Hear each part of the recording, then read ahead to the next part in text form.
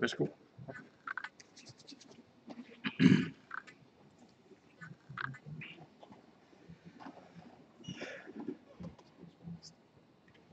Goddag og velkommen til 9. og næst sidste runde af Ekstrakon turneringen i Helsingør 2017.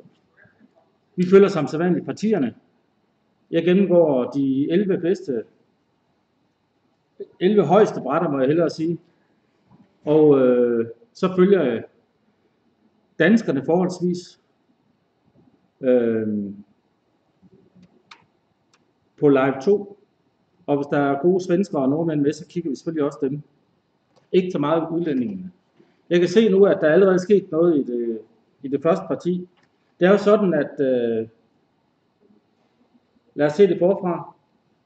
Det er jo sådan, at øh, Jobaba, han fører turneringen med 7,5 og 8. Og der er kun en på anden pladsen. Inderen Lyna. Men de skulle ikke møde hinanden, fordi at de begge to har haft hvid i runde 7 og 8. Og ifølge turneringsreglerne, så må man jo ikke have tre hvide eller tre sorte i træk. Så derfor kunne de ikke møde hinanden. Det er selvfølgelig lidt ærgerligt. Derfor den, øh, og de har jo begge to haft, både Lyna og Jobava har haft fem hvide og tre sorte, så man kunne forestille sig, at de får sort i de to sidste runder. Men det behøves det ikke. 6-4 kan godt lade sig gøre. Øhm, og derfor så sker der det, at der er jo nogle stykker, der er 1 point, eller 1 point bagefter 6,5 point, og den højeste rette af dem, det er Vito Ugov, og han bliver så trukket op og skal møde Jobaba på topbrættet, og det så allerede meget mærkeligt ud. Øh, lad os se de første træk.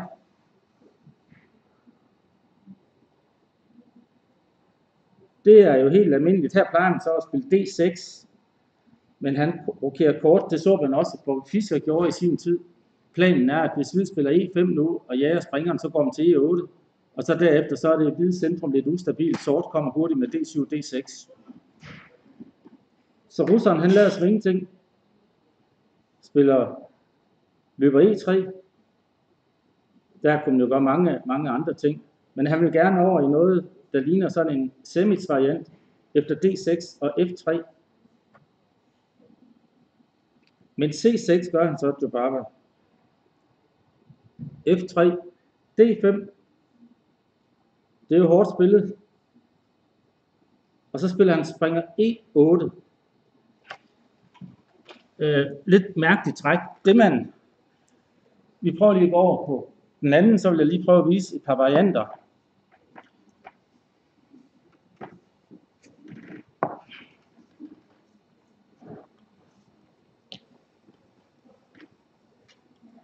Det man plejer at gøre, det er faktisk at stille springeren her, hvor sort så har, eller hvid har mulighed for at slå den her bunde, og så spiller man springer C6, og spiller udenom, siger at det hvide centrum er lidt, lidt løst. Man spiller dronning A5 skak, springer B6, løber ud til E6, og tårnen hen på D8 og presser mod de her. Det er set mange gange tidligere, også i lignende stillinger, men også i den her stilling. Men nu går han herned, det holder selvfølgelig fast i bunden her på D5. Eller det skal heldigvis være sort. Men som regel står springeren ikke ret godt på, på E8. Den er svært ved at komme i spil igen. Øh, samtidig kunne den komme den her vej og ind til E6 måske. Men læg mærke til, at den her løber er også begravet. Det er tit, at man prøver at komme med F6 lynhurtigt med sort. Derfor spiller han H4. Og nu er F6 jo ikke, øh, nu er F6 he, ikke helt så fristende, fordi han kan komme med H4 og H5 lynhurtigt og underminere det her. Men han spiller F6 alligevel. Og russeren spiller så hurtigt F4, hvilket stadigvæk begraver den her på G7. Men til gengæld er der mange svage hvide felter i den hvide lejr her.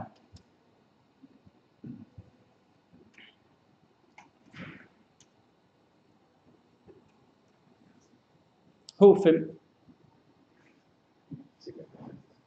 spiller han så. Det, det ser helt fuldstændig forkert ud. Øhm,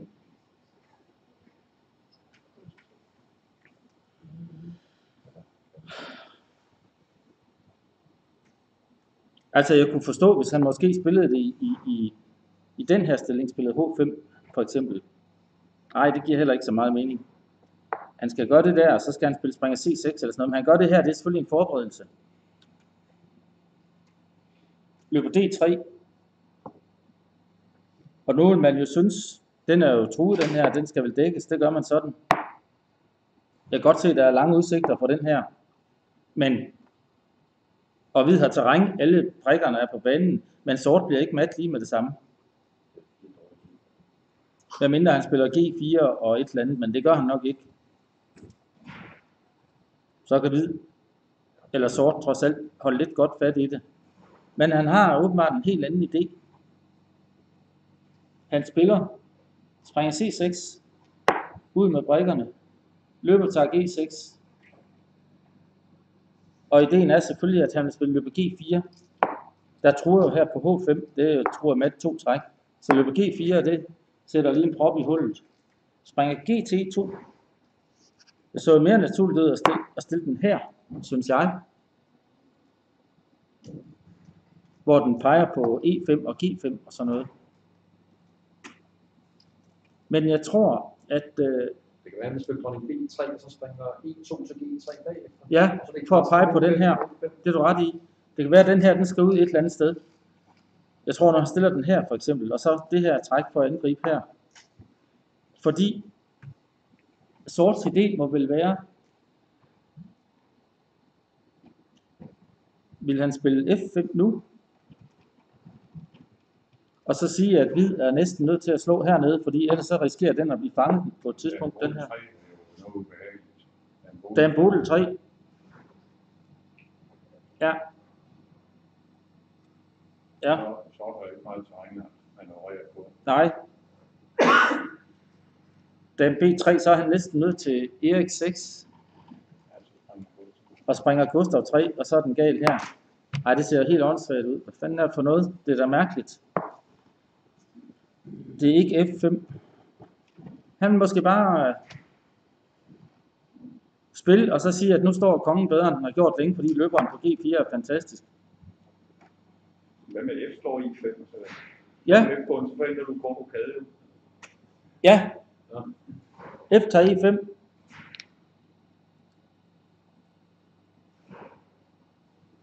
Men han kunne jo slå med den her, hvis han bliver rigtig ked af det. Men, øh, men det her, det er altså ikke rart, fordi at når dronningen lige har flyttet sig en gang, så er springeren på vej herop. Her står den altså fantastisk og peger på den, og på det felt, og på G6 og på H5. Ja, men når får sin springer til I6. Ja. Øh, lad os sige, at han gør det her, og så springer C7. Lad os lige se.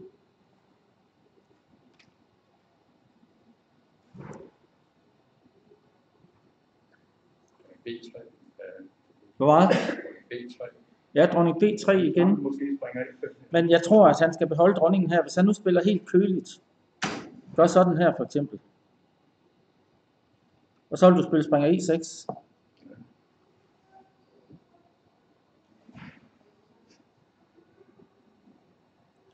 Men hvis man nu tager det helt roligt og for eksempel rokerer langt og stiller tårnet herhen næste gang.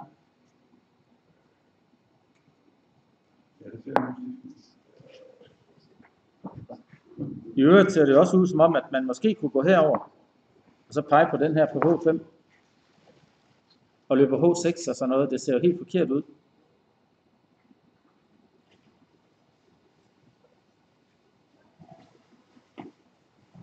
Ja. Øhm. Sort har spillet hurtigt, som om, at det er den naturligste ting af verden at spille på den her måde. Øhm. Men han skal selvfølgelig tænke sig grundigt om her. Men jeg tror, jeg tror, det er noget kludder. Jeg tror bare, vi står til gevinst på en eller anden måde. Jeg synes godt nok, det Det ser lyder ud. bare vildt, synes jeg. Hvad var? Det lyder helt vanvittigt, ikke? Ja, det lyder helt vanvittigt. Fuldstændig.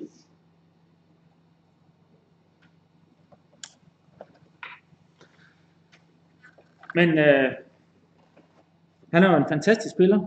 Så hvordan han vandt over Short i går. Fuldstændig fantastisk. Knuste ham fuldstændig. Short han lignede, da han skulle spille Kong G8 til H8 i træk 25 eller sådan noget, og tilbage til G8, ikke? Han, og der var dronning og tårn på brættet, der var let officer. Han var fuldstændig udspillet. Nærmest trækfang med alle øh, brækkerne på banen. Og, og, og han kunne vinde på mange måder over ham. Nu spillede han det smarte der med tårnet til sidst, og bønderne gik ned, men han kunne også bare have slået springeren igen. Alt vandt jo glat. Det var helt til grin. Det kan ikke have været sjovt for short. Men øh, det her, der tror jeg godt nok, han har krydset en, en, en linje her. Han ikke kommer tilbage fra. Og så mod sådan en super russer der, som er sådan en super tekniker. Han skal ikke ud i noget. Han spiller det bare stille og roligt, tror jeg. Okay. Vi kigger de næste partier. Sasikiran mod Lyna. Lyna, som er en af de, jeg har nævnt det før, nu havde jeg Rasmus Svane ved min tid i går, stormester Rasmus Svane, han fortalte jo også, at han vandt bronze til verdensmesterskab for juniorer i Indien sidste år, hvor han blandt andet slog Svane. En super stærk spiller, der altid spiller på gevinst. Nu er han godt nok sort mod Sasikiran, som jo i mange år, i hvert fald 10 år, var Indiens næstbedste spiller efter Anand. Inden Vidit og Hare Krishna kom frem.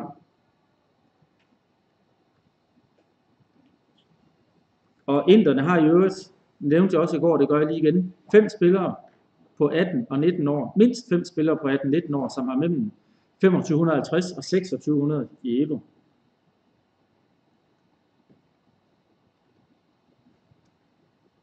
Sådan spiller han jo. Dronning E1, det er for at spille E4. Hvis der er at man spiller tårn i, det kunne man også godt forestille sig, så står, står man stadigvæk i en binding her, og den vil han gerne ud af, derfor spiller han dronningen her. Meget tricky. Men selvfølgelig set mange, mange gange tidligere. Og de her to spillere kender selvfølgelig hinanden rigtig godt. A4 tager terræn med det samme. Han vil gerne spille A5, så han kunne komme til det. Men den går ikke. A5 springer C4. Den manøvreres rundt til at lægge mærke til sådan en træk, der løber E2. Den står ikke på D3 eller på E3, fordi der hænger herinde. P6 springer E3. Det er jo en typisk manøvre her til E3, hvor man tror, den her løber på G4, og så peger man samtidig på F5. Springeren står som regel rigtig godt her. Løber H5. Springer H4. På den måde dækker han bunden på E4, og så er han klar til at spille øh, springeren herover. I nogle varianter kan man også spille F4 for eksempel. Det er nok det hysterisk nok, men det ser man her til. H3, G4, et eller andet kan man også gøre. F6, det gør plads til løberen ned på F7. Kong H1. Okay, jeg tror han spiller F4 nu.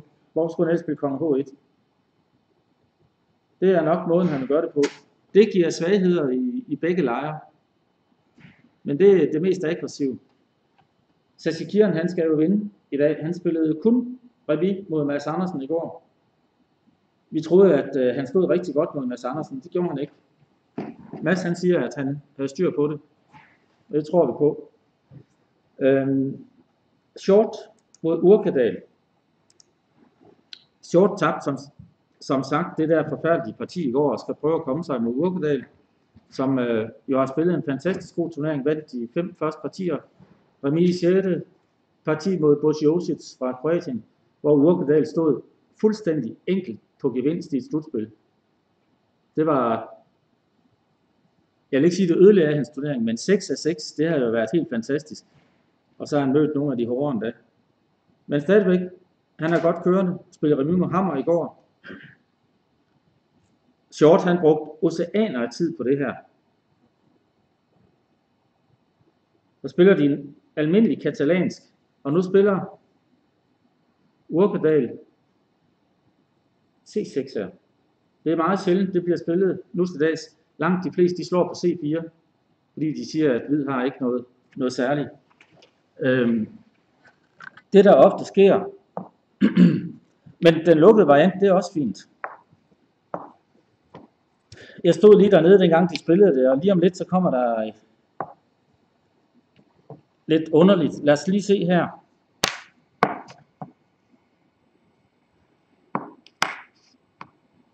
Snakket med Short? Er han blevet rask nu? Eller? Nej, han er ikke rask. Nej. Øh, jeg har ikke snakket med ham. Jo, jeg har også snakket med ham, men øh, hvad jeg snakker med ham om, det... Men, men, men du kan se på ham. Ja.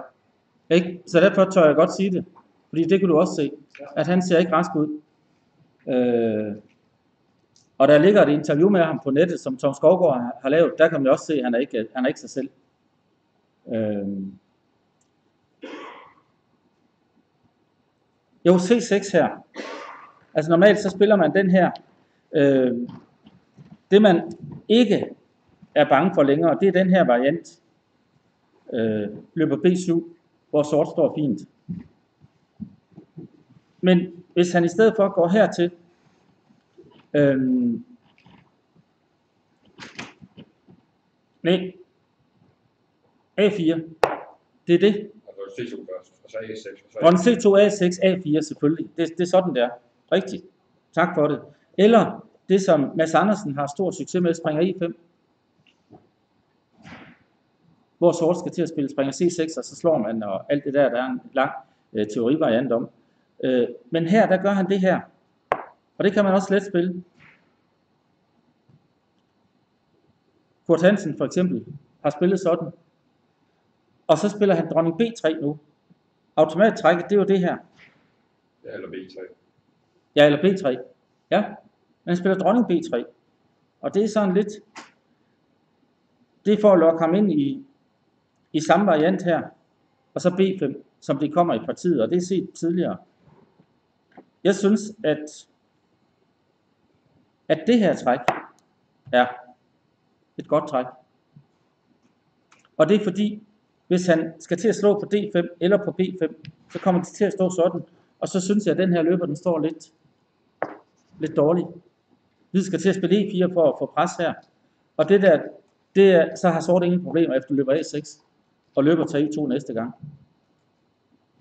Det er, det er set. Så derfor synes jeg, at næsten det eneste træk her for hvid, det er det her. Men det kan også godt være, at han gerne vil spille. Sort har ikke fået byttet nogle bønder, og, eller fået byttet nogle officerer, og hvid har terræn. Det sort skal gøre på det der lynhurtigt, det er at spille det her. Og så på A4, så kan han komme med B4 for eksempel, og løberen kan stå på A6. Den kommer ud her. Noget af den stil. Men det gør han ikke. Urkedal, han slog hurtigt her. Og så tænkte Short her i lang tid igen. Dronning C2 og løber B7. Og så er spørgsmålet, hvem der har snydt hvem. Fordi den åbne variant, jeg viste før, det ser jo sådan her ud. Hvor man spiller A6 og dækket den her. Og så er det hvid i trækket her. Nu står de sådan her. Og sorts plan er helt sikkert at spille det her og hertil. Men den her bunde på B5 er jo ikke dækket. Så jeg synes, at det har været smartere, at han havde spillet det andet. Men det er der sikkert en eller anden grund til. Fordi øh, dronning C2 løber B7. Og så spiller han springer BD2 med det samme. Det ligner den gamle variant. Hvis vi lige går tilbage, det er også et parti, jeg har nævnt tidligere. Løber G5, springer BD7, slag her på F6, her springer BD2, tårn C8 og springer B3, som blev spillet mellem øh, Larsen og Tal, Nemsovits Memorial i 85. Øhm, og Larsen var utrolig tæt på at vinde det parti. Det bedste er det her. Hertil. Sådan blev der spillet i det parti og C5. Men hvid står bedst. Men nu kan man gøre det på mange andre måder. For eksempel, øh, for eksempel det der træk. Nej, hvor står den henne? Her. Og så løb B4. Det har man fundet ud af siden. At det er bedre end det øh, Tarl han spillede. Men som sagt, nu har står bunden jo her. Bunden står på C6. Han spiller så ikke løber G5. Øh, Urkedal, men spiller springeren herover med det samme. Springer BD7 og springer B3. Det er altså samme idé, han gør. Dronning B6. Og der tænkes. Jeg drømmer C2 der. Men som sagt, jeg synes selvfølgelig, at det her, det må være bedre for sort, end det de har i stillingen her. Fordi at, at den der, den er uddækket. Han kan jo ikke, han kan jo ikke vælge det, han formentlig nok for en C2 og ikke 4, ikke? Ja, ansat. ja. Men nu er Urkedal på den her måde, er han trods alt sluppet for den der A4-variant. Ja. Eller det der springer E5. Det kan være, at det er derfor. Og det kan, kan også godt være, at det ikke har den store betydning, at den ikke er dækket på... Nej. Næste parti, Jon Ludvig Hammer mod Vocaturo. Det kigger vi ikke ret meget på. Det er en lang hovedvariant i Greenfield indisk.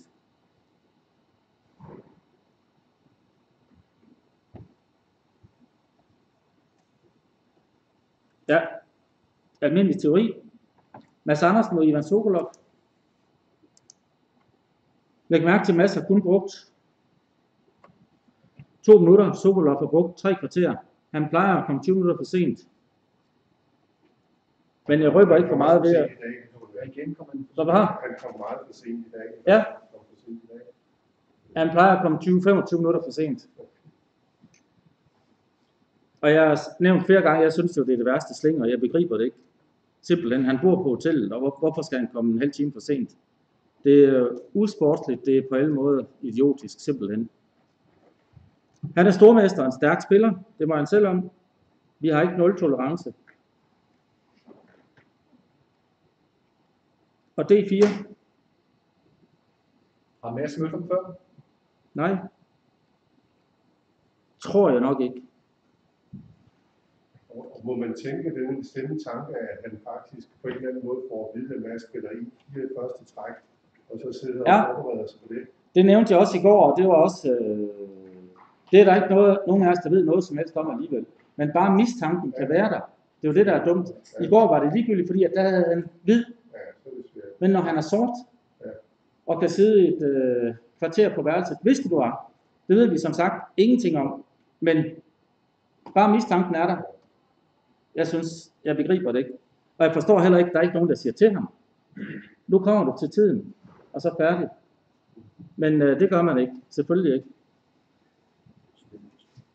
Mads spiller springer tager C6. Det normale træk her, det er jo løber I3, løber C5 og C3. Springer tager C6, det er Mads forberedt. Og løber C5, dronning F3. Og springer D2. Den stilling her har Mads siddet og, og forberedt sig på en 3-4 timer i formiddags. Er. Og hvad? Det er godt. Ja, det er jo herligt. Men øh, sort står fint nok. Det er slet ikke det. Men Mads vil gerne spille det her. A4. D6. Springer B3. Løber B6. Løber D2. Læg mærke til det. Skidesmart. Han vil gerne spille løber C3. Det er en manøvre, man lige skal kende. Man bemærker, at springeren står og dækker tårnet her. Det vil sige, at han kan ikke spille dronningen tager øh, B2 på grund af løber C3. Han vil gerne presse herned. Det ser jo så naturligt ud, at sort kunne slå her på F3. Og det gør han. Lad os bare se det. Men øh, praksis har vist, at det betyder noget. Hvid har jo en lidt dårligere struktur nu. Nej, det har han ikke. Den sorte sig heller ikke på køn. Lad os bare sige det lige. Men øh, hvid har G-linjen presser mod G7 sammen med løberen heroppe på C3.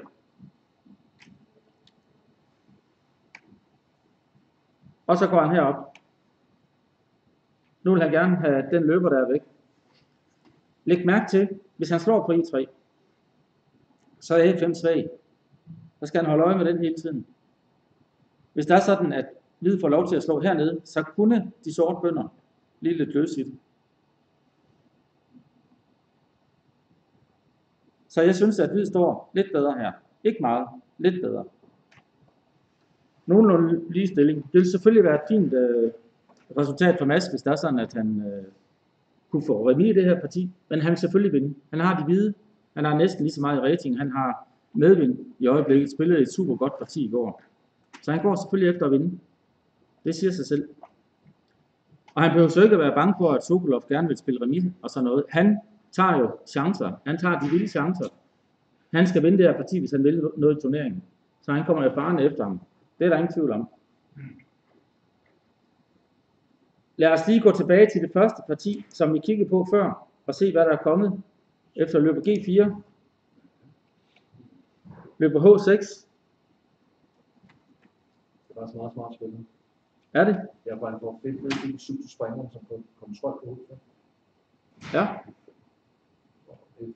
Dronning D2. Op og dækker på E3. Han troede jo med løber H6 med at slå på E5 op til flere gange, fordi E3 er uddækket, ikke? Så dronning D2. Springer G7. Og løber C2. Og E6. Ja. Han har givet en ren bunde, men til gengæld har han godt styr på felter nu, og han bliver jo ikke mat sådan lige med det samme.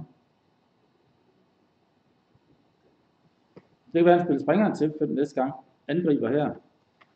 Det er helt utroligt, at han kan spille skak på den måde, men det... Øh, det er lige før, man, man måske tror, tror man spiller F, så slår E først, og så springer F5. Ja. Så hænger der dobbelt ud med H4 også.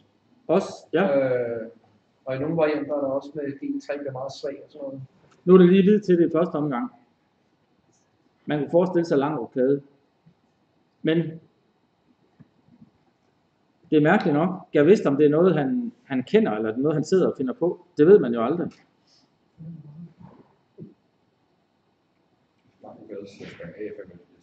Jo, spring A5, den er der hele tiden, fordi man næsten er nødt til at spille B3. Man kan ikke tillade sig at springe C4, vel?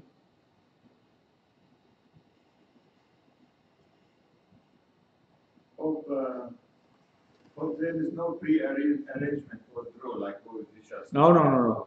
No, No. no, I'm not talking about this game in general. You Yeah. think about Bobby Fischer. You think, yeah. But A lot of pre-arrangement. yes, this is not pre-arranged for sure. Normally, in, in many tournaments, they pre-arrange last two rounds. Yeah. Because, I mean, especially like Russian or Soviet or whatever. But one of them is from Georgia. Yeah, yeah, I know. Uh, like, like uh, Soviet. Uh, Yeah, yeah. Okay, I know. poor countries. Poor countries. I don't think so. I don't think so. No, I don't think so. No, no, no. They are just they are just playing uh, strange chess. E6, E6, last move. Okay, I feel this game will finish draw. you think? I think White will win. But okay, let's see. Uh, Kolas har det er den unge tysker, som har spillet en god turnering videre mod Savic. Den stærkeste kroatiske spiller, som vandt Flint-turneringen i går. Heldigt. I etterfinalen, hvor de otte bedste etter møder hinanden, der startede med at tage de to første partier. Men vandt de fem sidste. Her spiller de Kaukan igen. Øhm. Og Sardic, han har chancer for at vinde turneringen, hvis han vinder det her parti. Han har en god korrektion, har været med fremme i turneringen hele tiden. Lad os se. Øh, løber F5, H4, det som vi har set mange gange tidligere, for eksempel Jon Ludvig Hammer øh, spillede det sidste år. Jeg kan ikke huske, om han fik øh, skønhedspræmien, men tæt på. Og så H5, det mest almindelige. Her så vi i et tidligere parti i turneringen, jeg kan ikke huske, hvem det var, mellem at sort spillede C6, C5. Hvis det ikke er den her stil, var det ikke den gamle C5, der er Nej, det var den her stilling. var det ikke Sejl selv, der spillede? Man kunne godt forestille sig, at du tænker på i den her stilling. Ja. Ja, det var i den her stilling. Øhm, men H5 er det mest almindelige træk, men det svækker. Her på G5. Og jeg nævnte også den dag H6, som blev set spillet mange gange mellem Thaler på Dvinik. Øhm, H5, og så spiller han løbet D3. Helt mærkeligt. Øhm, her plejer man altid at spille C4. Har du det? Ja, og Mark, ja. Er det det? Nå, Jeg ville jo beholde nogle brikker på banen, hvis det var mig, der havde de hvide brikker. Nu har jeg svækket mig på den måde. Er du sikker på det? Ja, hvert fald et par gode spillere spille på, og har mange gange. Så. Ja. Okay. Altså slag her. Og E6. Okay, nej, han giver skak her først. Yes.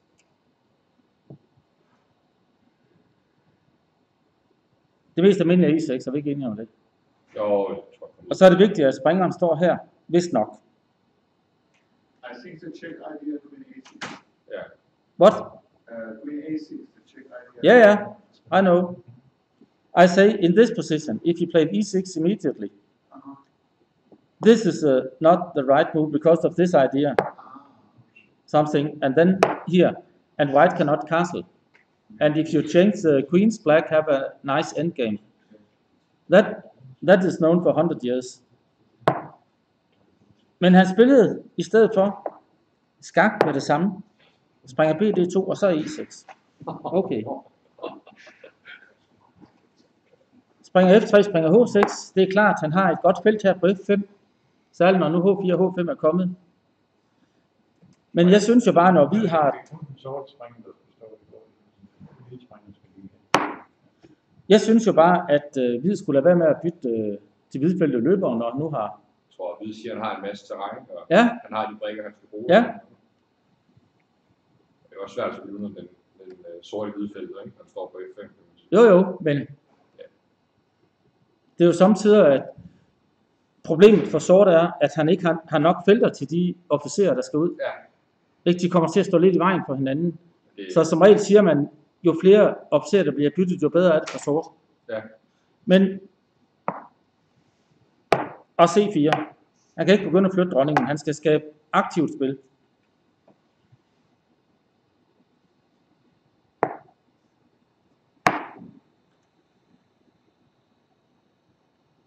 A4 og løber B4. Mm-hmm. Grunden til, at Hvid har spillet H4 er selvfølgelig også, at han, hvis sort begynder at rokere, så er den her jo frygtelig svag, og der kan blive noget med, de, med felterne omkring kongen. Men det er han ikke bange for nu. Han rokerer alligevel. Hvad vil han? Vil han til at spille F6? Det tror jeg ikke. Nej. Men læg mærke til, nu står dronningen på A6. Her står den måske ikke så godt. Nej, Den ville have stået bedre her nu.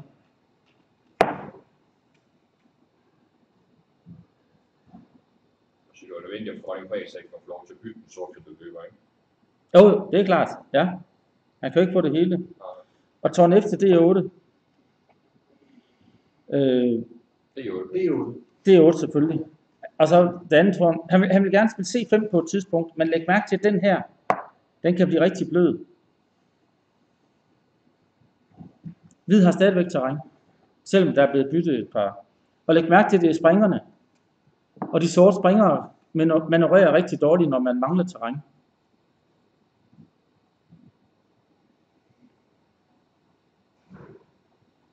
Ja. Det er måske set før. Måske er det en teoristilling, det er sikkert tæt på. Det skulle ikke undre mig. Vi skal se gode her, som har videre mod Borsiosius. Kroatiske stormester, de spiller en lang teorivariant i siciliansk. Det der dronning F3, det er jo set før, det er blandt andet Allan Stig Rasmussen spillede. Det er jo det, man, man spiller nu til dags. Jeg synes jo, at dronningen står så underligt der. Jeg synes, det står bedre på D2. Mere naturligt, men smag og behag.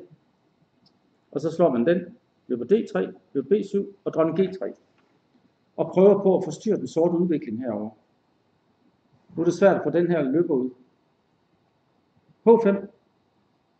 Igen et træk, der svækker pummeren til, men noget, man ofte ser mod siciliansk. I alle mulige varianter af siciliansk, der spiller de hovedbunden fremad. Hvis det er sådan, at vi, vi ikke havde en computer, så er der ikke nogen, der ville kunne drømme om at spille sådan et træk. Hvis det er sådan, at en af... Hvis Nimsovic så det træk, så tror jeg ikke, han synes, det var skide godt. A4, spiller over hele banen, B4 og springer F6. Ud med brikkerne. F3, det er fordi han vil overdække E4. F4 det er nok lige en strammer. Der er jo også et felt her på G4. For begge spillerne gælder nu, fordi de har svækkelse over det hele, hvor skal man sætte kongen? Hvor skal kongen stå? Springer D7. Den laver ikke længere noget på, på F6, fordi den ikke øh, kan gå til G4, og E4 er godt dækket. Så vil han have springeren op på E5, true på D3, måske noget med C4.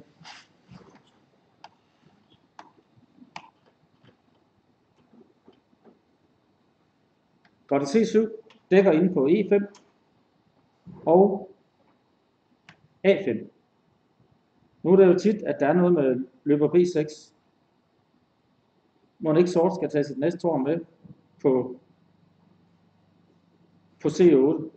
Læg mærke til, at han kan ikke spille løber i 7 der hænger hernede.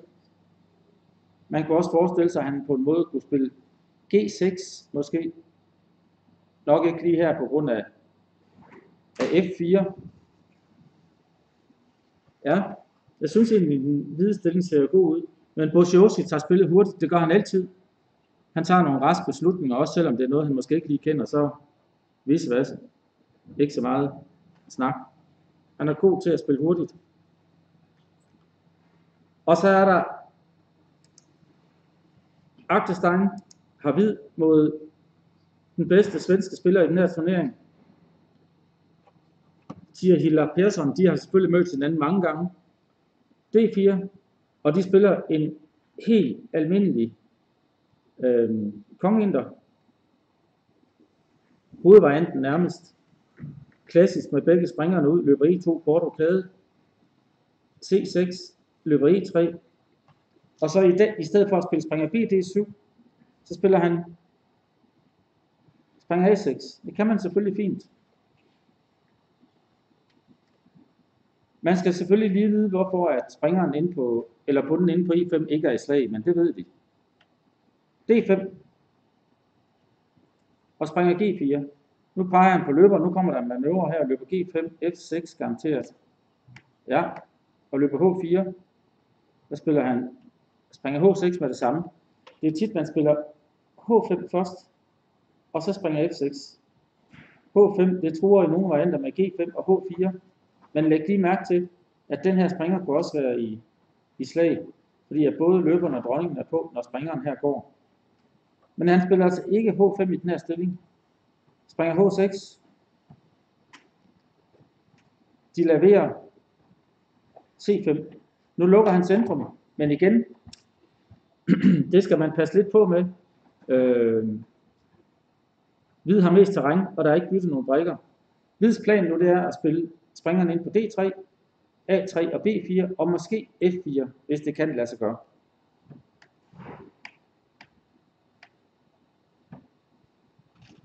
Hvorfor han spiller tårn B1 og ikke springer D3, det skal jeg ikke lige kunne sige. Springer D3, det plejer altså at være det. Men øh, der er der sikkert en god grund til. Men igen, de har begge to brugt ret lang tid.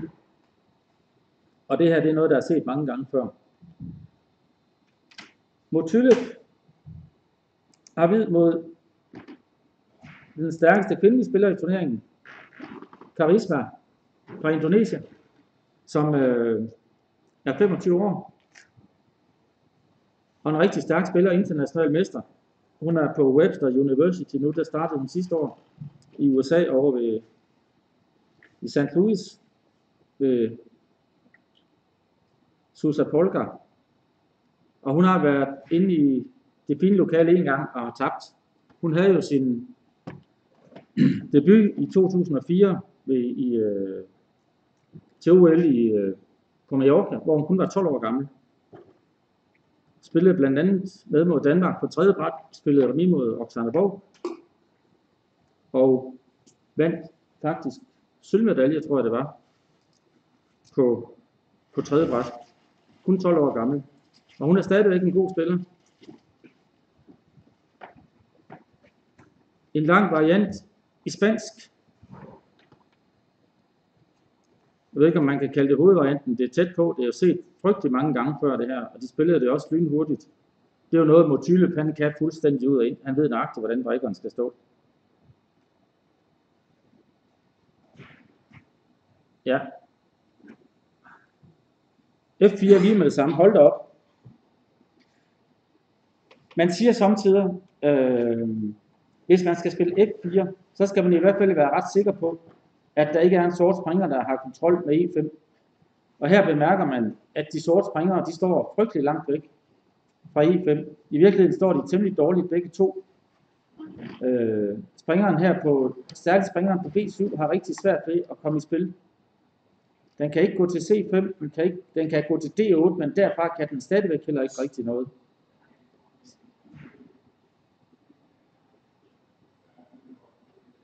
Er, er det en teoristilling, Ola? Ved du det? Nej. Jeg synes, Ja, det jeg ser... det ikke. Nej, du ved det ikke? Nej. Nej. Jeg synes sådan lige pludselig, at det ser så godt ud for hvid, fordi at han kan gøre det her.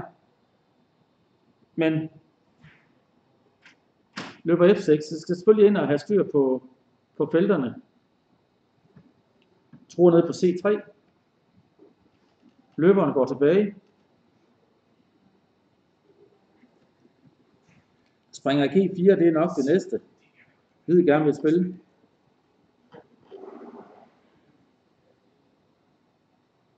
Ja, nu vil han gerne til C4. Eller nu er det endnu bedre med en, man springer på G4, fordi man tror på H6, tror på F6, tror på E5. Men der er jo noget hernede.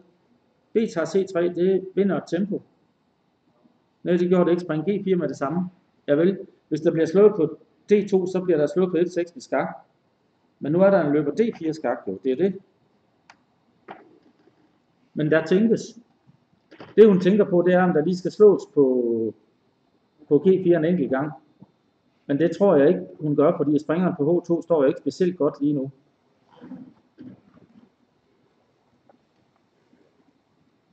Må ikke den løber skal blive stående. Men det er jo en meget spændende stilling. Altså læg mærke til, slag på D2, slag på F6 med skak, og dronningen tager D2. Så er vi færdige lige om et øjeblik. Dronningen går til H6 og dronningen H7. Det er stort set mat. Så løber D4 skak ser ud som om det er eneste træk. Og så tror jeg, at, øh, at hvid spiller løber D2 til E3. Er der andre forslag end løber D4 skak?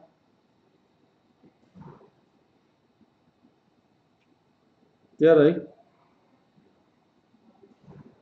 Jeg tror altså godt nok, det er noget skidt det her for, for sort allerede. Vi får se. Øh, næste parti. Thor Frederik Kåsen, som ikke har haft verdens bedste turnering. Han har vundet over en, en stærkt norsk FM, og han er vist kun 14 år gammel. Øhm, han har tabt til et par gode og vundet over resten. En mand på vej fremad, som så mange andre nordmænd.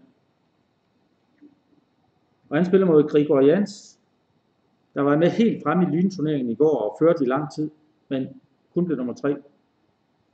Mod Han var finalen. Det var ham, der tabte Sardis sæt og rigtigt. Selvfølgelig. Og så Johan Sebastian Christiansen og Sune Berg som nummer 3-4. Yes.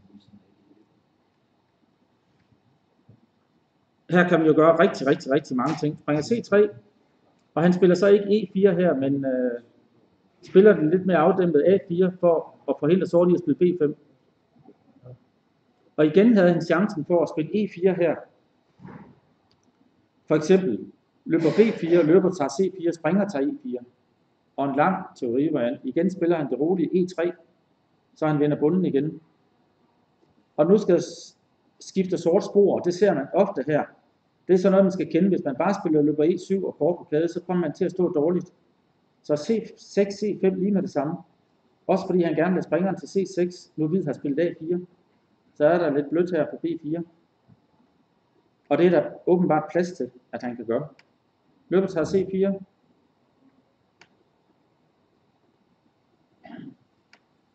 Og nu tager han den struktur.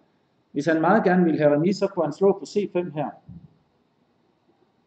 Men sort behøves angiveligt ikke at blive dronning. Han kunne for eksempel spille dronning A5. Den der stilling er sort træk. Ja, den her stilling. Men han tager den her, og så får de den struktur, struktur som vi har set mange, mange gange før, og som kan komme fra øh, for eksempel modtaget dronningen Gambit lige med det samme, eller fra Kaukan eller skandinavisk. Forskellen til udvalg modsat dronningen, det er jo som spil A6. Ja, Det giver jo sådan lidt nogle forskelle. ja. Hvid har adgang til det her felt, men A4 kunne også være en svækkelse. Ja, ikke? Det er ikke, det er ikke sikkert, at bunden står bedre her. Måske vil den stå endnu bedre på A3 for eksempel. Og kontrol over. Ja, det er sådan nogle små nuancer, som de gode spillere sidder og kigger på. Dronning E2, det tror jeg er et godt træk. Som jeg har sagt mange gange før, man spørger op sig selv, hvor skal øh, tårnene stå? Jeg synes, de skal stå på E1 og D1. Andre synes, at de skal stå på D1 og C1. Men jeg synes, det er mest fleksibelt her. E1 og D1, og så spiller man D5. Hvis man kommer til det, det synes jeg virker bedst. Men han spiller det, ja, springer B4, han vil have kontrol over D5, så, så hvid ikke pludselig spiller D5. Løber G5, og springer E5. Alt er vel forløbig. Men i den stilling her, vil jeg jo godt have, at tårnet har stået på E1, så har man spillet tårn A til D1 og truer tit noget med D5, og der, den hænger på truer forskellige slag, måske på F7 eller, eller noget andet godt. Meget ubehageligt for, for sort at spille, men hvis han får brikkerne ud, så er det fint. Til og med løber G5 i hvert fald. Ja. Men det kan godt være, at Grunden til, at han spiller tårn D1, er jo, at den er i slag.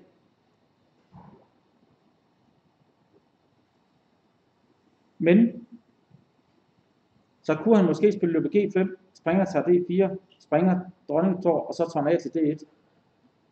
Det er i hvert fald set, og den her løber er svært ved at komme ud. Hvor man giver den bunde på den måde. Men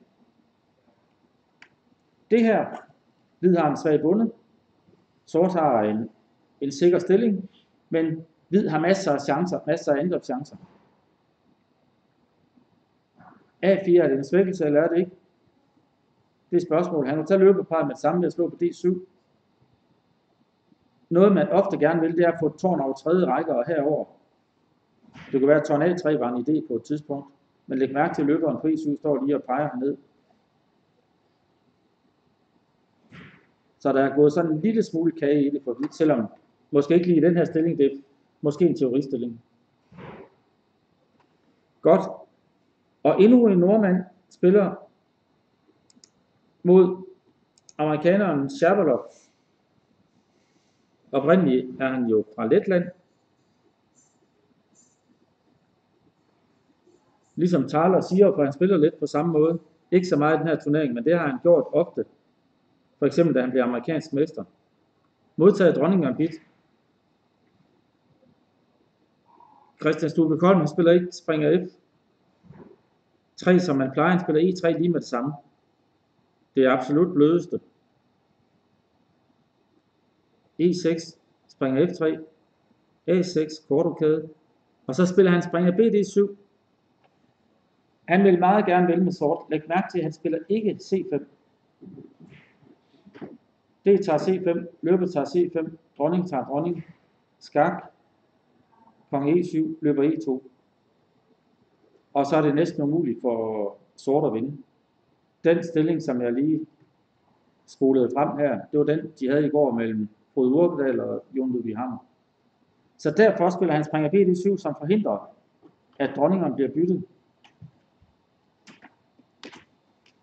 Men ofte står springeren bedre på C6, så det er lidt et sats, han spiller på den måde. Men det kan man selvfølgelig godt, men C5 er langt det almindeligste. B3, C5, løb B2, og B5 løber E2, løb B7, A4. Nu har han noget at skyde på derovre, Læg mærke til, at den her springer er ikke, står ikke på C3 endnu. Hvis den havde gjort det, så havde A4 måske ikke helt samme effekt, fordi sort skulle spille B4 med det samme, og så skulle vi til at flytte springeren igen. Her tror han med det samme med at slå på, på B5. Og hvis han spiller B4, det gør han min sanden, så synes jeg jo, det er meget behageligt for videre at spille, fordi han med det samme kan spille springeren op på C4. Sådan. Springer E5. Hvad er det for et træk? Angrebstræk.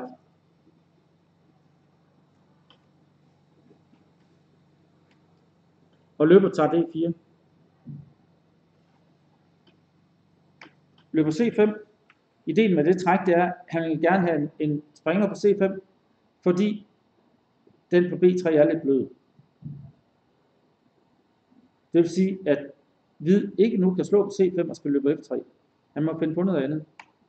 Løb B2, han skal ikke bytte den. Glimmerne, Så står springeren i vejen nu. Eller løberen står i vejen for springeren på C5. Og vi har en stilling her. Næste hvide trækker løber F3. Så vil han gerne bytte den, dronning E2 og tårn i D-linjen. Og så skal sort se, hvad han har. Hvad kan han komme med? Kan han vinde det her? Den på B4 kan blive lidt blød, og hvis han skal til at spille A5, så er det meget irriterende, at springeren hele tiden står og truer på A5. Jeg synes, det er smart spillet af den hvide mand. Øh, han spiller på stormesteren, og, så, og han ved, at sort vil gøre hvad som helst for at vinde. Og så skal han ud og stramme den på, en eller anden, på et eller andet tidspunkt, tror jeg. Vi kigger lige det, nej, vi går lige på bræt 2 og ser, hvad der sker. Øh, Allan Stig Rasmussen, som har 6 point ud af 7. Han kom jo ikke i første runde på grund af flyforsinkelse. Han har de hvide brikker her, han står sikkert fint. Ja, mod Midema, en hollænder, som har spillet godt. Det var blandt andet ham, der spillede remis mod Mads Andersen. Jakob Robling Thomsen, han spiller mod franskmanden Delorme. Franskmanden øh, har spillet en god turnering og kan lave stormestnorm, hvis han vinder med de sorte brikker. Lad os lige se. Øh, Jakob han spiller Pirks forsvar med de øh, sorte brikker. Altså D6 bringer F6 i de to første træk og G6. Og øh, det er den stilling han har her med omvendt farver, men med tempo mere. Og B4, lige med det samme. Det er så noget, man bare ved, hvis man er god nok. Springer til E5.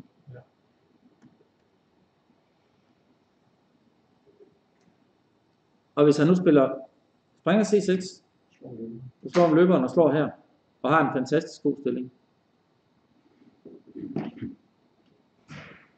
Og det har han også nu. Læg mærke til, at sort har svært ved at få den her ud. Sorts trum er, at han kan få et tryk mod E2. Men ellers er den her løber fantastisk god mod B7, og den anden løber bliver også god. Springeren kommer ind og får et godt felt. Presser ned på, mod B7, ikke?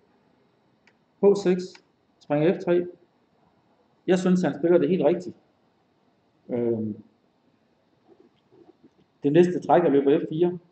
Tårn B5, et eller andet. Hvid står godt. Løber par. Jeg synes, det ser rigtig fint ud for hvid. Men sort skal altså vinde for at få en stormandsnorm. Vi skal lige se Frederik Svane her, som jo har spillet en fantastisk fin turnering. Øh, og vundet tonsvis af ratingtal. Ratingpoint hedder det. 13 år gammel. Lillebror til stormester Rasmus Svane. Og i går der holdt han det der meget svære tårnslutspil remi mod Martinovic, stormester Martinovic. Vildt flot. Og se, det her, det spiller han tempo, jeg stod lige ved siden af. C5, det kom bare. Der skal den jo stå. Og igen, som I kan se, det her det kom fra Nimswings. Igen har vi fuldstændig den samme struktur, som, som vi har set på før med den isolerede bund på D4. Nu står brikkerne lidt anderledes, men ellers er det helt det samme.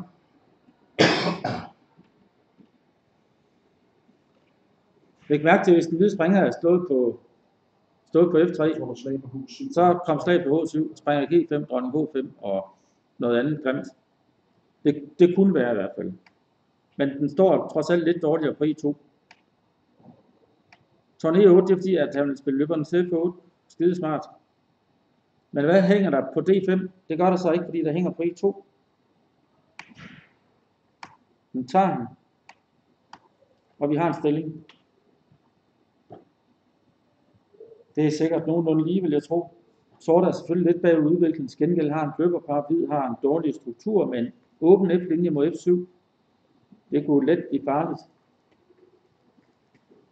Hej Kåre. Hej. Vi skal lige se Hector. Øh, han spiller mod en englænder, der hedder Matthew Wadsworth. Og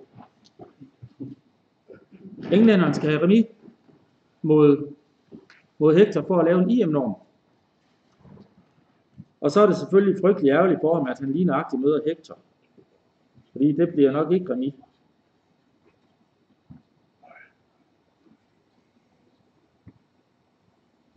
Ja. Han har kigget lidt. Øh, det her, det minder jo noget om. I den her stilling spillede Hector C6 mod Jon Ludvig Hammer. Og fik grimme tæsk i 6. runde. Nu gør han noget andet. Det er jo det. Når man er professionel stormester, så kan man jo spille alt muligt. Nu, og nu er vi nødt til at forholde sig til, at sort tror med at spille D5.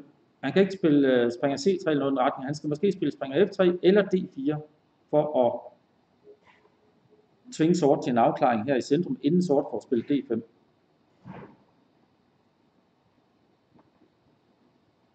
Ja.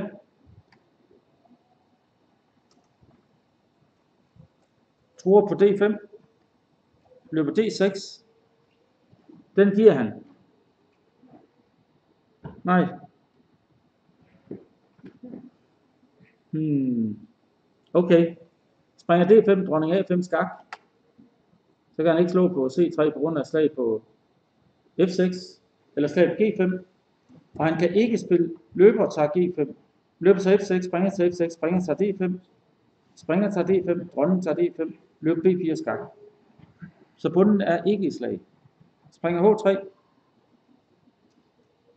Og nu er han nødt til at spille H6 lige med det samme, så der ikke går kluder i det. Hvis du var hvid til det i den her stilling, så kunne han spille springer F4 med en helt fantastisk stilling. Han er nødt til at tvinge ham til at afbytte den der, og det gjorde han ikke. Han synes, at øh, sort har det for let efter øh, løber til F6, springer til F6. Det er sikkert rigtigt. Men nu spiller han kort på kæde. Hvis han forsøger noget med G5 for at lukke den her springer ude af spillet, så vil hvid sikkert spille F2, F3 for at angribe det hvide centrum, og springeren kan stå på F2. Kort kæde, kort kæde, tårn E8, springer B5, løb B8. Læg mærke til, at han går ikke til F8, fordi tårn C1, så er den galt på C7. Det der springer C7, det kan man som regel dække på tre, tre måder. Enten en springer til A6, eller hvis der står noget i C-linjen, eller hvis man kan spille springer F6 til E8. Ingen af delene kan her, så derfor skal løberen stå på B8. Løber F4. Nå, nu skal det til at være kompliceret lige frem. Det var selvfølgelig ikke så godt for Johnny, at han var nødt til det der. Men han synes nok, at hvid truer med at spille tårn i C-linjen og slå på C8. Måske også slå på B7. Men man er selvfølgelig rigtig ked af at give sine sortspiltede løber her. Men det er ikke sikkert, det betyder så meget. Hvor skal løberen stå? Se, der er mange øh, svage sorte felter i, i den sorte stilling. Men Sort har masser af aktive spil. Springerne er måske ikke så dårlige, som de lige ser ud. Man kan også gå ind til C4 og pege ned på D2. Jeg tror, at Hvid skal... Han overvejer selvfølgelig, om man skal stille løberen på A3 eller på C5. Eller på F4. Der er nok at se til. Jeg synes også, det er svært at vurdere stillingen. Det kan godt være, at Hector står fint her. Øhm, vi kan lige se, der er to, der har vundet lynhurtigt her. Det er jo heldigvis to nordmænd, det går ud over. Det er godt, de ikke vinder det hele. I det mindste. Gunnar Lund der, som ellers har spillet en fin turnering, men han møder Sonis. En ung italiener på 13-14 år, som er skide god. Jeg så også ham med i byen i går. Og jeg hørte efter, jeg så det ikke selv, men han fik 5 point, ligesom Sardic gjorde i den indledende gruppe, og så skulle de trække lod. Og så Sony skal pladsen til Sardic, som så vandt byenturneringen. Men han er på vej til at blive stormester, ham Sonis der, ikke? Det kan være, at det, der, at det kommer ham til gode en anden gang.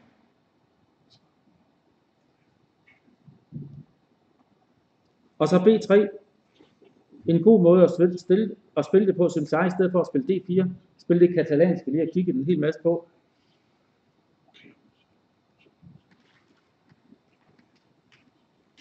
Helt almindelig teori.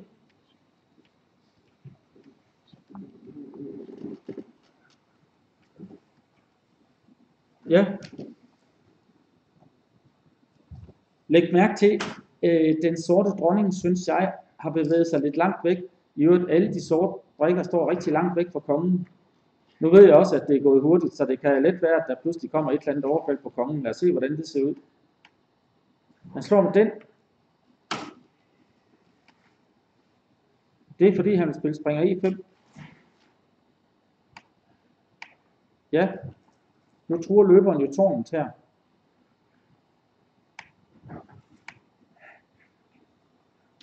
Lad os lige se, hvordan ser det ud. Hvordan kvaser han ham nu? Løber L3. Der var den. Ah. Så er han nødt til at slå på... Kan han slå på E5? Så med dronningen. Og slå med dronningen. Og så når du flytter tårnet, hvad så? Så slår du B8. Jeg slår B8, og der hænger på C6. Yes. Ja, det var for let. Men det kan jo ske. Og vi skal også se, Solberg tabte også lynhurtigt. Det var da besynderligt. Til øh, Inderen Das. Spring C3 E5, det var faktisk lige nøjagtigt det her, vi, vi snakkede om i går. Hvor der bliver slået på E5, slag på E5, bytte dronninger, løber C4, løber E6, og så bliver der slået på E6, og vi snakker om, hvad det er for en struktur. Og jeg sagde, at, øh, at det var nogenlunde lige. Så har jeg snakket en masse med Mads Andersen i formiddags, han sagde, at det er helt misforstået. Sort står jo langt dårligst. Nå, så ved vi det.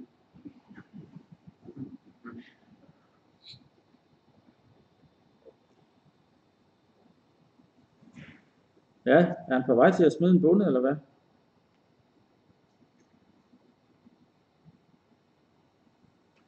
Ja, nu kan vi godt se, hvad der kommer lige om lidt. Springer sig F5, det er jo godt nok tidligt. Når han bytter dronninger, så slår han lige på E7. Og så mangler han to bønder lige om lidt. Og en elendig stilling. Ja, sådan kan det gå, hvis man er lige... Men okay, det er 9. runde i en benhård turnering, hvor man møder en masse, og det er weekend og alt det der, ikke? Øhm. Lad os lige se Christian Schmidt, der endelig kom med frem. En af de gode spillere fra K41. Han spiller mod Martinovic.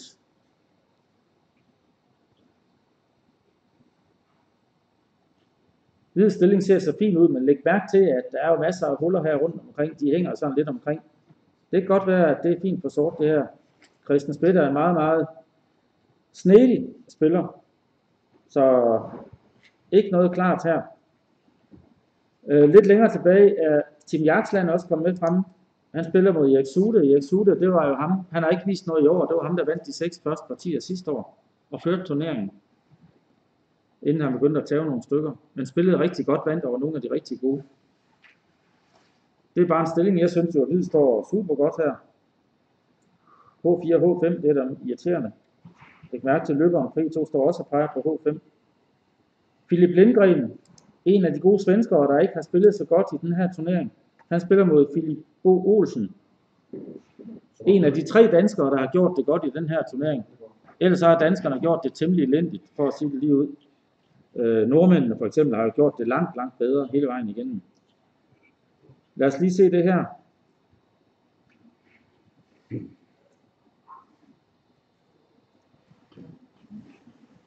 En lang teorivariant. Ja, nu hænger der nede på H5. Nu må han skynde sig at spille. Løber H5, eller på F7, løber H5. Dronning B3, nu hænger der igen. E6. Han tænker jo straks på, om han slår på E6 lige om lidt, eller hvad. Tårn E1. Og han dækker sig op. D3. Ja, det ser farligt ud, men det ser da ikke ud som om, at øh, sort lige skulle dø af det her med det samme. Man kan rokere for eksempel. H4, ja. Springer F til D7. Altså hvid truer med at spille, øh, formentlig spille H4, H5 i den her stilling.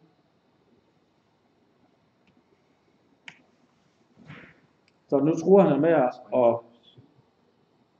at noget af presset forsvinder. Den der på G5 er også et slag, hvis han spiller H5. Men de hvide brikker, de står godt nok noget aggressivt. Man kigger jo hele tiden på, om han kan klaske en af de her.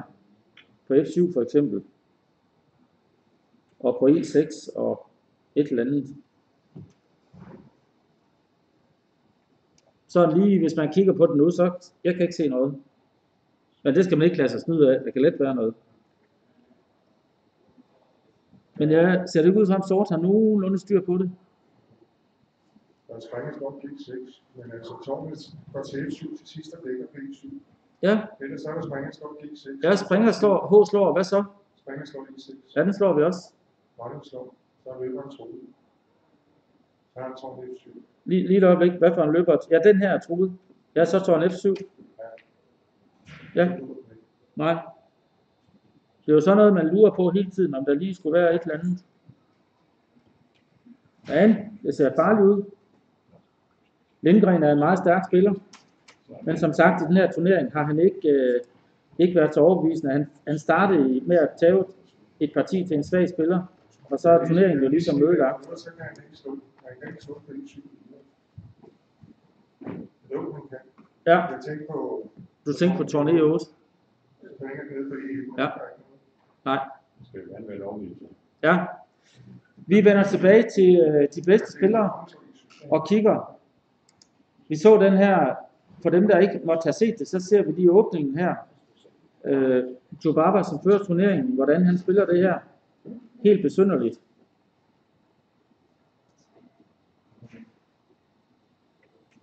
Her springer E8 i stedet for springer D7. H4. F6. F4. Det svækker jo de hvide felter, men på den anden side er sort jo pakket noget ned her. Nu er H4 og H5 jo ved at være en grim trussel. Og G6 er svag. H5 spiller han så. Der skal god fantasi til. Løber D3. Springer C6. Løber tager G6. Og så løber G4. Det er selvfølgelig hele ideen, at han kan lukke ned på den måde. Og så spiller han løber H6. Han tillader, at den hvide løber kommer ned på G6, fordi han vil prøve at have de hvide felter. Dronning D2 springer G7, den er på vej til F5. Vi så den her stilling. Og vi spiller kort rokade, det snakkede vi også om. Men læg mærke til, at nu er der hele tiden noget med, når der bliver slået, at H4 er i slag. Han så faktisk på E5. Løber 3-3. Og løber F5.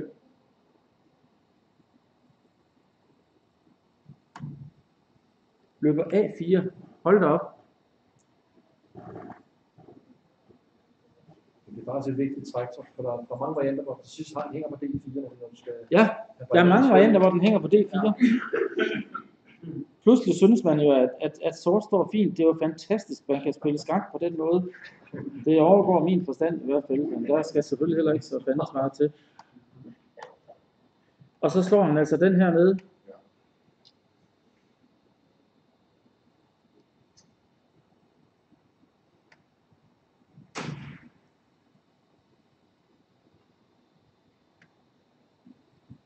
Ind i den åbne linje. Og sort trækker.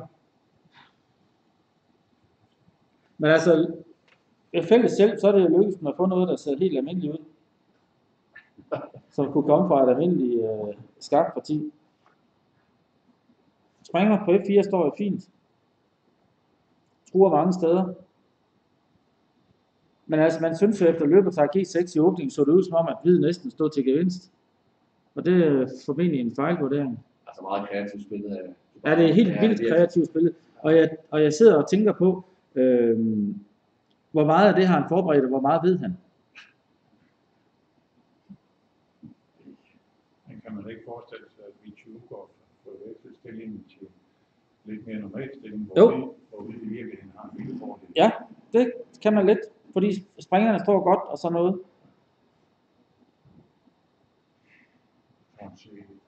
C1 peger vi ned på den her, C5 også. springer A4 til C5 eller et eller andet. Men sort har jo også måde at spille mod D4. Tårn kan måske komme til ikke- kan sort ikke D4. prøve hurtigt at få tårn i helt med? Jo, Ja, altså, Ja. Spørgsmålet er, hvor kongen skal stå. Det skal nok stå på G7. Man er ked af at stille den på G8, hvor der altid er noget med spring G, G6 skak på en eller anden måde. Ikke? Så konge H7 måske med planen tårn G8. Ja. De er jo godt dækket hernede.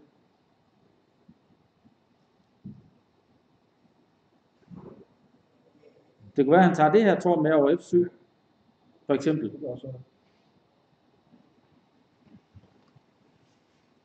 Det vender vi snart tilbage til. Vi kigger lige inderne her. Vi så han spille konge H1. Springer E6 og F4. Løber C5 og C3. En helt almindelig stilling. Kortrokade. De står fint begge to. Det sjove er, at øh, på den F4 så står kun til synlighedsdag også. Der er Uh, tre frugtbrød også. F4, ja.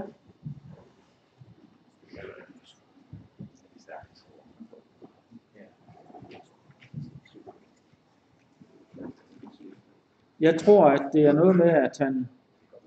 Efter Altså, når den her, den letter på et tidspunkt. Det jo den, der springer D5. Jeg springer D5 for eksempel. Det ser farligt ud. Men det vil vi ikke kigge på her. Vi vil kigge på, hvad Short han gjorde i den her stilling. Han gik altså ned til C2. Han kunne overveje at gå til B3, jo, det var det.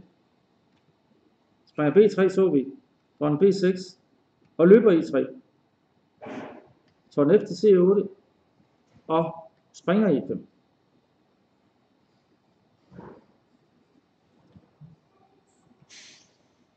Løber E3 er man tit ked af, fordi sorte ofte kan spille springer G4. Men åbenbart ikke her. Ikke noget, der er noget værd i hvert fald. Spring E5 og A5.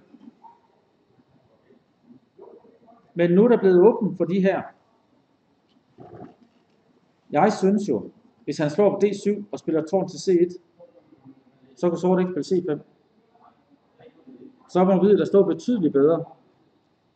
Nå, det så han ikke. Tårn D1.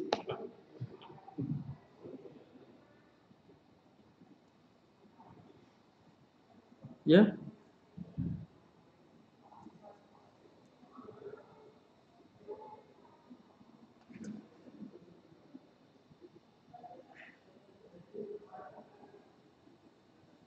Lad os se, tårn D1, dronning C7, og hvid trækker. Øhm, jeg vil lige prøve at stille dem op her. Det, det, jeg synes altså, hvid står helt fantastisk nu. Han har fået det, man drømmer om i den her katalaner. Kan det passe, Sors har spillet forkert? Det sker jo selv i de bedste kredse, det ved vi jo. Så det kunne jo godt være. Øhm,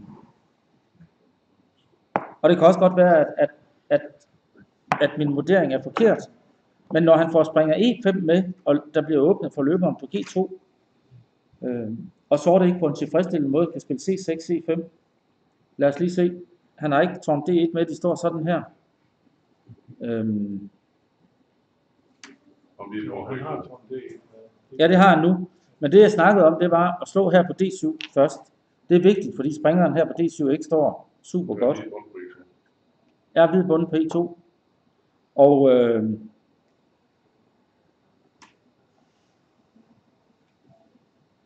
tårn C1 for, for eksempel. Eller springer C5.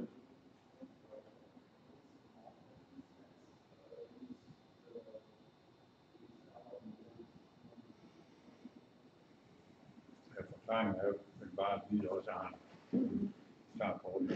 Ja, ja. Men det her, det er da fantastisk for hvid. Det er tårn det. Det er tårn D1 også. Øh, Sort kommer ikke til C5. Det er jo, det er jo noget skrammel. Hvad var Nej, nu kan man ikke ramme rigtig hver gang. Nej, men, øh, men hvad, problemet med, med at slå på E5, skal man lige lægge mærke til, det er jo, at, at dronningen pludselig er truet. Hvis den ikke var truet, var springer D5 jo fantastisk træk, men dronningen er jo truet, så man kan ikke slå på E E5.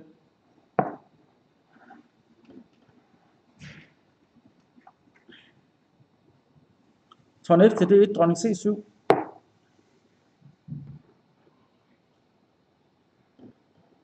Men nu har han altså muligheden for at slå med springeren på D, eller med dronningen på D7, hvis der bliver slået på D7 nu. Fordi nu, nu tror han jo med at slå den her. Vist nok. Dog, det, det må han gøre. Og dog, det er måske ikke så klart. Tror du, det var F4? Ja, men jeg tænkte på, lad os, nu, nu er det hvid til at trække. Hvis han fik lov til det her, så tog han D7. Nå, den, den er i slag. Skide godt. Det kører fantastisk. Løber F4, så går han til H5, så er der ingenting. Men øh, han skal slå på D7. Jeg kunne bare godt lide, at han, at han i den her stilling tvang ham til at slå med springeren. I stedet for at han kan slå med dronningen. Fordi nu snart gå herind. Men igen smag og behag. Nogle gange skal løbe F4. Løber F4 nu.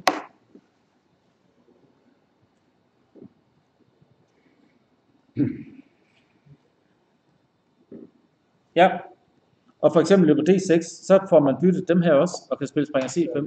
Altså i hele taget er det bare gået galt for sort. Den her er dårlig. Løberen på B7, og han, han, han får ikke spillet C5.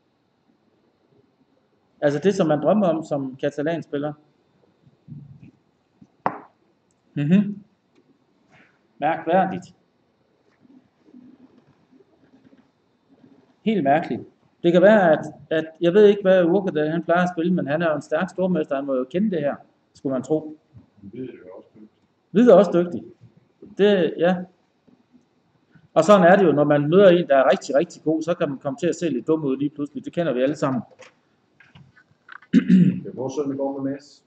Ja, det skal vi nemlig. Øh, mm, ja. Lad os se, vi så, tårn, vi så den her åbning. Tårn G1. Springer G6. Løber E3. Det vil han gerne bytte. Og F5. Det der, det der træk, han spiller nu Mads, der brugte han rigtig, rigtig lang tid på efter F5. Ja, det kan jeg da godt forstå. Ja, Det er også øh, indviklet.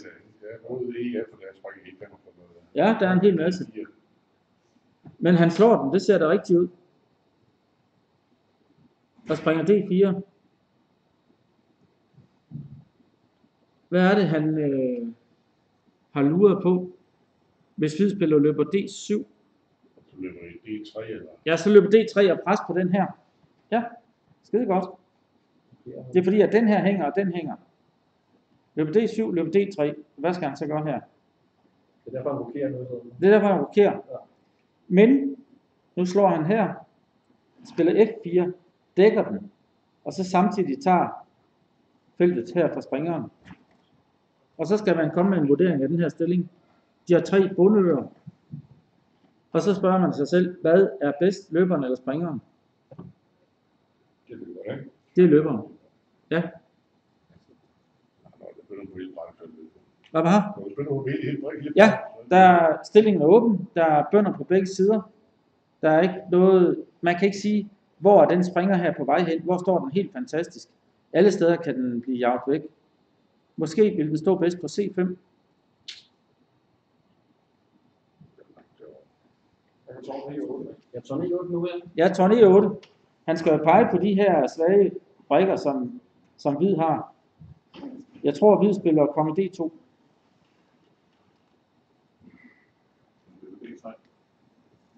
Løb D3 med det samme i stedet for. Ja. Tårn tager F4.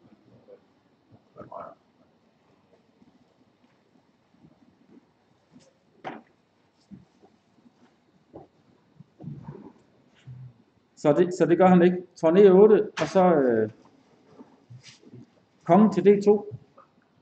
Og så har vi en stilling. Jeg synes, det er svært at... Men jeg holder på den hvide mand. Og sort har til en forandring. Selvom han kom lang tid for sent, så har han i alle partier øh, spillet lynhurtigt. Nu har han heldigvis... Det kunne da, vi kunne da være så heldige, at 10 træk længere hen, der er 5 minutter igen, og tænker, at jeg kunne egentlig godt have brugt de der 20 minutter. Det skrev jeg Larsen jo om. Øh, det er ikke de første øh, kvarter, man har brug for. Det er de sidste 5 minutter. Men rigtig spændende det her. Det kunne være vildt godt, hvis Mads han vandt det her parti. Det er næsten altid sådan, at når de bedste danskere kommer op mod nogle af de rigtig hårde drenge, så får de tæsk. Allerhøjst remis.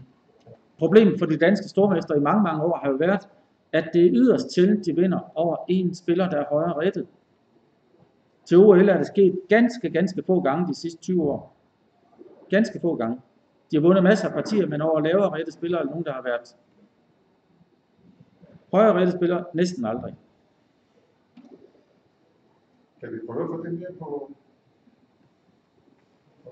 Det vil du tro. Jeg synes, jeg synes, det er lidt i klemme her. Synes du? Nej. Nej, nej. Det, Kåre, der tror jeg nok, jeg kan sige, at du tager fejl. Det kan vel ikke passe, at vores mand, han skulle stå. Det er ikke første gang. Du tager fejl, er det sådan, det er? Nå, det her tårn i 8, det, det presser ham jo lidt. ja, det presser ham lidt. Øhm, Det er også spillet. det spillede jeg. De står sådan her, ikke sandt? Tårn E8. Så så vi på kong, eller vi, kong D2. Ja, Tænker vi så noget som tårn D5 og springer H4? Ja. Måske springer H4 først. ja. Nu kommer F2 i stedet. Ja, måske konge F2, men det er sådan lidt, øh, han, du går lige ind i linjen. Lad os lige se det her. Og så siger du, springer H4.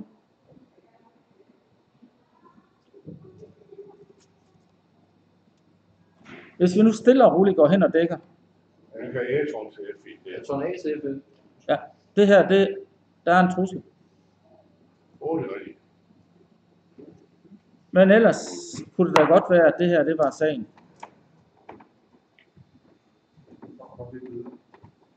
Nej, Så skal også passe på. Du spiller springer H4 først. ja. Han har spillet tårne i 8. Kong D2. Og springer H4.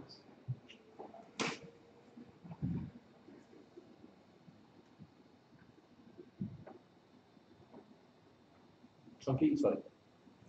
Ja, men så vil, så vil du spille tårn D3 skak og springe F5. Er det sådan, det er? Så, så er det lidt noget andet, så derfor skal man lige passe på, at de kommer til at stå helt rigtigt. Det var også derfor, jeg heller kunne være kommet på F2. her. Okay, at ja, men så, er der alle mulige andre tricks nu. Nu kan den gå herind, og det kan være, at den kan spille G5 på det rigtige tidspunkt og sådan noget. Men det, det kan godt være. Det kan godt være, at den står fint nok her. Og han ikke lige bliver mat. Det kan let være. Kokholm, at det er sådan, det skal gøres. Ja. Det er ikke sikkert, at jeg bruger det her til noget som helst.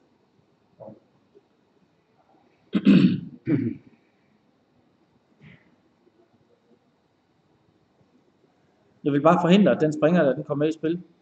Fordi den står temmelig elendigt her på G6. Men øh, lad os øh, analysere noget konkret, når vi ser Mads Andersens næste træk. Det er i hvert fald en meget spændende stilling.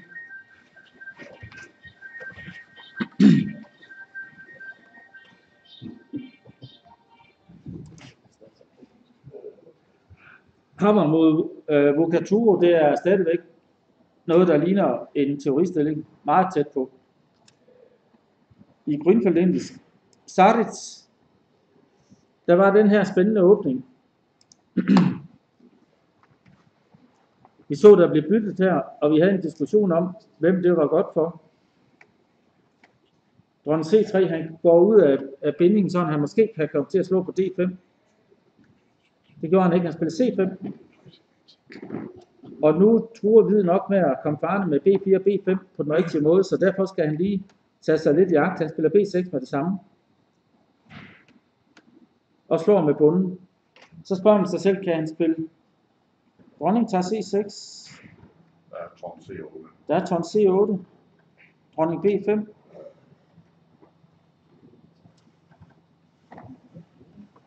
Kunne han ikke det? Jamen, så skal det være, Nej, det er det. Så er det ikke. Kåre, du vil, øh, du vil spille det her tårn til C8, så du vil slå på B5. Så, er du mere på 3 gange her. Nej, den springer vi. Hvad siger du? Om du slår, om du slår på CS6, så måste du spela på några C8. Ja, men så kommer, øh, Ja, ja. ja. men vi, der er noget andet smart her, tror jeg. Kan han ikke spille dronning tager C6, tårn, det her tårn til C8? Så springer den- så springer den helt på D7. Ja, dronning tager D7, tårn A7. Okay, Hvor skal dronningen hen? Den kan jo ikke stå på D6. Springeren slår tilbage. Dronning B5 slag og slag på A3. Det var det. Er ikke rigtigt? Nej, det er helt Er forkert. så på lov 3, måske? Øh, Som herren deroppe påpeger, den springer på D7 og uddeles. Springer Ja, det er det, Per ser længere. Kommer Trond A7 bag. Nå, og enten er længere. Dronning tager C6, tårn C8. Dronning tager D7, tårn A7. Hvad gør du? Ja. Og det kunne han jo let have overset, selvfølgelig. B4, men der er jo ingenting i vejen med den hvide stilling. Tron C8, springer B3 og C5. Det skal være nu eller aldrig, inden hvid når får spillet A5 og får plomberet her. Så er han nødt til at komme i gang.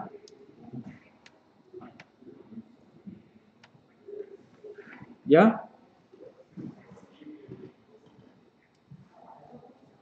Hvorfor spiller han ikke B5?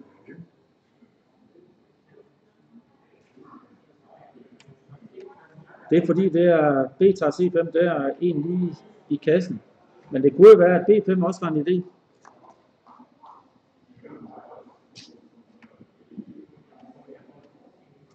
Men hvid har en bunde mere nu. Men sikkert ikke så længe. Det sort, øh, skal jeg håbe på, det er, at, øh, at han kan få bunden igen, og vi skal prøve på at forplumre spillet med et eller andet, så der pludselig sker noget andet, inden man får sin brik igen. Dronning B4 for eksempel. Hvad er ideen med det træk? Det er nok at spille dronning B5, tror jeg. Også sådan, at dronningen ikke står forrest, så man ikke længere kan slå på C5 på samme måde som før.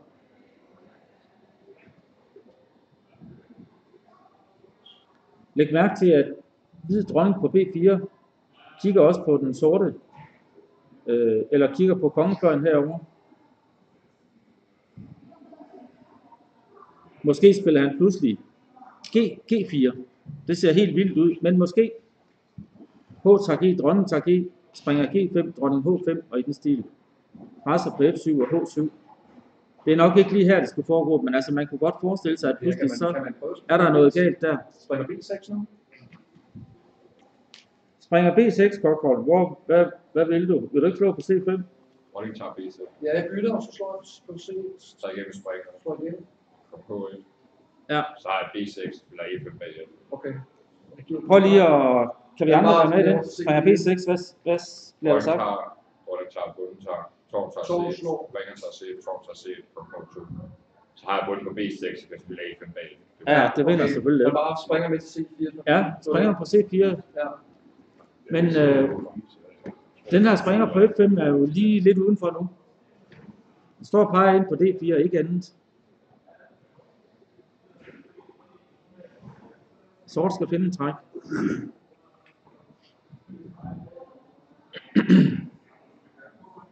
Jeg tror, at hvid, om ikke G4, så en plan med dronning F4 til G5 til H5.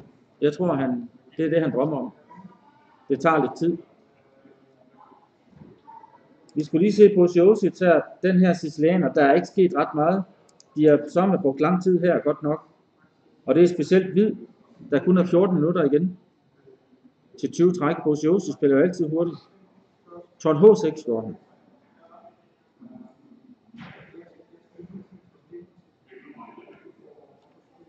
Løber E7. Læg mærke til, at den her på H4, den er lidt blød nu. Man kan let forestille sig tårn, tårn C7 eller tårn C6, dronningen til D8, og så pludselig så hænger den herover. Men den her på G7 er jo også lidt blød. Og det fik vi se der, dronningen tager G7,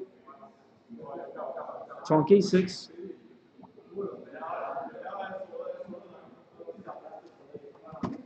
Jeg lukker lige døren her.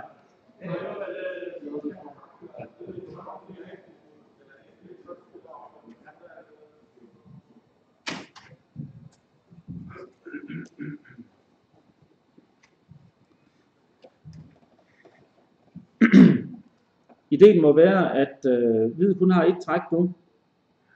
Så vidt jeg kan se, det er dronning H8 skak, kong D7, dronning tager H5, Og den H7, det er der, er det ikke det? Dame H7, det er nok bedre, så det andet tårn, det ikke kommer med. Men så er spørgsmålet jo om tårn, det, altså hvis han nu giver skak, kong D7 her, og det andet tårn til G8 for eksempel, så tror han jo voldsomt ned på G2. Det kan også gå til Hvad var Det kan også gå til H8 og lille dronning, og så på H4 med tårn. Det ser der sådan en øh, her. Nå ja, det kan også gå til H8 selvfølgelig. Ja, ja. Ja, det er et rene vås. Dronningen dækker også på H8. Hvis han bare slår på G7. Ja, Så sidder over og løber så og springer der. Men det vil, ja, løberslår og springer, tænkte jeg også på Rossen. Men det kan være, at han bare er fej, og så slår igen. Så står de hvide brikker altså lidt mærkeligt. Men altså at se sådan en træk her, han har selvfølgelig set det allerede tidligere. Løber E7 her. Det er altså, det er kreativt spillet, synes jeg. Dronning H7. Men det kan være, at han alligevel kan spille konge D7. Så bliver det lidt løst med slag på E5 og Ja, det bliver lidt løst, men slag på F7. ja. Men måske alligevel. Hvad skal han ellers? Hvad vil han ellers? Er det løber F6? Ser det ikke sådan naturligt ud? Løber F6, konge E7 og tårnet hen. Men hvide kunne jo også komme med F4 og F5. Det er hele taget fuldstændig... Den der på H4 hænger også. Det er Den, der var her. Ja, Det er meget konkret, at det være regnet på eller Ja. regnet på det men jeg tror ikke, han tager på H4. Hvad skulle han bruge den til? Den, der er tårn, der lander der på et tidspunkt, tror jeg. Løber F6 er foreslået.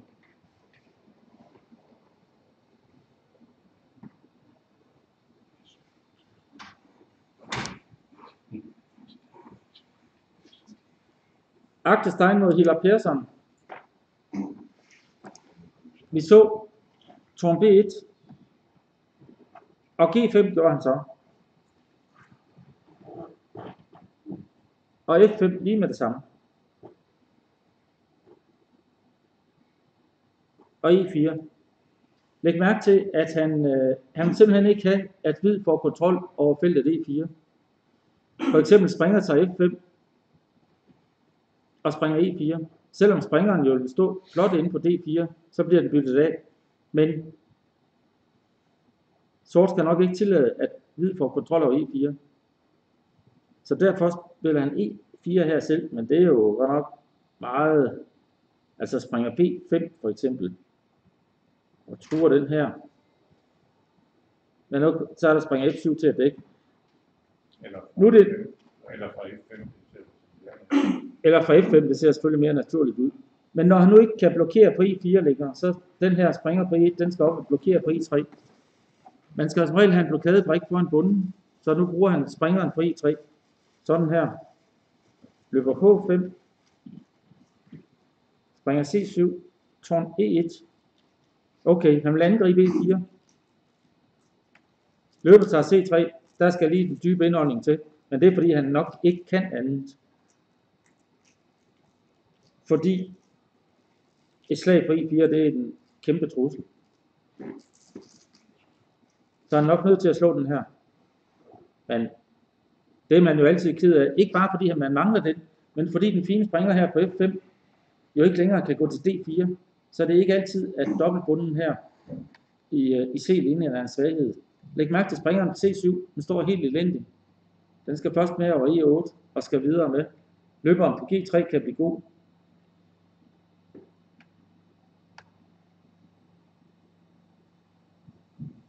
Og vi har en stilling.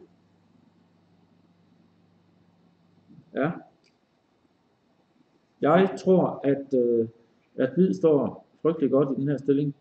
Men det er ikke sikkert. Der er nogle, nogle få gange, hvor man giver den der sortfælde Ja. på C3. Ja. Larsen har spillet et fantastisk parti med Levins forsvar. Ja. Hvor, Ja, hvor han gør det der. Larsen har gjort det mange gange.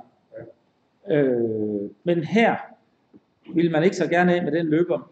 Men så vidt jeg kan se, er det af nødvendighed. Man kan ikke prøve springe og slå G3, vel? og så løber F5. Jeg ved godt, altså for at finde altså, alternativ. Du Ja. G3 og dækker på, på E4. Ja. Løber F5 bagefter. Ja, og så spiller man sikkert løber G4. Så får man sådan en statisk stilling, hvor, hvor han bare står dårligt. Jeg tror, at løbet tager C3. Det ser da rigtigt ud. Og springer E8. Vi har en stilling. Motylet mod Karisma. Der havde vi en meget spændende stilling her. Vi så det her. Og så det der smart træk. Og løber D4 skak, det tænkte hun lang tid over af en eller anden grund. Der er jo ikke andet. Løber E3 og F5. Det er nok godt spillet, der skal jo ske noget. Hun kan ikke tillade sig, at der kommer en hvid springer ind på F6. Springer H6. Slag. Og dronning slår. Den der på C3 er jo dækket nu, men den falder ud af sig selv på et tidspunkt. De sorte brikker står nok ikke så godt. Sådan C5. Ja. Nu kan jeg godt se, at når springer, springeren kommer med på C5, så kan det være, at det er en anden snak. Ja.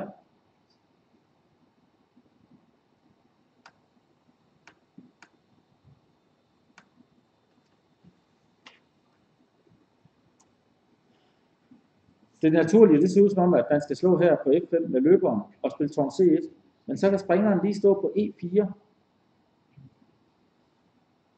Altså hvis man forestiller sig at blive slået her, slår igen.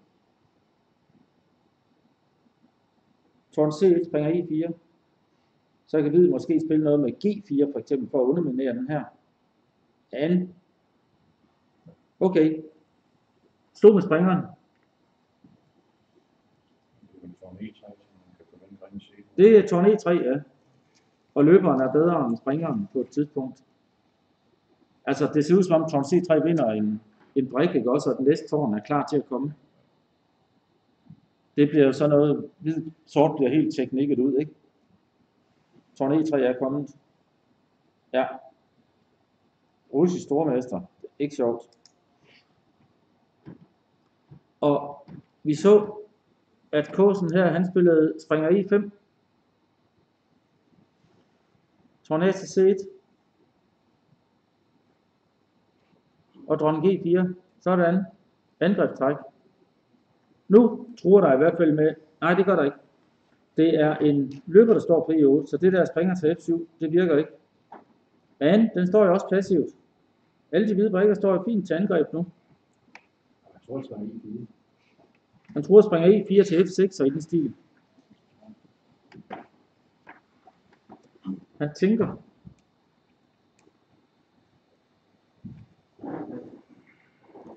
Spring E4, det kan være, at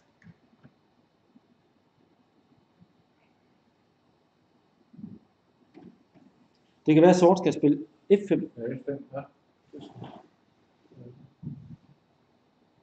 Så det dur nok ikke. Løber så ikke sidst. Så er der samtale om forskellige... Løber til E6.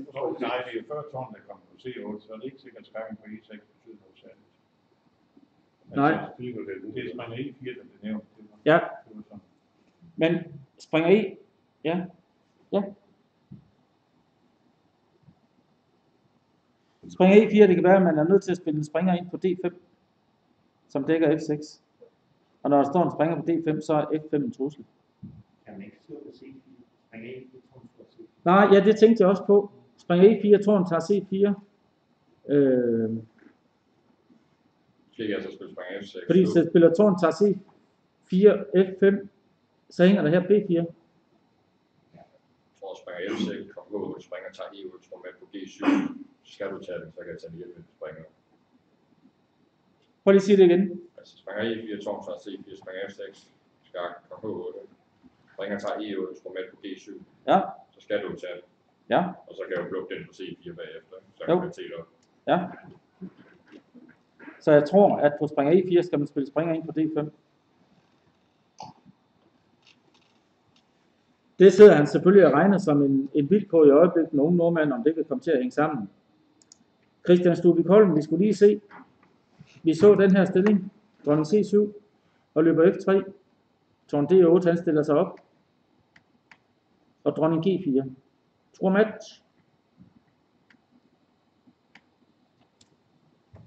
Løber D4, det er fordi, at han, øh, hvis han spiller tårn til D1, så kommer springer C5. Og det er irriterende, at han ikke kan dække B3. Derfor gør han det her. Således at hvis sort spiller springer C5, så slår han den øjeblikkeligt. Og spiller tårn til D1. Så har han en god springer mod en måske ikke så god løber her. A5. Nu forpligter han sig til A5. Læg mærke til, at nu står den hele tiden og bliver angrebet af den hvide springer her. Og i et eller andet løberslutspil er det også en mindre katastrofe, at de står her. Hvorfor spiller han A5? Er det virkelig nødvendigt?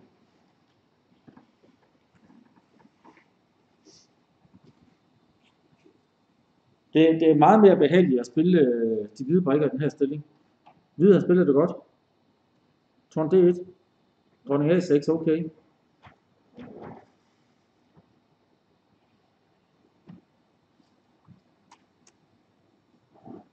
Ja, godt spillet af hvid. Han stabler vel tårnene et eller andet sted. Tårn D2 for eksempel. Jeg tror, den anden ligger med F6 og E5. F6 og E5, ja. Men det giver altså også nogle hvide Jo, huller. jo, det gør det, men det er jo det, så Ja. lægger op til en dronning A6. Ja, dronning A6 får dæk på E6, F6, E5, det er rigtigt.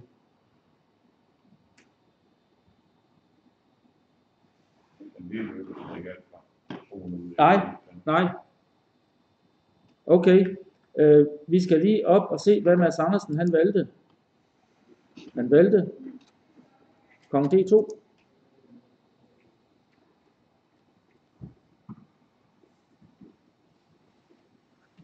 B3, stille og roligt. Tårn H5 og tårn G2. Sprang E7. Nu skal den op og stå et bedre sted. Tårn H5 var nok et godt træk. Det er irriterende for hvid, at han skal stå så passivt her med, øh, med tårnet. A5 er svag af pummeren til, men det er ikke sådan lige til at få fat i den. Der er ikke nogen hvide brikker, der kommer over og true den.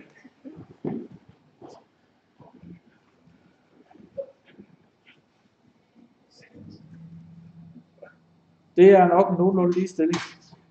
Mads har stadigvæk mest tid, det er fint. Vi skal se. Øh, nej, vi kan lige se de bedste danskere her på anden bræt, inden vi kommer tilbage til Jobaba. Allan Stig Rasmussen. Åh, oh, hold da helt op. Der kan man da snakke om noget med terrænovervægt.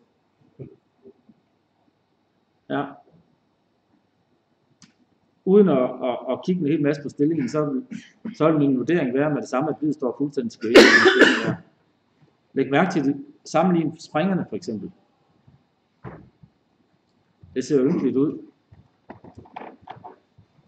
Det var ham, Miedemar, der spillede så frygtelig aktivt mod øh, Mads Andersen og spillede godt oven i købet. Men her ser det godt nok ud, som om det er gået helt galt. Jeg tror, det var 1-3. Øh, hvem tror løber i 3? Ja. Men nu er det lige sort til det. Ej, det tror jeg ikke, han gør. Han, han, han, øh, ja, han gør mere. Han stiller sig op herovre. Sort har jo ingenting. Alle de hvide brikker står optimalt. Glimrende. Eller Det vinder han. Øh, Jakob Åbling mod Delon. Nå, der er sket ting og sager. Det, det sidste her, vi så springer F3, og jeg sagde, jeg tror altså, at hvid står fint. Springer E1 igen. Nej, den kom fra, øh, den kom fra D2. Hvad, hvorfor det? Er det fordi, han vil spille E3, eller hvad? Nej, F4. Ja, man spørger selv, er den ikke i slag, den der nede? Den giver han. Ja, Er du slet ikke god 6 runde? jeg ved ikke, hvad han vil. Det er helt uden styrtdelen, det der i hvert fald. Og F6.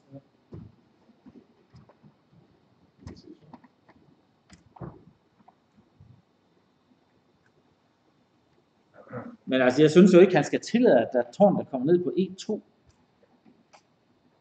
Og dronningen står stadigvæk og blomster herovre.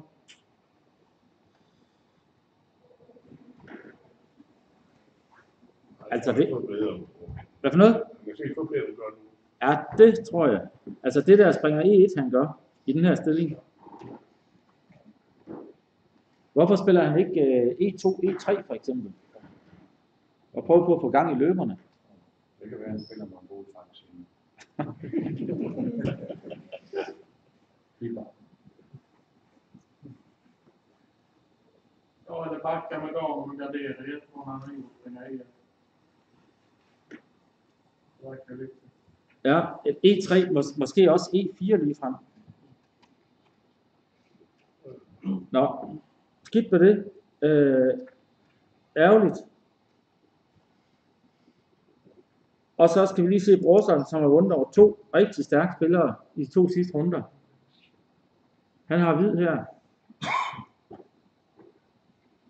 Det ser lidt ud som om festen er slut. Sort står i hvert fald helt forrygende her. Men sort, Nikolaj Getz, er jo en norsk spiller, som er meget stærk. Jeg tipper, at han bliver stormester i løbet af ikke så lang tid. Meget stærk spiller. Vi går tilbage og ser de bedste. Vi så det her besynderlige parti. Det sidste træk, vi så, var B3. Og tårn B7, der havde vi gættet, at den skulle over til G7 eller F7. Dronning E1. Dronning G5. Han har selvfølgelig ikke spillet slutspil. C6 er svag, og der kunne være noget andet. Løber H3. Ja, læg mærke til, at man kan ikke slå med bunden, fordi så er der skak, man kan ikke slå med springeren, fordi så er der dronning. Så springer E2. Løber G4. Han vil nok gerne bytte den ene, og så spille springeren til F5, tårn til F7 eller G7. Jeg synes jo lige pludselig, det hele det hænger sammen for sort.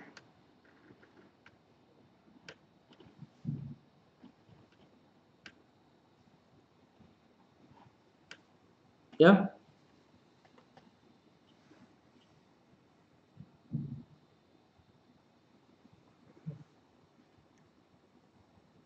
Måske øh, lurer han også på at, at spille bunden fremad. Altså, de har lige mange brikker, og, og sort står til synligheden glimrende. Som se, så, så skal vi lige se, om sort har sådan noget. Ja, om der er noget konkret. Ellers er det på 6 og så videre. Ja. Men den tror jeg nu ikke, han dækker op. Det er der ikke lige lagt op til. Nej, men, men altså, det kritiske er, om det er luft til at spille tårn C1, og så i øvrigt til at komme ind på C6. Ikke? Ja. Jeg prøver lige at stille dem op et øjeblik. Øhm.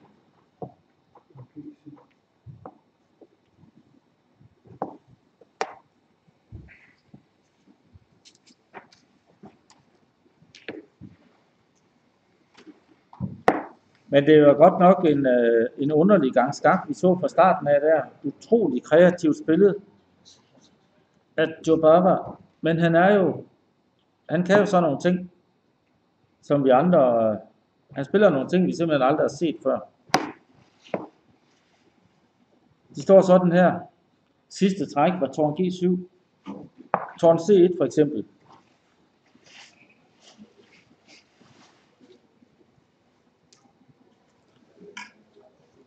Det sidste træk var Good day. Tårn G7. Jeg spørger lige, hvorfor spiller han ikke tårn F7?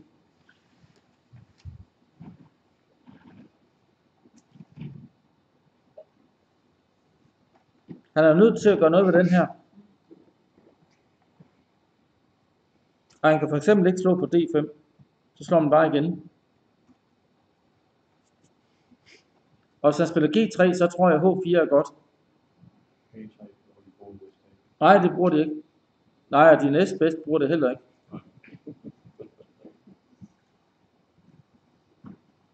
Jamen, øh, kan til. det er vel det. Der er vel ikke andet. Det vil sige, at hvis han spiller tårn C1 for at, at lave noget smart, så kan nogen anden spille godt det der. Og tvinge ham til det der.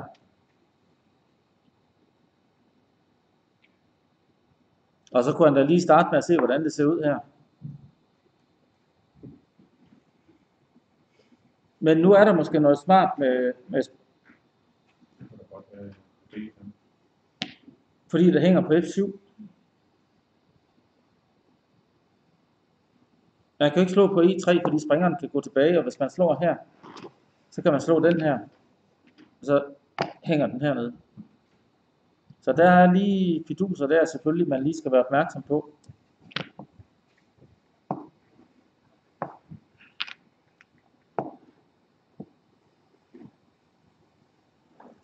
Han har bara, han till GK för att de skulle gardera. Ja, ja F7 hænger heller ikke. Øhm, Och C1, även om tvungen på C1 med 8, det var aldrig slå på C6. nej. Nej, du siger, man tror aldrig med det der, fordi så har man det der. Precis. Ja. Men derfor tror jeg, at han i den her stilling lige vil spille H4. Mm. Och i vågen kan vi verkligen gå till C1 för sitt torn då. Där vill inte hota någonting. Nej, Så är det väl at det tror ingenting på grund af det der træk. mm.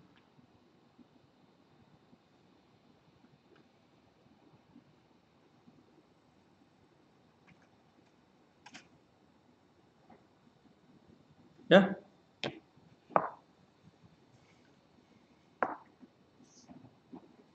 Ja, H, og H4 kommer vel også på tårn øh, A til F. ja Ikke? Det må være... H4 er nok, det, det ser så naturligt ud, ikke?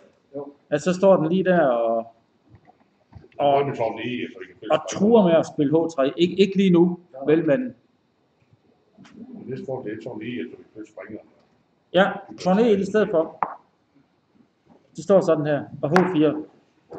Og det er E3, eller Men det kan være, H3. igen nu. Nej, han tror selvfølgelig ikke springer til D5, slår bare igen. Hvad, hvad siger du, øh, Rossen, i den her stilling? Til E3 eller H3. Hvor meget? Spring til E3 eller H3. Springer. Det ikke Spring D3, ja. Ja.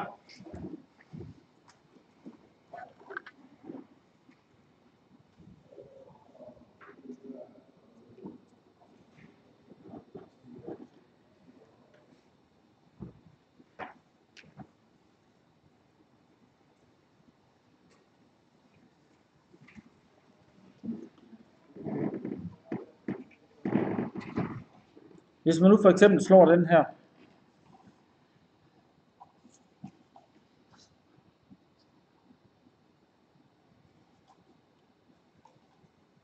eller noget andet godt. Okay. H3 lige med det samme. Ja. Jeg tænkte nu på at, at slå her i stedet for. Og så spille. Hvad var? Vi kan lige bytte det for dem det. Ja. Og så løber F5. Altså med den her idé. Ja, det.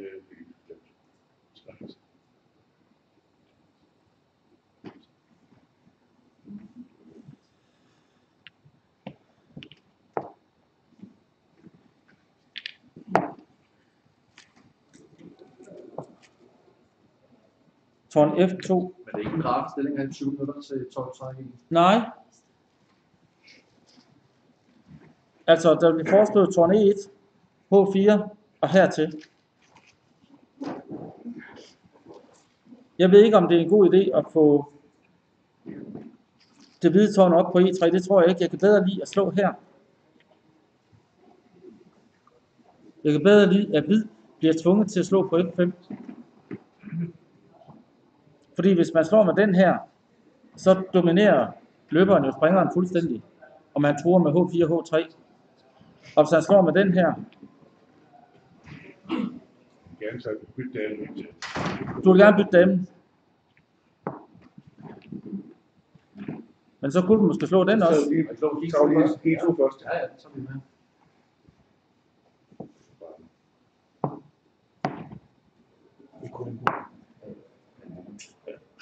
Ja, det kunne bunden skide med det. Det var, det var den her variant, tårn E1, H4 springer D3. Ja, det kan også være, det er godt.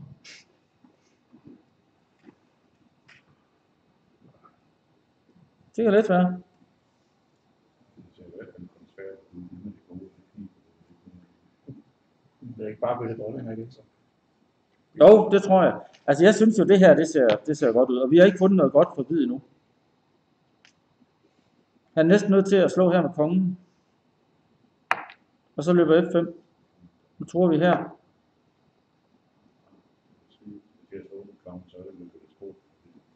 Ja, ja. Vi prøvede, vi prøvede at finde noget, så, så dårligt kan han jo umuligt stå. Det kan godt være, at den her springer på F4 slet ikke skal gå nogen steder. Det er H3 så. Det det det Vi skal lige have en øh, konkret stilling. Torné, Torné, Torné for H4, ikke? Jo, Så springer H3. springer H3. Løber slår dronning, slår slet ikke. Så man slår på en ting, så på 3 og slår på F2. Øh, en af gangen. Hvad siger Kokholm? Hvis man slår på H3 med løberen, Ja, og du slår med dronningen, så slår på F2, og så... Jamen, der hænger også en bunden på. Ja, det kan godt springe E6. Og der hænger også på E6. Ja, det gør den. at du er nødt til at slå på E6 nu. Eller på H3. Og så et, som er for det. Ja. Øhm. Tårn F8. Nå. Hvad var nu det? Tårn C1. Så er vi enige om, at på det her, så er han nødt til at spille det her. Er det rigtigt? Jamen, han har lavet det på en anden måde. Ja. Så den løberen kan stå på F5, eller hvad? Det. Nej, men det han har gjort, det er, han har gjort det her træk. Fordi, at han stadigvæk ikke kan slå den her, fordi det her, det vinder en, en brik.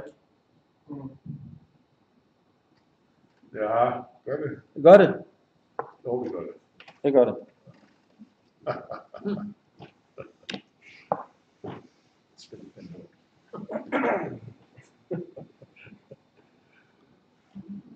Så nu skal han finde på noget andet. Kan det også være planen også samtidig at gøre plads til løber kan gå fra F5 til E4? Jo, det var det. Det var også det, jeg ville, jeg ville gøre med at spille H4, og så lade tårnet stå på F5. Det var derfor, jeg gerne ville bytte det ned på F2, men det kan godt være, at uh, sort skal lade være med at bytte så mange brikker. Men i det hele taget ser det jo fantastisk ud for, øh, for sort. Vi finder jo kun gode øh, sorte muligheder hele tiden.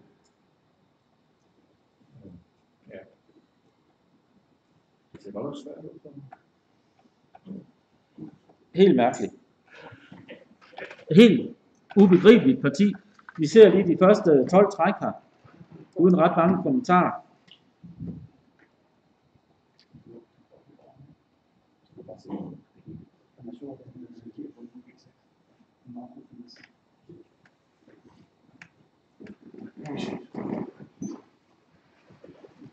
Og tankerne ledes ind på Kit Cup her i formiddag, men det er det altså ikke.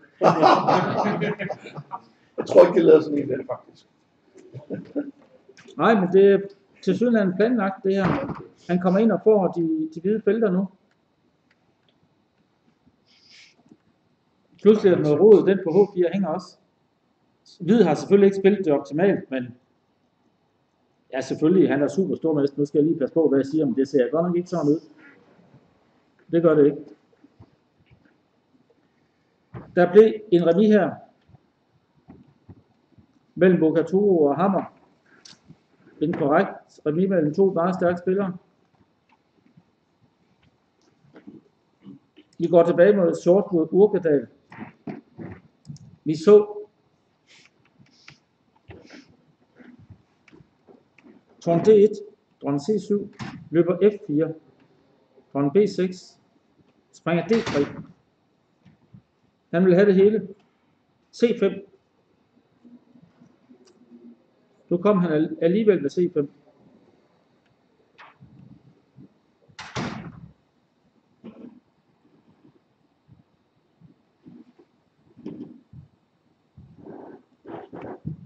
Hvad er der i vejen med, at han slår, at han spiller E3? Det er noget med G5. Den her løber.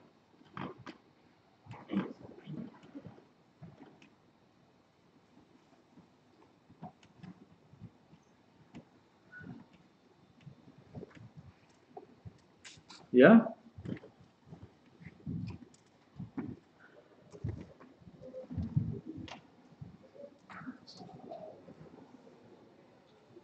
Og de har en stilling, og det ser ud som om, at den ikke er nær så god for hvid, som den var for lidt siden. Jeg forstår overhovedet ikke den måde, Short han spiller på her. Jeg kan godt se, at hvis der bliver spillet B4, så bliver løb, bønderne fastlagt på den sorte farve, således at løber B6 kan blive et issue på et tidspunkt. Men der er jo lang tid dertil. Springeren står fint på D5, angriber den her løber.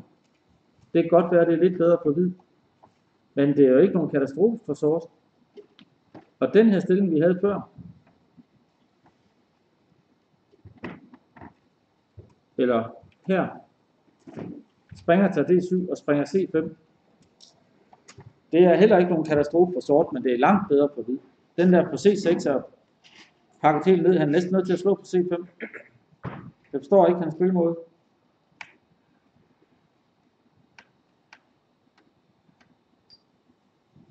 Og igen her.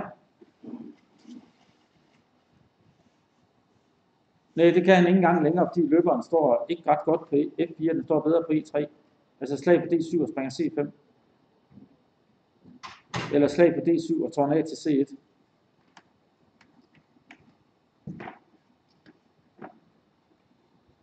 Det her, det var selvfølgelig sidste chance, han havde for, inden han blev gravet helt ned med springer C5.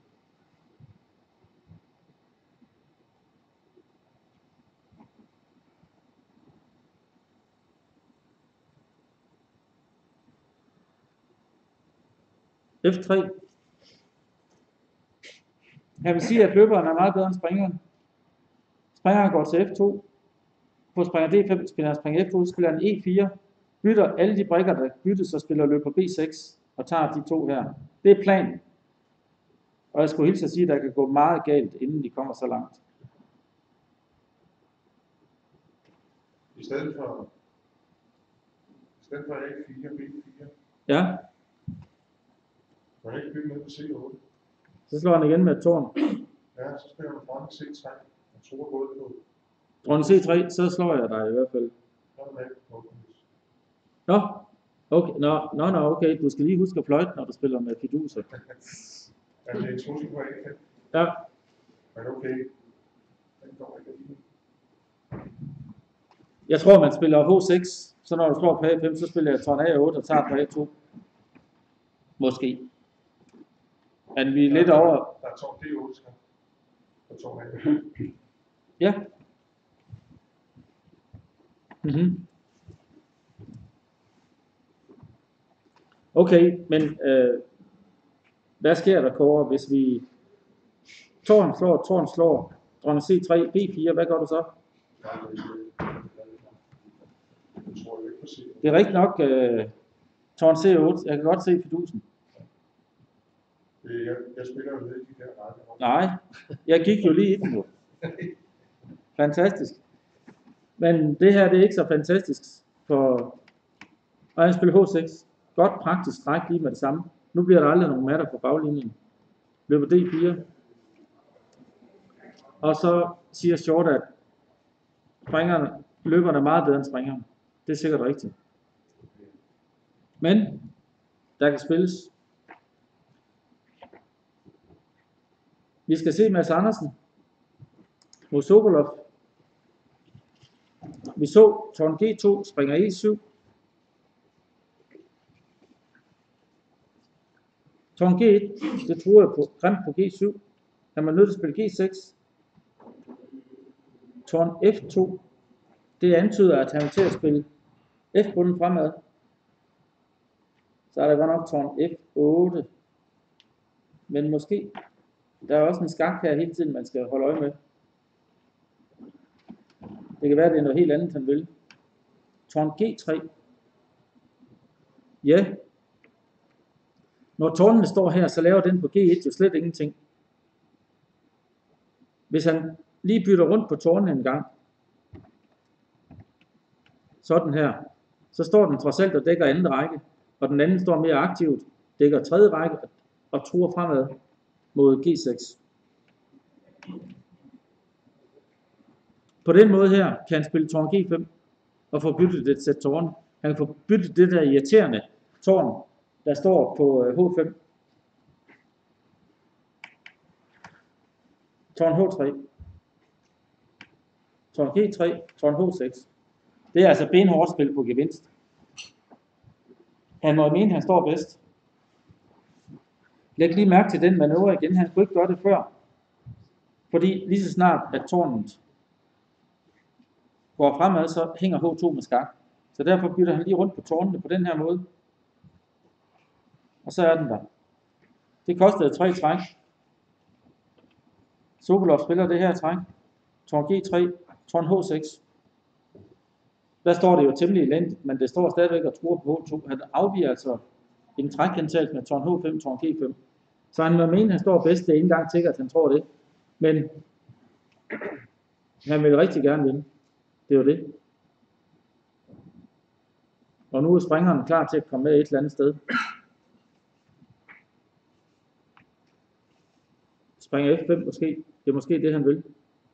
True og true tårnet her.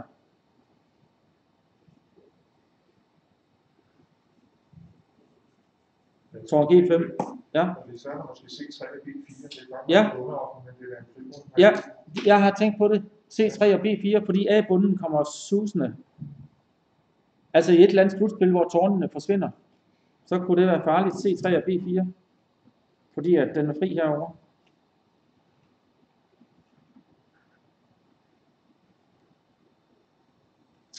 Hvis man for eksempel forestiller sig, at alle officererne bliver byttet et eller andet sted, så lige pludselig C3 og B4, og A-bunden er livsfarlig. Det kunne godt være. Men det er jo ikke noget, der, der står for lige nu, men derfor kan man da godt lige kigge på det. Forløbet kan jo ikke spille spring F5, fordi den er lige slag. Der er en binding til den sorte konge, så jeg må finde på noget andet.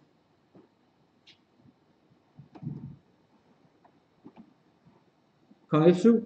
Ja.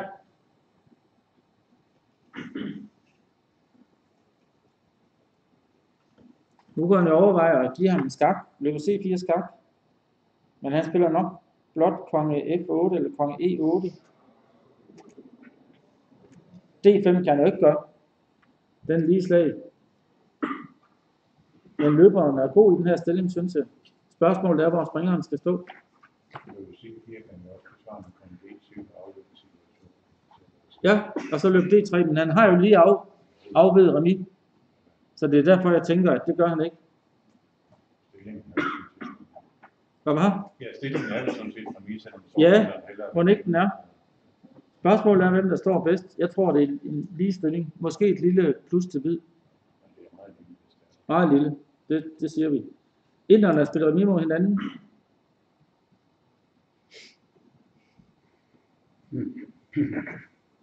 Forventeligt. Men garanteret ikke noget, de har aftalt. Det er tit sådan, når inderne de spiller mod hinanden, så spiller de for fuld drøn. Jeg så engang en turnering op i Norge, hvor der var en, der førte og kunne vinde turneringen. En stærk spiller. Og så i sidste runde, så mødte han en landsmand, der lå midt i feltet og tabte. Og blev nummer tre eller noget i den stil. Og der var en hel masse penge på spil og sådan noget, det var noget værd noget. Men der er jo i Indien, hvor der er rigtig mange, der er gode til at spille skak, der er jo, og rigtig mange mennesker i øvrigt også, der er der benhård kamp om at komme på deres bedste hold. Der er de nødt til at vinde over hinanden. De kan ikke bare sidde og fedt med det.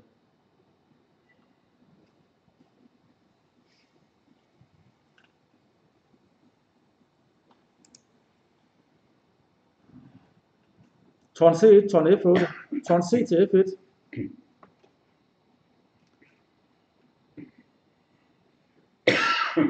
Nu tror han igen med at spille springer til D5. Læg mærke til det. Nej, det gør han ikke. Det er det rene vås. Ja, det skal jo være lovligt træk, man udfører, ikke tårn, jeg, for stærk.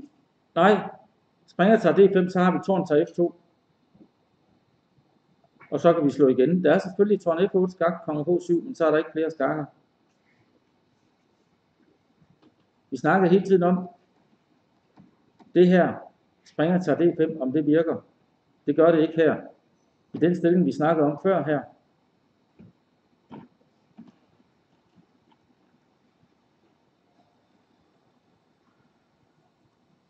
Der snakkede vi om, hvis han spillede tårn F1,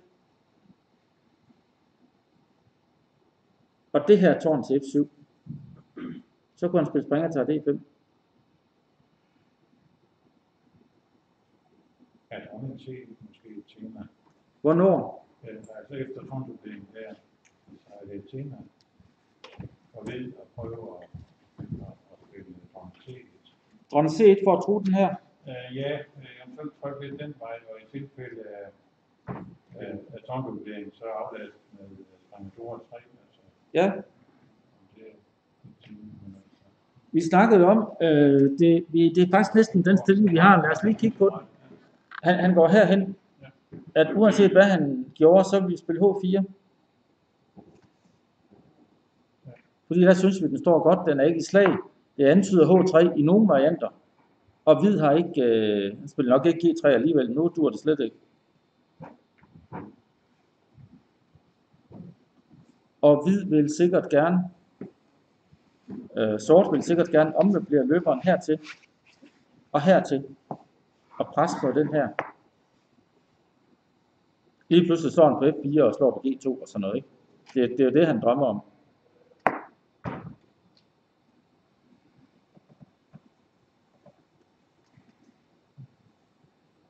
Men øh, H4 bliver besvaret med, med dronning C. Med dronning C3. Ja.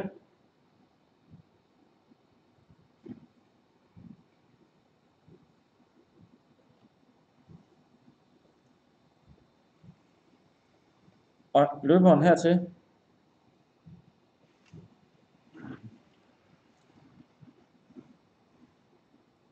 Lige, lige et øjeblik. Øhm.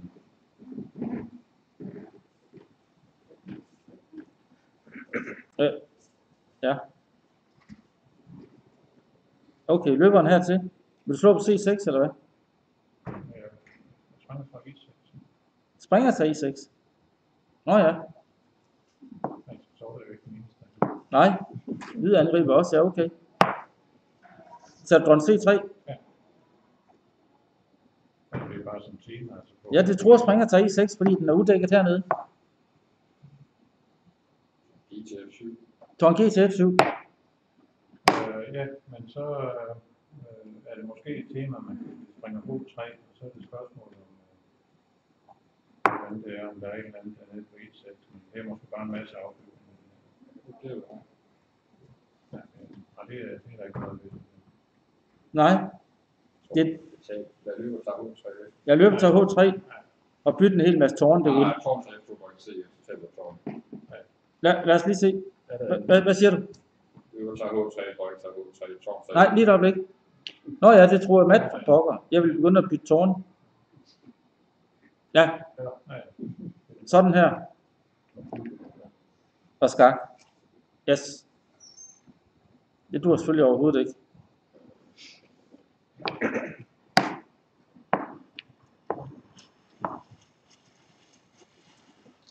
Så H4.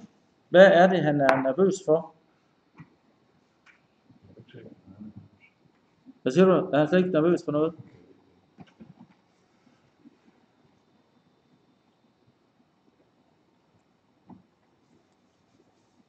Men øh, men altså, ja, så er der hovedfilmer efter dronning til. Don C1. Han har også med H4 nu. Ja. Skide godt. Don C1, så foreslog vi det her under.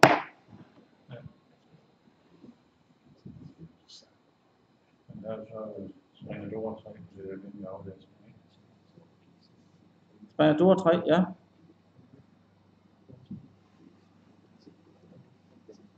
Og nu øh, helt i en ved at blive op. Ja. Og så kan Ja. det måske blive aktuelt, der er den nede på 1-6. Ja.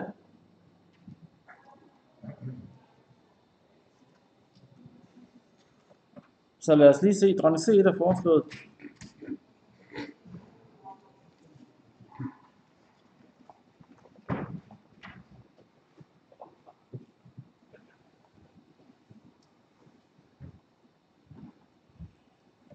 Og så siger du springer D3.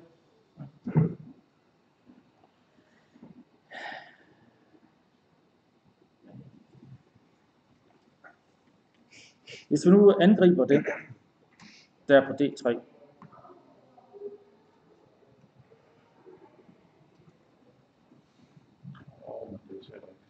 ej, det ser ikke for godt ud. Nej, lad os lige se, det må kunne gøres lidt bedre. Lad os lige prøve at se den stilling her. Interessant. Os spille H4, og så det her træk. Det ser ud som om, det er et godt træk. Vi vender lige tilbage til det, når han har lavet et træk. Vi kigger nu. Drøg C løber F3, kan jeg sige. Det ikke uinteressant. Nej. Det med planen, hvis du slår her, så tårn til F4, Ja, ja. og der er mat hernede. Nu tror tårn til F4. springer fra 1-6 til op. Og så kan man måske slå tager D2, tårn tager. Der er svigmølle måske. Være det mere en egenskab, det kan ikke blive fuldt. Jamen, øh, jamen, og, øh,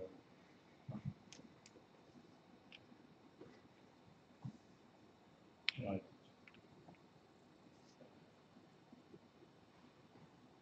Så tror jeg og det kommer på 3 og det er det. Konge H3, nu ved du jo ikke rigtig, hvad jeg spiller endnu.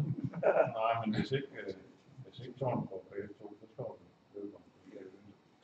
Sort er i hvert fald, men hvis han vil have det. Ja, tårn C2 er det. Ja, tårn C2, konge G1. Nej, Jo, jo, konge G1.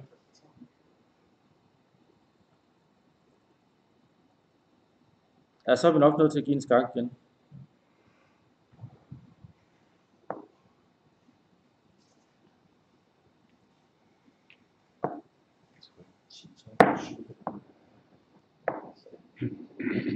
Men det, jeg synes, det smager af, at lige pludselig så er der et eller andet, et eller andet rigtig grimt. Tiden kan også godt spille ind. Ja.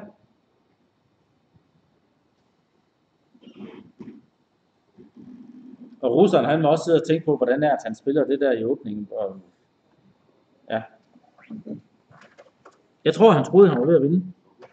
Det var han måske også.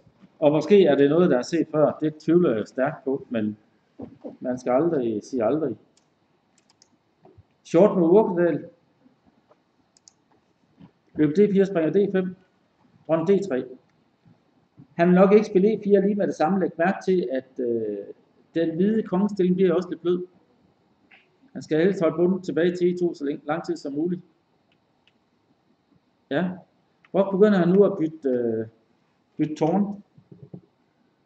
Jeg synes jo, sort skal beholde tårnene på brættet, og så finde et bedre sted til springeren.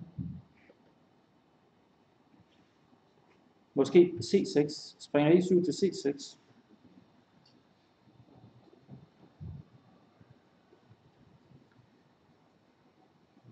Altså jo flere brikker der forsvinder, jo bedre bliver det for hvid, synes jeg. Okay.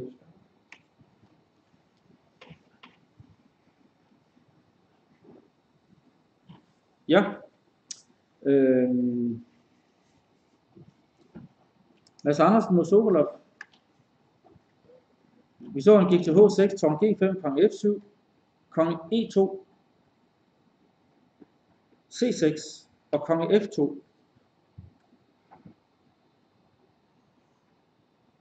Jeg ved ikke rigtig, hvorfor kongen står bedre på, på F2, end den gør på D2. Måske fordi han vil spille øh, konge G3 og dække den her bunde, og så prøve at få tårnet med i spil et eller andet sted. G1. Hvad var? Kongen G1. Konge G1, der står den bedre end på G3, synes du? Ja, det synes jeg. Ja, det kan godt være. Han har lov at dække H-bunden, kong G1, og så vil han tage tårnet med på en eller anden måde.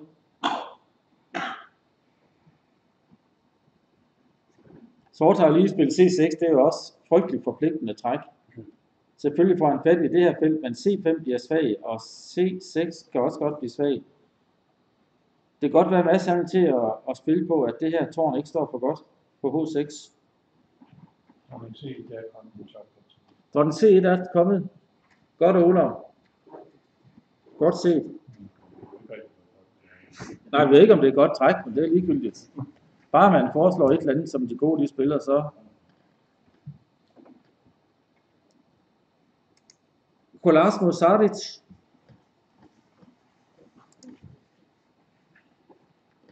Vi så det her, hvor det var ved at være tvivlsomt, om sort lige kunne få sin bunde igen. Dronning E2 og A5. Selvom han får en bunde igen på C5, så er A-bunden er jo farlig nu.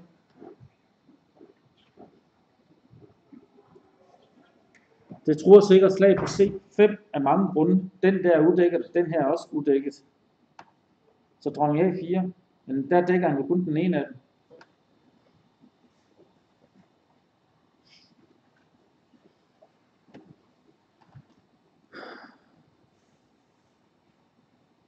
Okay, hvis han slår på C5, slår han selvfølgelig igen med tårnet.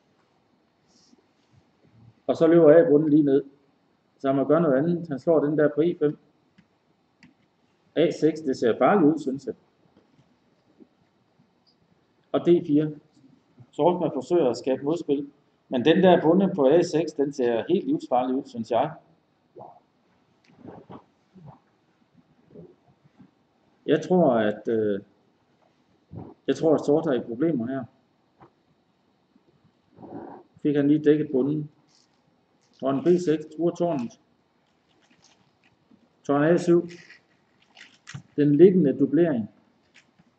Men den bruger jo også. Ja, Den er moderne. den er moderne. Men øh, jeg tror stadigvæk, at, at hvid står godt her. Bønderne er farlige, men hvid har, sort har fået et godt centrum, i det mindste. Kan måske komme med E4 og E3. Og det ser farligt ud. Hos Josits. Hvid spiller på tillægstiden. Vi så den her stilling, hvor han gav G7 og løber F8. Okay, jeg foreslår at løbe F6. Man kan godt se, at den hvide dronning, den står sådan lidt.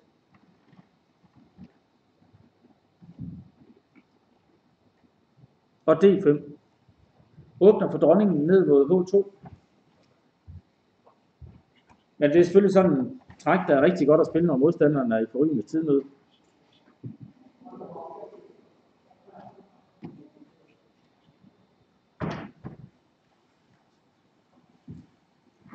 Den springer er irriterende, så væk med den.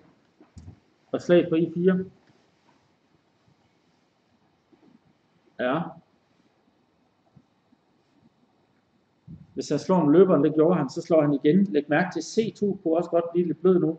Han kan ikke rigtig få det her tårn med i spil, så øh, er Han har trods alt to bønder og en kvalitet for lidt. Men er den hvide konge udsat, den sort står heller ikke for kønt.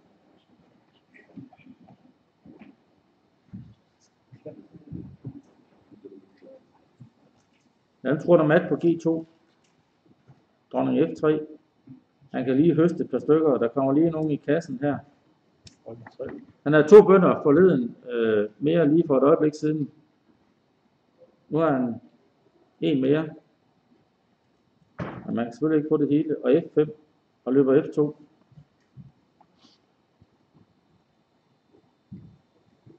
Jeg synes godt nok også, at den sorte øh, konge, den står lidt alene.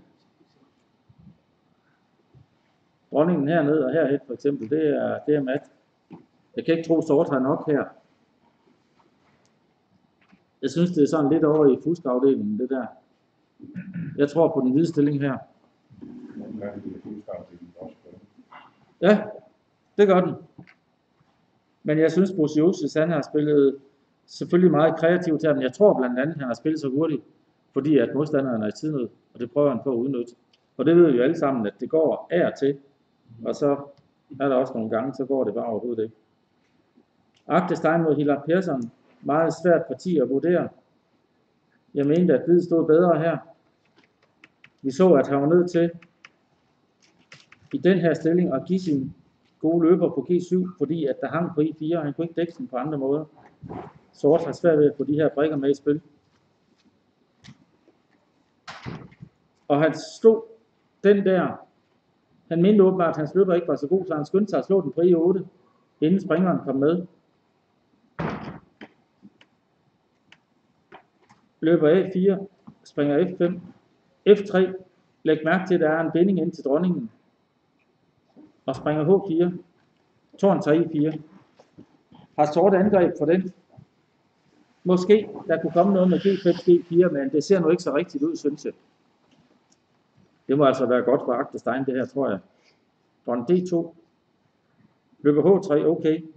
Nå, den kunne han så tilfældigvis ikke lige slå, så kommer der springer til F3. Og hvis han slår på H4, så kan han slå- igen med G-bunden, og så er der noget her. Springer E3, han dækker køligt. Men løber tager G2, han kan jo ikke slå igen. Men nu slår han den her, fordi dronningen tror også på G2.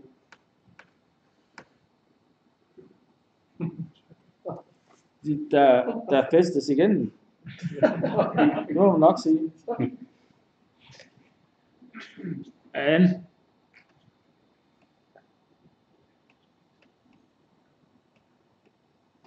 Ja. Når den værste begejstring har lagt sig, så tror jeg altså godt nok ikke rigtig, den sorte stilling hænger sammen. Nu kan han starte med at slå her, og så spille løberen T6, så er der altså ikke noget som helst angreb.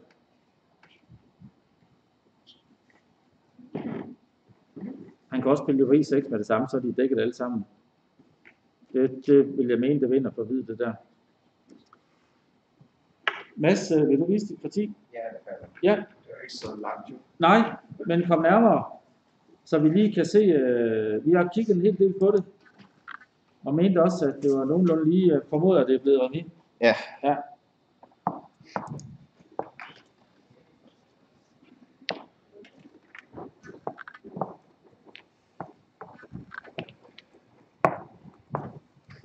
Ja, det var faktisk en lille smule kedeligt jo. Ja, det, ja, ja, men øh, vi mente jo, at din løber var bedst, men det var den måske ikke. Ja, det var også det, jeg havde håbet. men Jeg fik i hvert fald ikke rigtig vist det. Nej, Okay. Der.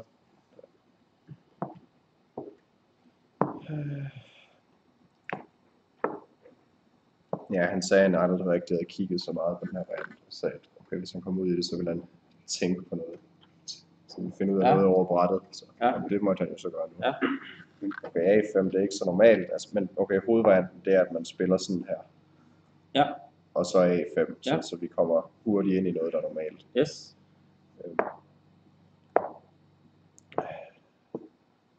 Og så løber D2. Det er derfor, man ikke har slået hernede inden, fordi nu bruger hvide træk på løber D2, og så bagefter, så vil man gerne have en T3, Ja. hvis han bytter nu Ja.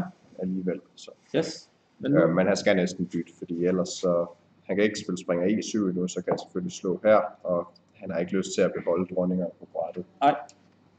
Øhm, så slag. springer E7, som G1. Øh, nu er det mest spillet, det er kort rokade. Ja. Og så spiller man løber E3, og så kan sort gøre en masse forskellige ting. ja. Det er sådan nogenlunde lige, ikke? Ja, det er selvfølgelig ikke det store, men det er jo, hvid kan jo prøve på lidt, altså. Ja. Den her struktur plejer at være lidt bedre for hvid. Ja. Man skal file noget for at vise det, selvfølgelig. Men det er Ja, lidt mere står- behageligt at spille, ikke? Du står og peger på den hele tiden. Ja, A5 den er svagere end H2. Ja. Ja. Måske ovenikøbet bruge H-bunden Ja. ja. frem sådan ag- aggressivt. Så. Ja. Men okay, jeg spillede springer G6, det, det er også blevet spillet før.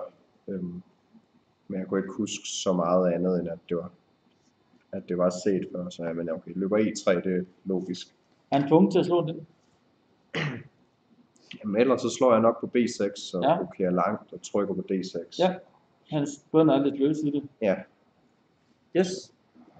man må spille en F5 direkte. Det kendte jeg i hvert fald ikke. Så. Ja, Jeg ja. synes, det var frisk spillet, fordi det ser ud som om, at det tvinger ham til kort rokade lige om lidt. ja, men han vil også gerne rokere kort. Ja. Øh, Jo. Og jeg mener, at du, du får fat i hans løber trods alt. Ja, Men det er måske ikke noget. Jamen, det troede jeg, det var, men det skulle jeg ikke. Hans tårn bliver rigtig aktiv på femte række Ja. ja. i H-linjen der, så det jeg spiller, det er nok ikke så kritisk. Men jeg kunne ikke finde ud af, hvad i alverden jeg skulle, jeg skulle gøre her. Altså, vi mente, at du, at du næsten er nødt til at slå på F5. Ja, altså jeg overvejede også, om man på en eller anden måde kunne ofre den sådan her, men så tænker jeg, så kan jeg altid spille D5, hvis nu jeg vil prøve noget med Ja. C4-agtigt. Det synes jeg ikke rigtigt. Og løber D3 springer E5 eller noget. Nej, måske. men der tænker jeg bare rokere. Det Okay. lidt irriterende. Fordi springer E5, så kunne jeg måske slå på G7. Nå ja, jeg har kort rokade først selvfølgelig. Øhm, men jeg er kort rokade, og så har jeg ikke rigtig lyst til at bytte løberne heroppe, tænkte jeg. nej. Øhm, det kan godt være, det er sådan noget, man skal gøre, og så stå mikroskopisk bedre. Øhm, og, ja, jeg tænkte, det, ikke, det giver ikke rigtig mening at tage den her struktur. Nogle gange Nej. kan man gøre det, fordi man hurtigt får spillet E5, men nu står en springer jo rigtigt Ja, som står helt. Øhm, ja, Altså netop som det kommer, står han springer jo ikke så godt, han er Ja. Men jeg synes også, det var så logisk at slå, så det, Ja. Men så her skal jeg måske spille noget andet. Altså springer D4, og så tage løberen, jo naturligt ud. Ja. Jeg sad og overvejede, om jeg kunne spille det her, men det ser lidt vildt ud. Altså ideen er jo, at hvis sort slår, så, så er løberen fanget hernede. Okay. Med løberen på C4, så er der godt nok nogle komplikationer her, men jeg tænkte, jeg måske kunne gå ind i sådan noget her. Øhm. Og ja, så okay, springer D3, det taber officeren, ikke? Løber D3, så F4, så skal han næsten slå og slag. Og så slår jeg ned på G7 lige om lidt. Hvis han går herind, så bare sådan Ja. så slår jeg G7. Ja. Det, det, synes jeg, det så godt Det ud. så godt ud. Øhm. Men er selvfølgelig ikke tvunget til at slå den dernede. Nej, han kan, han kan også gå ned til G6, og så skulle jeg prøve et eller andet F4-agtigt. Jeg ved ikke, jeg synes, det så lovende ud, men det, det så også bare for mærkeligt ud til at være sandt. Plus jeg tænkte, det andet her, det var lidt bedre for hvid. Så lige det her ser jo fantastisk ud godt. Ja, ja, så måske skal han ikke ned og slå dernede, men det var så også det, det er han heller ikke øh, tvunget til jo. Nej. Altså han kan spille springer E5 her, og så skal jeg prøve at vise, at springeren står lidt dumt der, og så spille F4 lige om lidt. Så. Det, altså, jeg ved ikke, det, det er måske en bedre mulighed. Ja. Det er i hvert fald interessant. Men springer D4, det tvinger ham til kort rokade, ikke? Jo, fordi jeg løber D7, så, så ved jeg ikke, så kan jeg nok spille løber D3. Ja, vi tænkte løber D3, og så er han næsten nødt til at spille kongen op. Ja, eller kort Nå, ja, rokade. kort rokade, ja. jeg ved ikke, jeg overvejede bare sådan nogle ting her, øhm, om ikke de var lidt mere behagelige for hvid. Ja. Og så stiller springeren ind på E5. Ja. Øhm, Men ja, kortrokade, det, det er irriterende, fordi det, jeg bliver nødt til at slå dernede, Ja. ja. tænkte jeg. Øhm, Slå på C6, det kunne jeg ikke lige se, det skulle give så meget mening. Nej. Øhm, ja, okay, det kan da Men det kan godt være, godt være, men s- og så kan man trykke lidt på D6 her. ja, og det kan også godt være, at løberen er endnu, endnu bedre. Nu, hvis du slår på F5 og spiller F4. Ja, men det, det tænkte jeg, det var ikke så godt i den her version, fordi nu får en aktivitet hurtigt.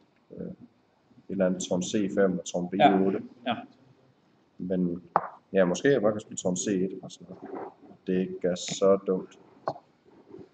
Fordi så, så her, så har jeg jo lidt pres, Ja. måske. Ja. Og plus løberen kan komme på C4. Men på Ja. den anden side, de her, de ser også svage ud, og lige om lidt, så får den jo Men- nok noget initiativ. Men i den stilling her kunne du også slå løberen. Altså nu han er kommet frem. Din løber Ja. bliver bedre og bedre nu, synes jeg. Ja. Ja, det kan godt være, at jeg skulle overveje sådan noget her mere. Problemet var nok, at jeg bare synes, at det andet her, det så så behageligt ud. Ja. Øhm, Og så F4, tænkte jeg, det ser, ser også bare normalt ud. Ja.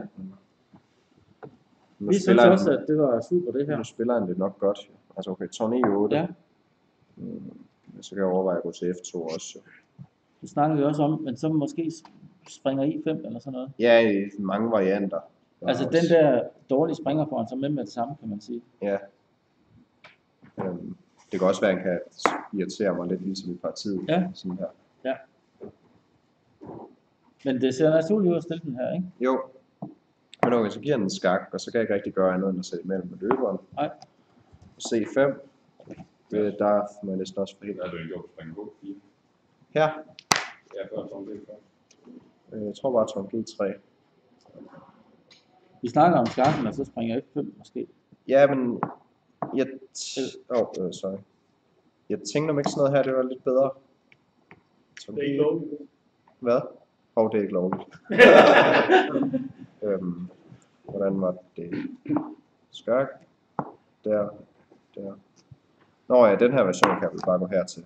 Og nu står tårnet mærkeligt på D5, tænkte jeg. Ja. Så spiller jeg tårn G1. Du har sådan noget. Ja, på et eller andet tidspunkt. Ja. Selvfølgelig ikke lige forløbig. Nej, Jeg, jeg tænkte, det stod underligt herinde. Ja. Øhm, det er rigtigt. Ja, okay, så, så jeg tænkte på sådan nogle, springer H4, tårn G3, hvis han gik herned for eksempel. Der, der tænkte jeg, at tårnslutspiller måske også var lidt behageligt. Ja. Og så herind. Ja. Og så, så har han jo A5, der er svag. Ja. Det kan godt være, at det ikke er noget som helst efter konge F7. Ja, det er det nok egentlig ikke. Men okay, nu, nu kan jeg i det mindste også få spillet H4 Ja, nu- for den. H4. Det kunne jeg ikke i partiet. Nej. Jeg tror, det var smart, sådan, sådan som man gjorde. Altså, okay, skak og imellem løberen. C5. Jeg tænkte B3, det er sådan næsten forceret ud. Ja. Og jeg har selvfølgelig aldrig lyst til at spille C4. Øh, Nej. Selvom du tror tårn. Der, og så herover. Og nu skal jeg have sådan en tårn på G2. Ja, det var kedeligt. Ja, men på den anden side, så har jeg jo den her plan med at Ja, ja. Men du er nødt til at bruge en tre træk på at lave om på dem, ikke? Jo. Øhm, For at kunne, fordi det ville jo være guld, hvis du kunne lave det her i, ja. i to træk, ikke? ja, det jeg gerne vil, det er jo at forhindre, han springer i at rykke væk. Ja, men ja. nu gør han det med det samme. Det er jo lidt irriterende. Jeg tænkte, hvis han gik herned, så står jeg nok rigtig godt. Men jeg ved heller ikke, hvorfor han vil gå herned, mindre han tænker, han bare vinder en bunden. Ja, Men ja. altså, sådan noget her, det, fordi tårnslutspillen, de ser gode ud, og sådan noget her, det ser også rigtig godt Ja. ud. Faktisk er F5 nok bare en kæmpe trussel. Ja, så. Men okay, det gør han selvfølgelig ikke. Springer i 7, og nu fandt jeg godt ud af, at jeg nok ikke rigtig har noget som helst. Du forsøgte tårn A til G1 Ja, og G6. ja men nu, nu er hans træk jo rigtig nemt lige pludselig. Ja. Tårn F2. Og tårnet står her, ikke? Jo. Ja, okay, jeg tænkte, jeg skal have byttet rundt på dem på en eller anden måde. Ja. Øh, Vi synes selvfølgelig, det var en smart manøvre, men det tager noget tid selvfølgelig. Ja, ja, det er ikke så få- klart, hvad jeg får ud af det. Nej. Øhm, det her tårn, det står bare rigtig aktivt herovre. Ja. Jeg tror ikke, han kan være i nogen problemer, så længe han har det. Øh, Hvad komme der? Kong Tårn- G7, tårn G3, tårn F8. Ja. Og tårn G2, Ja, tårn F6. Og tårn G5 og tårn H3. ja, jeg skulle ikke rigtig se, hvorfor jeg skulle stå bedst længere. Nej, Fordi hvis jeg kunne skabe en fribund herovre, men det her, det koster en bunde. Ja. Og bunden løber ikke bare ned, så længe han, han ikke bytter alle brikkerne. Vi snakker om et eller andet scenarie, hvor alle officererne blev byttet, så kunne C3 Ja. B4 pludselig være. Ja, ja, det sad jeg selvfølgelig også og tænkte på, men øh, Jeg sad, og- eller jeg sad og tænkte lidt på dit parti mod Daut, ja, men så den der 18 godt lige pludselig. går det nok Ej, så trods alt går det ikke, tænkte Det jeg. er, Men okay, så det er det jo sådan lidt et remittilbud, så Ja. lidt videre. Øh, okay, jeg tænkte, tårnet, det står godt på Det G5, står godt, ja. men fordi hvis han nogensinde spiller D5, så, Ja. så er det aktivt her. Så, Konge F7. Konge F7, ja, det, det var han utilfreds med. Øhm, fordi han sagde, at han ville gerne have haft den her trussel i nogle stillinger. Ja. Springer D5, jeg ved ikke, hvad han så vil spille, måske Konge F8. Ja. Også lidt af partiet. Øhm, ja, jeg ved ikke, det, mit bud vil være, at stillingen er helt lige. Ja. alligevel. så du går over med kongen. Ja. Vi så C6, faktisk ikke mere her. Nej, men skete heller ikke F2, så konge meget. H3. Ja, fordi okay, springer D5 nu, så kan jeg også spille på C4, det er ja. nok det, han gerne vil forhindre. Ja. På den anden side, så springer D5, tror heller ikke noget helt vildt, jo, så Nej. ja, der er nok ikke så meget far på færre. Min, min plan er at spille kong G3 og H4, og så, så står Ja. jeg bedst. Ja. pludselig. Ja. Fordi det er tårn, det, det, står gør ikke rigtig noget. Ja. Og jeg kan Det pludselig er begynde at spille med mit tårn hernede. H4, ja. Vi var godt klar over, at du skulle op til G3 eller G1, Ja. og så, men når du nu siger, Ja, det er det selvfølgelig en anden plan, og så bare begynde Ja. at spille med tårnet, men jeg vil Men- rigtig gerne have byttet hans tårn først. Ja. Så han spiller tårn H3, det forhindrer jo kong G3, så der. Okay, der er, så sker der noget ved remi her. Ja. Altså, det- hvad kan han prøve? Altså, hvis han bytter det, og så sad jeg og tænkte på, nu kan han selvfølgelig få spillet G5, men det, altså, det er nok Ja. bare Ja. ikke så smart. Nej. Fordi der er ingen grund til, at jeg skulle stå dårligst. Jo. Hans struktur er stadig lidt mærkeligt. Det skulle kun være, hvis han kunne få nogle gode felter til springeren. Ja. Og det, det er tror jeg han selvfølgelig ærgerligt, du ikke vinder, men isoleret set er det jo et skide godt resultat. Ja, ja. Han er jo super god spiller. Så jeg ikke får mere ud af nej, nej, altid også. Tak for det, Mads.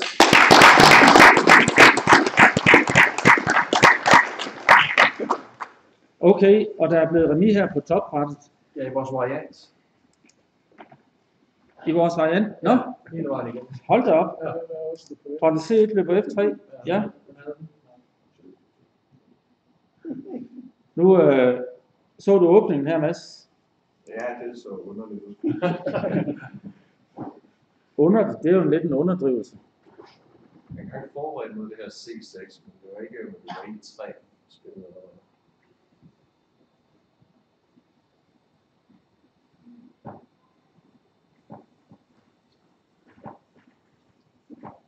Og så spiller han H5 her.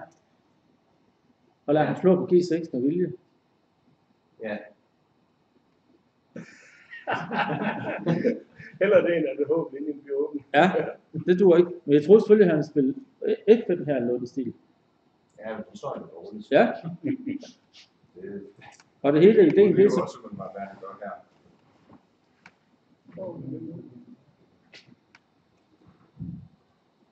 Nu tror han slag på E5 et par gange.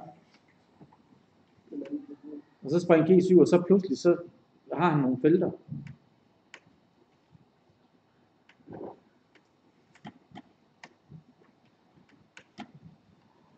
Og så pludselig, og der hænger også på H4 og sådan noget. Det er som bekendt nemt at spille skak. Hvad? Han er kunstner. Han er kunstner. Og så løber A4 her. Og så var vi jo lige ved at tro, at han var ved at vinde her. Det, der, der så vi ikke på H4, før springer F5. Nej, nej, men lad os bare lige se. Øh, men ideen var, at han ikke øh, kan slå på C6 på grund af tårn F7. Det her, det troede vi altså var rigtig godt for, for sort. Men dronning C1, det var foreslået af Olav, så så vi løber F3, men der var sikkert også andre muligheder her. Men han har nok set, at det der, det førte nok til remis. Så det tror jeg, at springer slår E6. Ja, Så et eller andet skal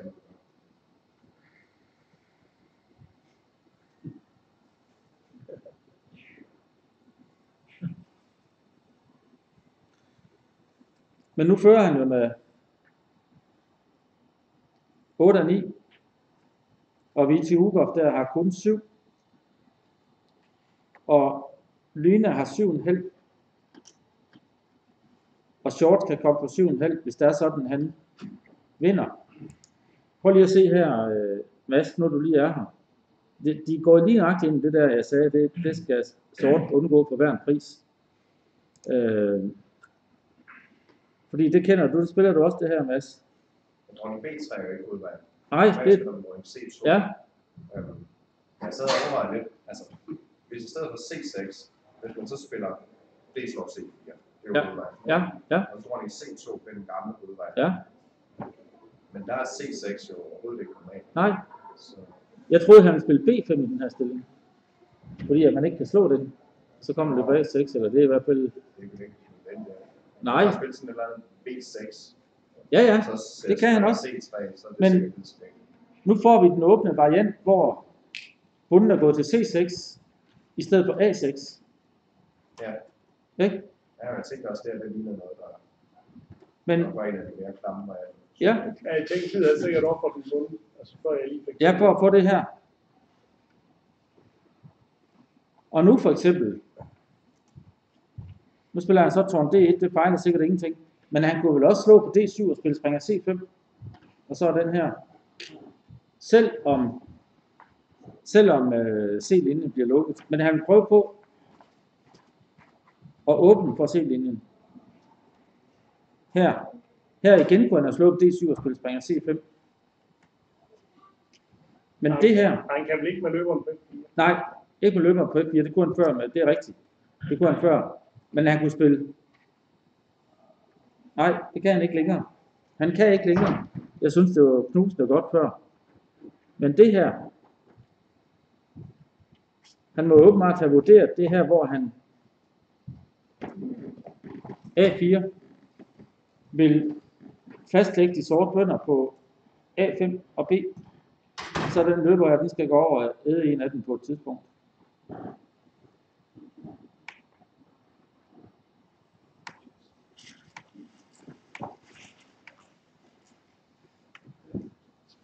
Springer D5, er det det rigtige felt?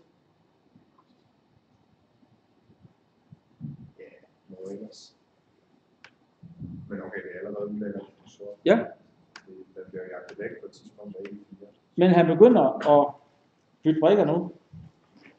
Det synes jeg ikke, han skulle gøre. Nej, sort. Han begynder at bytte tårnene. Ja, okay. ja, det er jo svært at gøre. Ja, men jeg kunne bedre lige omplacere den her springer. Springer E7 til C6 for eksempel. Ja, så måske, måske bare dronning D5. Ja. Måske dronning D7 for at tro på A4. Ja, I stedet for det, han gør. Hvid har for lidt spil her.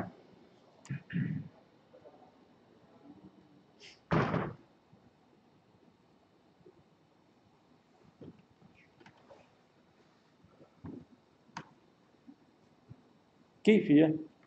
Der kan man bare se. Det er ikke sådan noget, man lige tænker på. Det er ikke noget, jeg tænker på i hvert fald. Hvor, hvorfor gør han det? fordi han står så godt, som man kan over på den anden fløj. Så skal han forbedre sig lidt på kongefløjen. Ja, men er det en forbedring, at han spiller G4? Ja, sort vil gerne spille H5 og G6. Det, det er sådan en ret sikker måde at have den på. Ja. Det forhindrer han. Ja, men hans egen kongestilling bliver da også sådan lidt mere. Ja, men det bliver nok ikke noget problem. Altså, Nej. medmindre han går i en evig skak, så kan det godt Det er det. slække kongen Det er ikke skabt, det er det, man tænker på. Men springeren på C6 kommer ikke med, så det, det vil være mærkeligt, hvis der var en evig skak. Hvis dronningerne bliver byttet i det her, det er jo der, hvor vurderingen er, at det er klart bedst for hvid. Ja, det kommer an på, hvor tæt kongen er på. Ja, Men, men hvis kongen kan... på sort, så, så er det altid godt. Ja, han, fordi at de er fastlagt. Og springer D4, det bliver altid noget med, man får to bønder, og sort får kun én.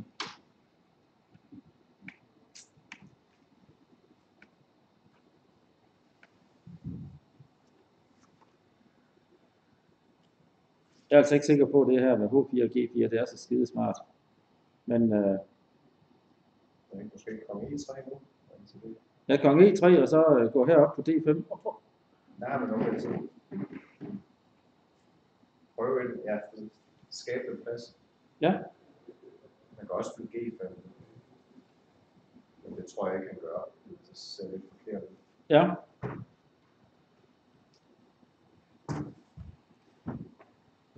Øhm, der er altså mange remier i toppen i dag.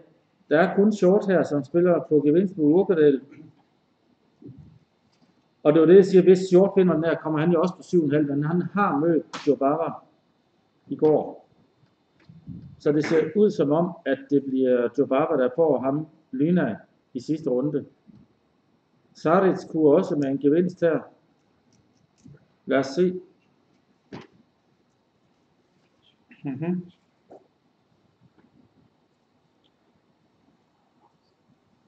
Ja, det her parti, det var lidt svært ikke at sidde og følge med i. Ja, Det var vildt spændende. Hvem står bedst? Jeg synes godt nok, det er gået noget frem for sort siden sidst, vi så på det. Altså springer H6 til G4 skak og sådan noget. Okay, den kan også gå til E3. Det bliver bedre og bedre.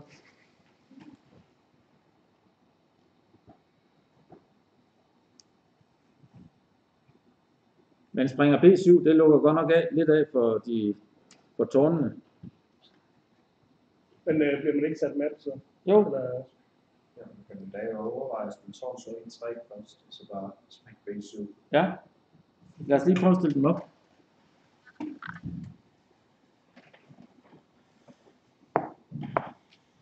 Øh, Mads, du må meget gerne komme herop, hvis du har lyst til det.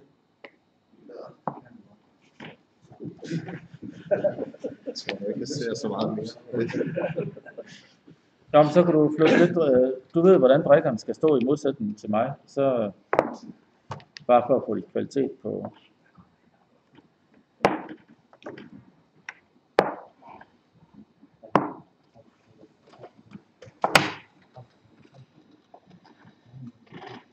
Øh, Ja, hvad fanden foregår der her? Hvor- hvor- Hvordan tror han Matt? Altså hvis, hvis han nu gør det her med det samme. jeg tror du ikke, springer i 4? Og F2 springer. Nå ja, den her er i slag.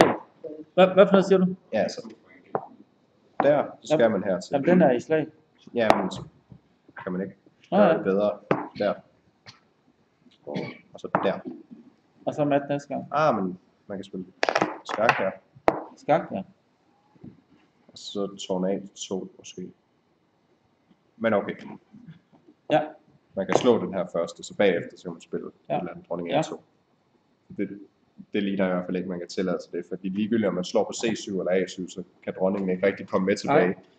Den er væk fra de hvide felter. Øhm,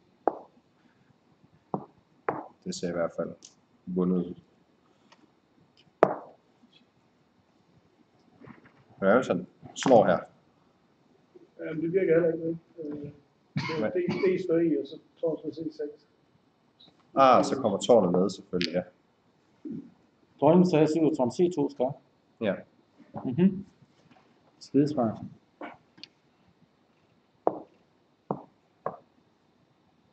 Ja, okay, så det har han nok egentlig også i den her stilling, hvis, hvis han har lyst. Tårn A2 i stedet for. Ja.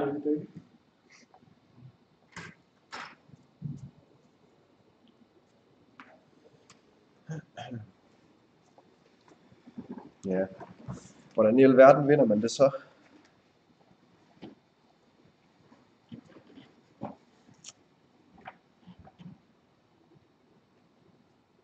Tornado, det ser da godt ud. Ja. Og i sort har evig skak, hvis han har lyst. Så det er i hvert fald sort, der spiller på gevinst. Ja. Fordi man kan ikke ofre kvaliteten. Ja. Tror jeg. Er du sikker på, at det er evigt skak? Og hvor skal man gå hen? Ja, jeg så den. Hvorfor kan man ikke op på det? Og så tårn G2 for eksempel. Og konge H2. Ah, Okay, nu jeg slår A6 her. Okay, du slår A6. Det havde jeg selvfølgelig set. Okay. Ja, Øhm, men det vil han jo ikke have. Man skal jo vinde. Ja. Men det kan godt være, at hvis han finder ud af, at alt andet ikke dur, så... Øh, han har kun tre minutter igen. prøve et eller andet. Eller, ja, eller tårn E7. kunne man også overveje. Ja, Han har spillet det og sprang ikke kommer ud Så er han nok overvejet noget her.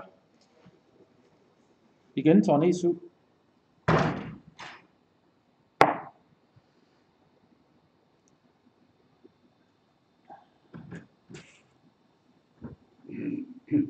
Hvis hvid bare er grådig.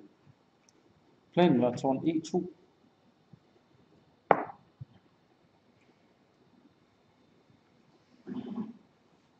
Ej, det ser godt ud. Ja, det ser godt ud. Man kan selvfølgelig spille det her med dronning B1 skak, altså slag, slag, dronning B1 skak, og så går man nok ikke mat, men altså, så vinder sort bønderne hårdt. Ja. Jeg ved ikke. Øh, måske komme G8, nej, okay, måske nok G6, deroppe eller sådan. Men okay, så kan man slå her. Ja. Og nu, nu er det gået galt. Ja. Ja.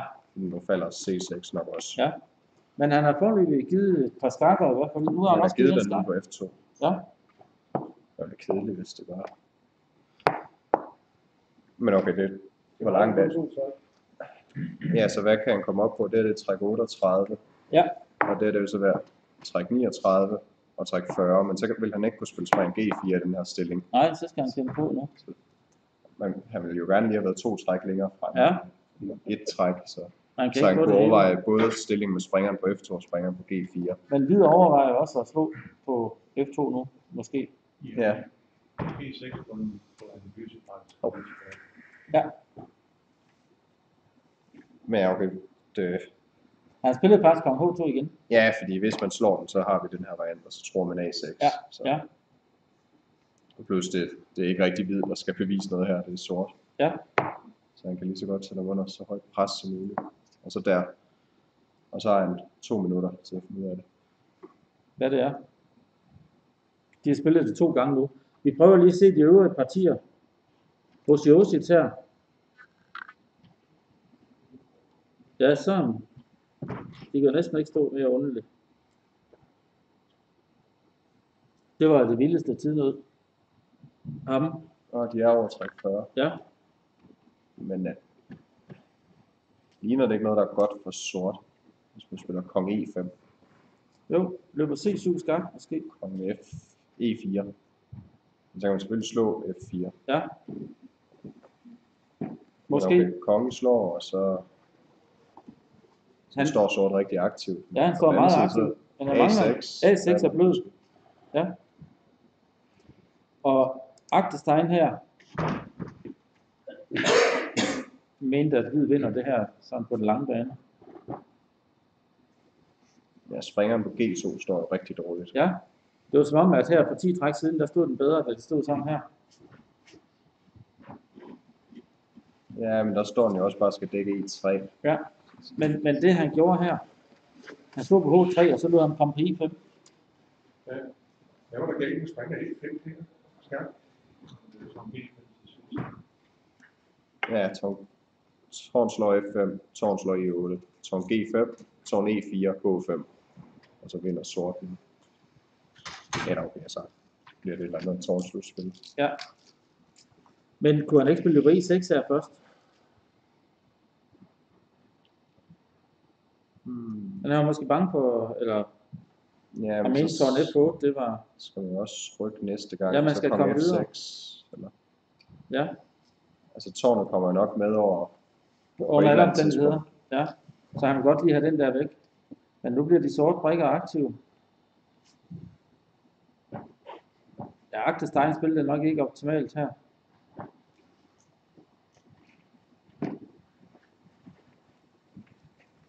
Men må det ikke vide stadigvæk, at I står bedst?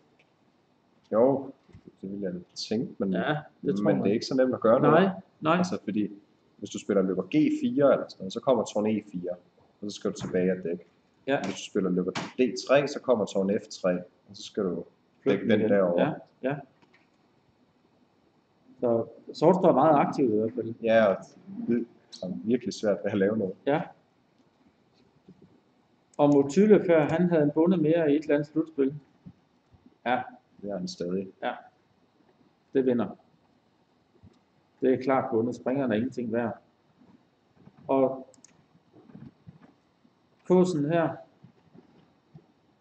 det ser nok ikke så godt ud længere. Nej, sort har en bund. Ja, og dækker C7, så han ikke kan få tårn på syvende række. Men der kan spilles endnu. Sorts plan er vel at tage kongen med Ja. over til D7. Så hvid skal finde et eller er andet aktivt inden der. Ja, Ellers så taber det langsomt. ja, langsomt, men sikkert. Og Stubik Holm, han fik sin remis her. Det, vi kom ind i det slutspil, vi snakkede om. Hvor springeren på C4 står godt. Truer hele tiden med at slå på A5. Men Det- det er svært at få de andre brækker med. Ja. Lad os lige prøve at se på live 2 her, hvad der skete. Allan Stig vandt skide godt. Det var ham der, du spillede mod. Ja. Han- blev altså helt fuldstændig rullet. I super stil.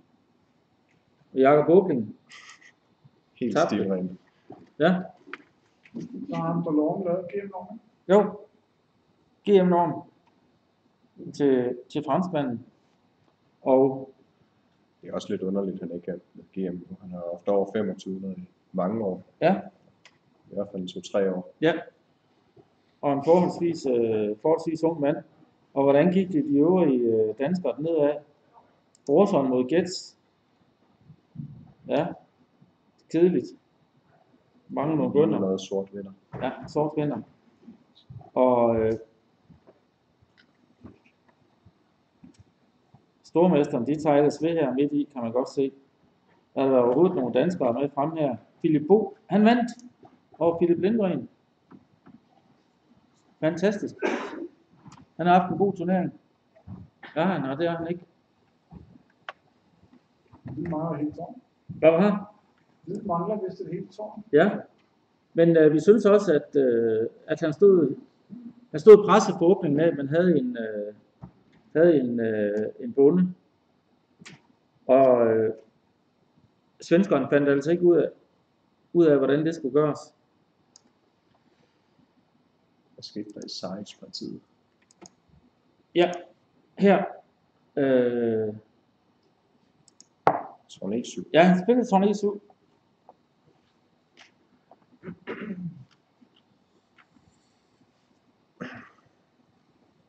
Spændende. Ja, det ser altså godt ud for sort. Ja, tornado er en grim trussel, ikke? Jo. Øh, jeg tænkte på, nu tidnøden er, er ved at være overstået. Allan, har du lyst til at vise dit parti? Vi har ikke kigget så meget på det. Vi så bare en stilling og synes at det så fantastisk ud. Ja, men det gjorde det også, men så smed jeg det hele væk. Gjorde du det? Ja. Men... Vi vil gerne se det alligevel. Ja. Du må jo gerne blive siddende, hvis du vil, og du må også. Får plads. Han får pladsen. Jo.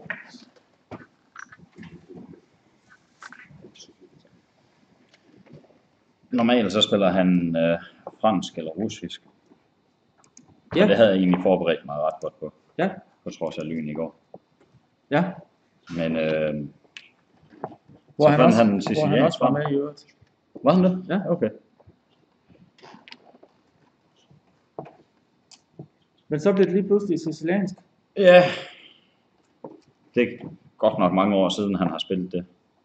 Og jeg aner ikke, hvilken øh, variant han har spillet i det tidligere, så, øh, så jeg besluttede mig for også at afvige.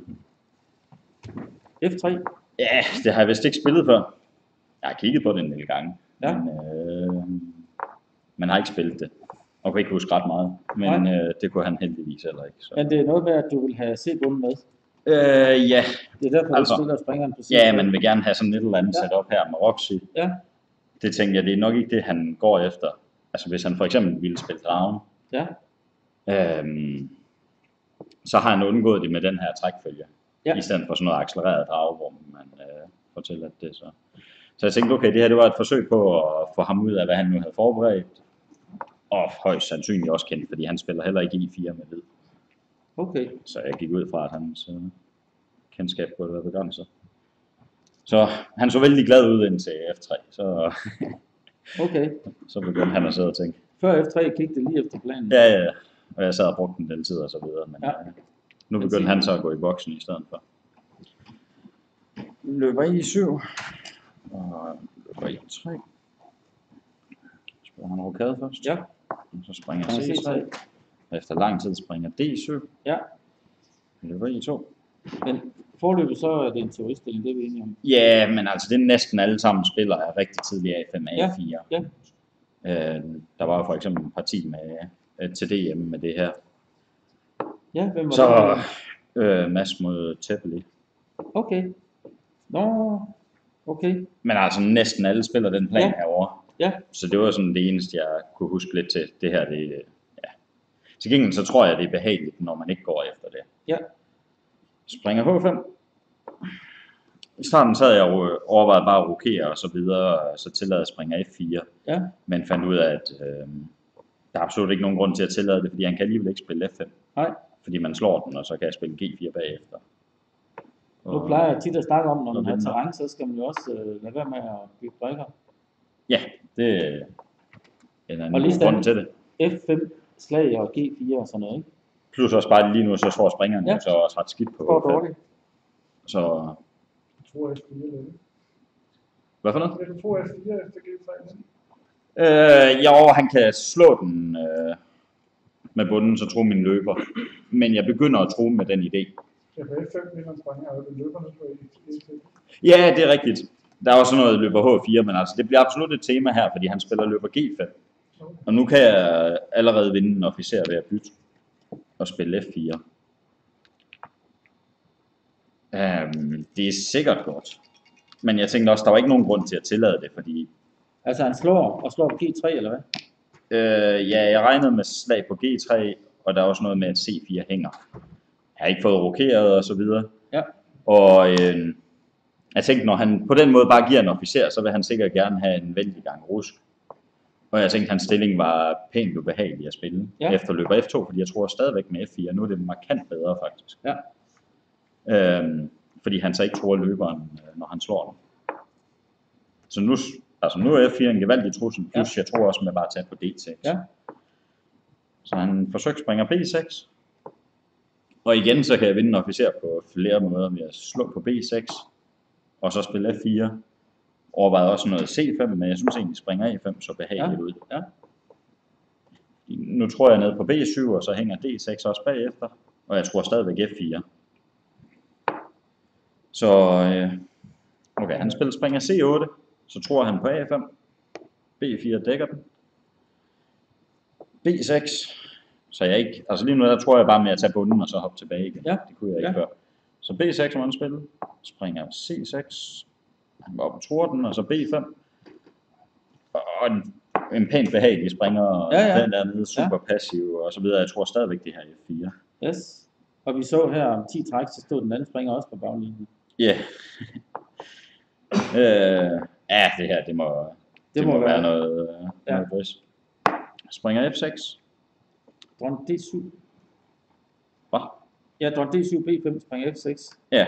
og H4. Ja, jeg overvejede lidt, om jeg skulle spille springer D5, men tænkte, der var måske ikke nogen grund til at tillade det her. Altså, det kan godt være, at den kommer i problemer dernede, men, øh, men jeg tænkte egentlig, det kunne være rart nok at få parkeret den. Jamen, jeg spiller også H4. Problemet med H4 er, at så kan jeg lige pludselig ikke rigtig rokere længere. Jeg kan godt, men lige pludselig så er min kongestilling noget åben. Og et alternativ, hvis man ville spille det helt safe, var bare rokere. Ja. Men øh, okay, H4 så loven ud. Jeg vinder ikke en officer med G4, fordi han har løber F4. Åh, oh, ja, den står noget. Han har løber F4. Ja. Desværre. Øhm, men til gengæld springer D5 nu. Så tror jeg med at slå på F6 fuldt af G4. Ja. Så jeg havde regnet med, at han var nødt til at slå den. Men altså, Er det er det- heller ikke super sjovt. Jeg kan Nej. sådan omgruppere løberen herover. Han kan aldrig rigtig spille A6 eller noget, og på et eller andet tidspunkt, så skubber jeg... Han kan aldrig A5. slå på C6.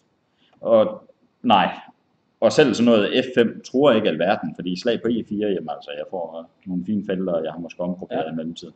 Han Så- prøve på en så på den måde var det- til C5 eller sådan noget, Ja, hvis det var. men det tager godt nok lang tid. Ja, det tager lang tid. Fordi- Ja, ja, selvfølgelig. Øh, så han forsøgte at springe E8 i stedet. Men altså, det er jo... Ja, Det, Virkelig skidt. Er det, det er en vundet stilling, det her? Ja, ja, ja, totalt. Ja, totalt vundet. Så A4, G6, H5. Så tror jeg med at slå, og så er løberen i problemer. Det er heller ikke sjovt at skulle til at flytte løberen. Nej. Løber G7 spiller jeg H6, og på den der op, så havde jeg regnet med at spille F4. Altså, jeg har også tårn, der lige pludselig kan komme over tredje række. Ja. Så han spiller kong G7. Det er muligt, jeg burde have spillet F4 her. Det er mig faktisk lidt senere, jeg ikke havde gjort det. Fordi jeg tror med at tage på E5 nu. Ja. Og hvad sker Og han kan ikke, altså hvis han slår den, så bliver der åbnet op på en eller anden diagonal her, Åh. som er lidt ubehageligt. Okay. Så, Jeg altså han har nogle brikker, der er parkeret herovre, Ja. mens jeg kan tage Men han kan ikke slå på næsten alt sammen. D5 og på F4, eller hvad? Jo, det kan han jo godt, men altså for det første, så kan jeg overveje at slå med dronningen. Ja. Så er der noget nede på A8, Nå, okay. efter springer så i E5. Øhm, ja, det vil jeg sikkert gøre. Men okay, jeg valgte A5 i stedet for. Byt, byt. Og F5. Slår på G6. Øh, tænkte, når han spiller F5, så er det rart at få åbnet op, fordi så har han nok ikke tænkt sig at spille tårn H8. Og planen var så egentlig, hvis han slog tilbage, så også slå på F5. Ja. Fordi jeg tænker, hvis han slår med løberen, så får han aldrig rigtig noget angreb herover, så kan jeg fortsætte mit spil øh, over i A-linjen. Så ja. den er snart et eller andet derovre, der er også et eller andet med at slå på E5. Og hvis han tager med bunden, så har jeg tænkt mig at spille F4. Så den her bliver lukket ned. Og der ikke er noget som helst øh, Ja. dynamisk. Man skal også bemærke, at din løber F2 står også og truer på F7. Ja, men det er jo det. Og han kommer ikke til den her nu og løber F3 på et eller andet tidspunkt. Han har aldrig lyst til at spille E4. Nej. Men øh, det gjorde han ikke. Han slog på E4 i stedet for. For at få noget rusk. Ja. Og slog jeg på H7. Det så så naturligt ud at slå igen på E4. Mm, nej, det her... Ja, det er også godt selvfølgelig. Øhm, men det irriterede mig lidt, at den her, den kunne blive svag nu. Ja. Altså om noget ville jeg hellere have haft løberen derovre. Han har måske også noget dronning F7 og sådan lidt andet. Ja, altså okay, jeg har altid tårn H2 Ja. at dække mig ind. Ja. Men øh, jeg ved om jeg... Hvor pokker står det herinde? Det står sådan her. Ja. Jeg tænker egentlig, hvad han havde gjort på løber i 3. Det, det var det, du foreslog, Kåre. Og så var det, jeg tænkte, om have mere. Ja. Ej, jeg tror, jeg får ret meget her. Ja, det får. Er det ikke bare totalt slut? Altså han er nødt til at slå på E3, ikke? Jo, men, ja, men det er det helt væk. Ja. Jeg kan godt ringe. Altså, nu må, jeg slå den, og så hænger I 3. Ja. Så har jeg dronningen for tårn. Ja. Og en god stilling. Okay. Nå. Ja. Så du ikke, Anna? Nej. Åh, Så er det godt til vand. Ja, for det, puh. det var da ikke svært. Nej. Det var så svært nok åbenbart. Ja. Jeg overvejede også noget tårn slår og dronning D2 og så videre, men løber E3 var det... Okay, nå. Ja. Ja, jeg slog på H7 i stedet for. Og så havde jeg planlagt øh, sådan noget her med slag på F3. Jeg troede, at hans plan så var at spille dronning F7. Ja. Og prøve et eller andet, men så har jeg springer D8. Og når han slår på F3, så har han ikke nogen gode felter på skakken. Hvis han går til H8, så bytter jeg dronningerne og slår på H6. Og Ja. ellers, hvis han slår på H7, så springer slår F8 af med skak. Ja. Øh, Der er også springer G5 skak i. Og hans så, så... springere, de står stadigvæk øh, helt, ja, helt til hesten, her sagt. Men han fandt noget bedre her. Øh, slag på D5, det var faktisk ret smart. Fordi øh, jeg ville helst slå med dronningen, men så efter springer F6, så er jeg nødt til at gå hele vejen tilbage igen. Og det irriterede mig lidt, at øh, jeg måske mistede noget tid og et eller andet D3 og så videre. Ja. Det er nok stadigvæk bedre, end hvad jeg får gjort i partiet. Øh, fordi jeg slår med bunden i stedet for. Jo, han har slået der. Ja. Ja, du slår en bunden på D5, yes. Ja, og så spiller han springer F6. Ja. Og øhm, ja, Så spillede jeg tårn A4, og først da jeg så var ved at spille det, havde taget fat i brikken og gået hertil, så opdagede jeg, at han kunne spille springer B6. Jeg havde regnet med sådan et eller andet E3 løber G1 og svinge tårnet over. Eventuelt, at han slog på F3, og så kan jeg bare slå tilbage, og så stadigvæk Ja. svinge det over for angreb. Ja. Øhm, altså det var først, da jeg så sad med tårnet i hånden, at jeg opdagede øh, springer B6, så tog jeg mig lige en tænkepause, men jeg fandt ikke nogen bedre felter, end- end at gå til A4. Nej. Så ellers så tror jeg igen, den her plan med F4 havde været bedre. Ja, og ind på den lange diagonal. Få lukket ned for den her over, undgå at min løber hernede bliver udsat, og jeg tror på E5. Jeg får et eller andet på Ja. D4. Ja. Så, nå, tårn A4 springer B6. Det jo ikke, det jo ikke planen at slå den. Nej, det var absolut ikke planen. Og lige pludselig så går den her springer ned på C6 fra at være super god til at den nærmest er fuldstændig ude af spil. Ja. Og han har fået tårnet med hernede. Okay, jeg får snuppet en bunde på E4. Øhm, slag på E4, så dronningen slår, og så har jeg stadigvæk dækket herovre. Ja. Men øhm, han slår bare på H7. Og her havde han så et trick. Så hvis jeg spiller løber G4 nu, det kunne være ret naturligt. Lige tænkte, jeg skal derhen, og så løber F5. Så klasker han på A4. Og så på E4. Og så slår han herhen, og så har jeg ikke nogen felter. Nej. Okay. Men, men, men med lige stilling, eller hvad? Ja, fordi der er sådan noget med, at jeg kan spille dronning E2 Ja, ja, ja. og så Ja, videre. ja. Så. Han sukkede som regel gevaldigt, når han havde et trick. Så gjorde øh, han sukkede gevaldigt. Nå, Så, øh, så sådan, i den her stilling efter at slået hernede, sådan, åh, øh, og han gjorde det igen senere et par gange. Så, nå, byt byt, og så løber G4. Så har han ikke den.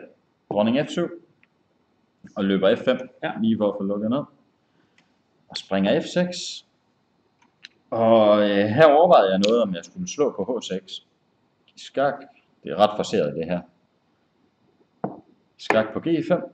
Og øh, han er vel nærmest nødt til at gå derned, regnede jeg med. Men nu er problemet så også, at han bare kan sætte dronningen imellem. Ja, ja. Så her skulle planen så være at begynde at spille noget med G4. Ja. Fordi dronningen har ikke så nemt ved at komme med ind. Men lige nu er der mange skakker. Går du til H4, eller hvad? Ja, altså hvis han går herhen, så har jeg tænkt mig at gå dertil. Nej, jeg tænkte på, når han begynder at skakke, går den konge til H4. Øh, jeg kan måske også begynde at gå efter hans tårn herovre. Altså fordi han angriber med en brik. Ja. Så, øh, så det var jeg egentlig ikke super bange for. Nej. Det tager noget tid, før han kan få dronningen med. Ja. Og så har, er der noget angreb herovre i øh, mellemtiden. Det kan godt have været, at det her det egentlig var fornuftigt. Fordi det er svært at se hans modspil, men jeg tænkte også, det var lidt drastisk. Allan, når du går kongen. Øh, ja. Ja, så jeg skal sikkert holde mig på nogle af de hvide felter, så det ikke kommer med skak. Så jeg, på skakken hernede kan jeg gå til E2, og hvis han så på et eller andet tidspunkt slår herop, så kan jeg måske begynde at give noget skak herover. Fordi nu vinder du dronningen. Ja, der er både løberen herhen og hertil. Ja. Afhængig af, hvor han går hen, Ja. hvis ikke andet.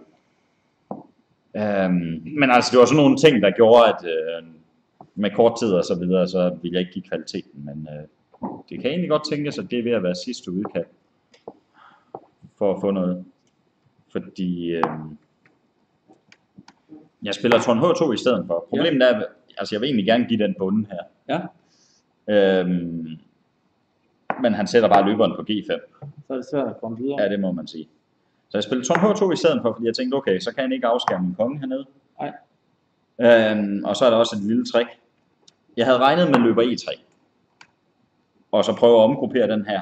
Til gengæld, når jeg, når jeg så tror den, så er det ikke sikkert, at han har lyst til at gå herop, fordi så kan jeg lige pludselig drible ind på de sorte felter.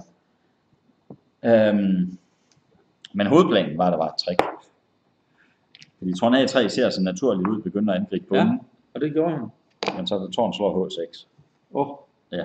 sukkede han så. Ej, det her var det ikke bare suk, her var det... øh, Lige før han begyndte at sidde og snakke med sig selv.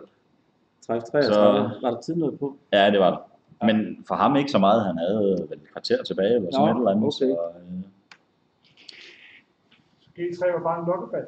Ja, det var en luk. ja, ja, jeg tror, H2 er egentlig sådan... Øh, Altså okay, stille og roligt kan jeg måske begynde at forbedre min stilling, havde jeg Ja. en plan om. Men generelt så tror jeg bare, at det hele er forsvundet. Ja. Det var ikke øh, planen, vi skulle have sådan noget her.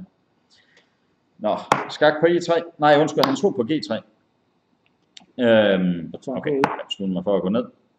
Og øh, så tårn E3 skak. Godt være, at jeg egentlig burde gå til F2 i stedet for. Men altså okay, kong D2 vinder også. Fordi der er ikke sådan noget med at slå på E4. Nej. Det skulle man også have styr på tidligere egentlig, da mit tårn stod hernede. Der kunne vi have fået det samme. Springer slår i E4. Og dronningen slår i F5. Ja, det ser jo lidt farligt ud. Ja, men altså... Tænk, hvad tænker jeg egentlig? Tårn H4 eller sådan noget? Nej, jeg tænker, at vi skal. Altså det gode er, at han tror ikke med alverden. Nej. Øhm, men jeg synes, jeg så et eller andet her, der vandt. Men hvad pokker det var? Nu er det ikke sikkert, at det lige var den stilling, eller hvad? Jo, var det egentlig, fordi det var efter tårn slår H6. Okay, ja. Og hvis han så havde givet skak i stedet for at slå, ah, han har ikke fået bunden så. Han har ikke slået på G3, Nej. så der er ikke skak på F4.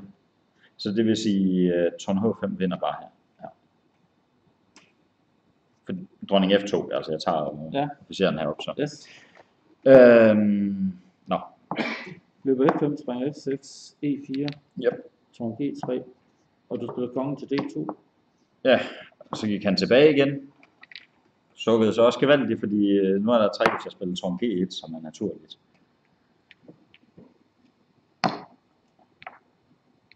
Mhm.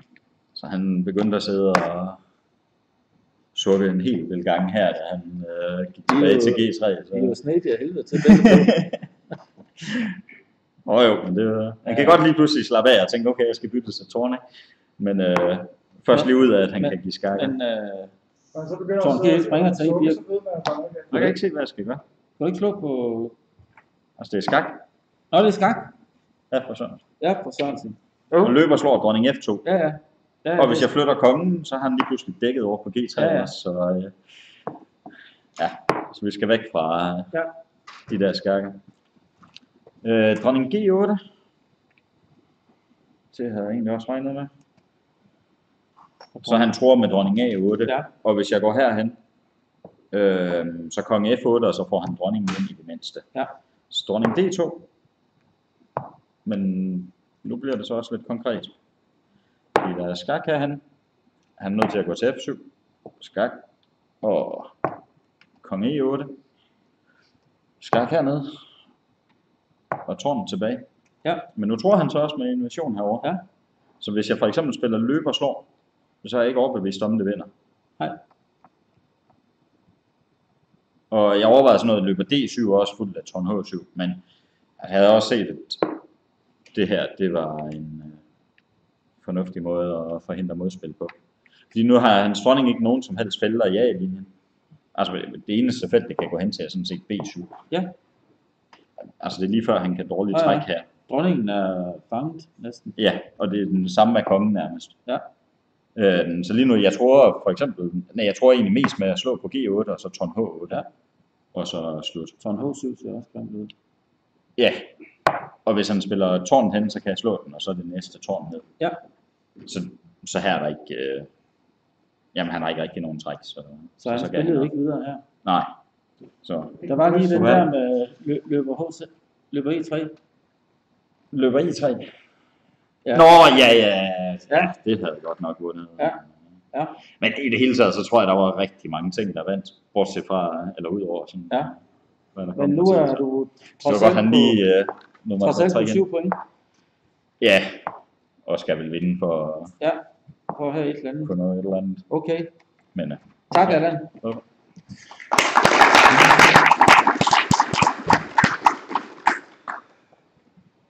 Vi går lige tilbage og ser de bedste, øh, om de er færdige. Okay, Sardis vandt det her. Vi så det sidste var Torne E7. Dronning F5.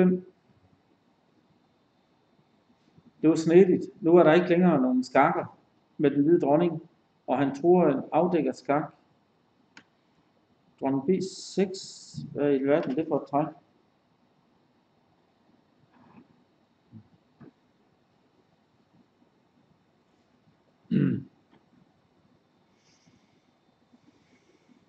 Dronning B6. Okay. Spring F2 skak. Dronning D5 skak. Okay. Og han giver op. Der hænger præg 2. Det har han ikke set. Hvis han slår her, så dronning 3 2. Og færdig. Så Sardic er også på, øh, på 7,5 point nu. Det kunne godt være ham, der skulle have Jobara i morgen, og ikke øh, Lyna. Men en af dem skal. Nu går med og Short. Øh, Urkedal Short. Ja, vi så øh, den her stilling. Mads Andersen er sikker nok, jeg tror ikke, han spiller H5, eller spiller G5. Det er nok for farligt, men det gjorde han altså alligevel. Og dronning D6. Konge E1, dronning D7. Altså hvis de får byttet dronningerne, så er det sikkert rigtig godt for hvid, fordi at den hvide konge trænger ind, og den her, den er fastlagt på et sort felt. Det er klart, at hvis den sorte konge kommer ind på D5 eller noget i den stil, så er det måske, men stadigvæk E4 og kongen til C4 og sådan noget. Det er rigtig kedeligt, så sort skal nok satse på noget evig noget. Den hvide konge står ikke for godt, så sort skal nok holde brikkerne på banen, vil jeg tro. Dronning V5. Lad os lige se. Hvis han slår på, øh, læg mærke til, at han kan ikke slå på A5, fordi så slår man og slår på B3. Så er det revi.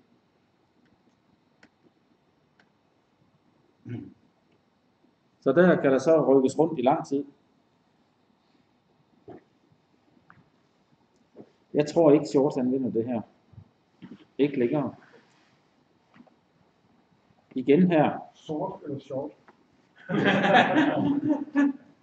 Jeg tror, partiet bliver remis.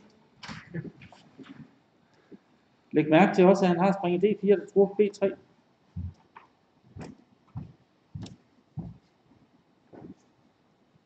Interesting, why, why he that? What? Dronning E4, og så løbegangen E5 med den H4 skakplanen. Ja. Ja, måske. Man giver bare bunden på B3 og sætter med. Ja, og så forsøger man her at dronning H4 skak. Måske.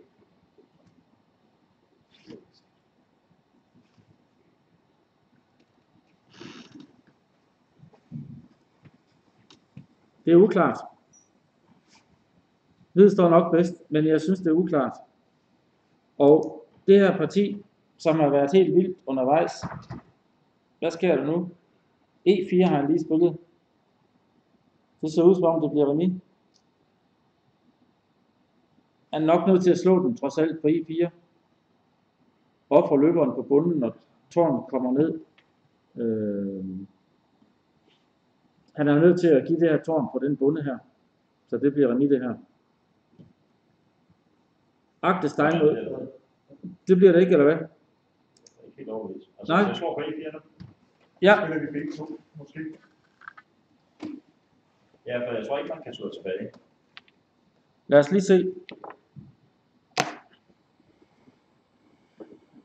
Ah, jo, jeg troede, ja, at man kunne spille noget Tom B8, men så er der løb for øh, den skak. Ja, okay.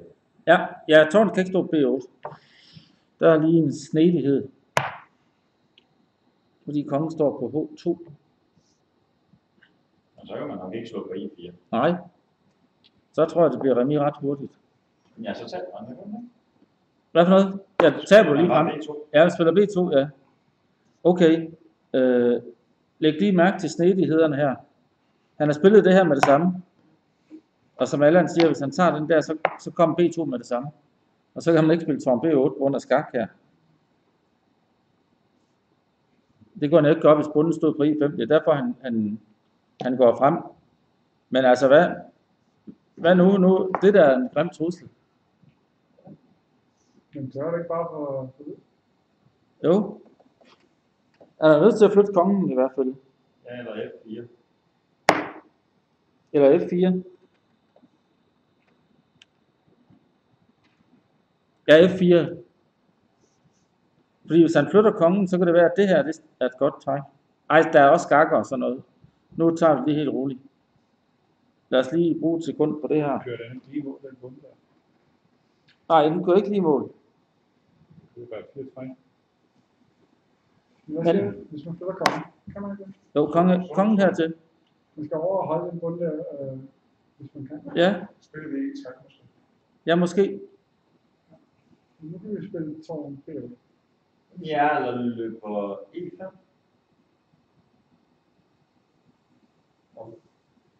Med bunden. Tårn kører A7. frem med bunden. Det kører A7. Altså, Hvad- hvad- løber på E4.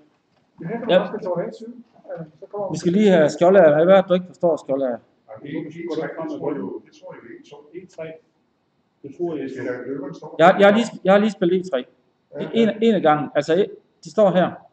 Øh, Kong G2 blev foreslået den her stilling, ikke? E3. Ja. Det er det. Det er den stilling, vi har. Jeg det er stil. Ej, Kong F1, så, så sker det her. Så får vi en ny dronning. du spiller tårn B8 nu, så spiller du bare E2. Tårn B1, E2. tårn slår B3 skak. Tårn tager B3 skak. Ja, kom C2.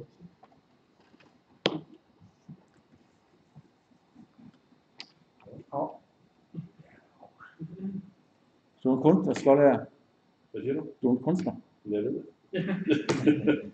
Men tak alligevel. Talent, talent kan ikke holdes nede, vi ved det godt. Men Det vinder for sort, det her. Men det var lige en analyse.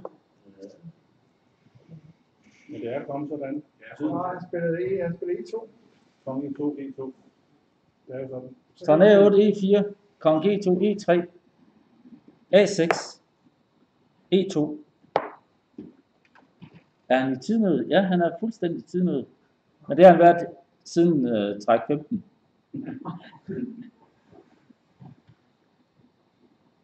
altså, Remis? Men- men- Nej, det må være opgivet. ja, Det må være en fejl. ja, det er en fejl. Tårn E2. Det vinder vi bare. Altså, det vinder vi bare så, ikke? Jo, Ja, det må være opgivet.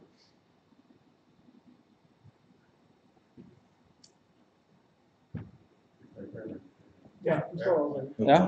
Det er... Det så ud som om sort stod rigtig, rigtig dårligt på et tidspunkt i det her parti, men altså... De gode, de er jo altid heldige. Det er derfor, de er gode. Sådan er det. Så Bosiosic, han er pludselig også, øh, han er også på 7,5 point nu. Og han vandt jo de fem første. Spillede remis, tabte, og så har han vundet to nu. Så han ligger også til langt med fremme. Jeg ved ikke, om han har mødt, har han mødt øh, Joe Baba? Ja. Ja, og tabte. Det er en ærlig sag. Det, det, det er en ærlig sag. Det sker i selv de bedste familier. Det har vi set flere gange. Øhm. Og Agtestein mod Tiger her. Okay, nu har han fået byttet et tårn. Det må da være bedre for vid, at tårnet er blevet byttet nu. Lad os se, hvordan, hvordan, hvordan fik han det?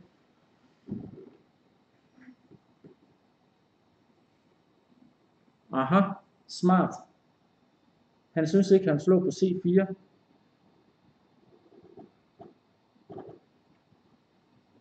Har hvid matangreb, eller hvad har han?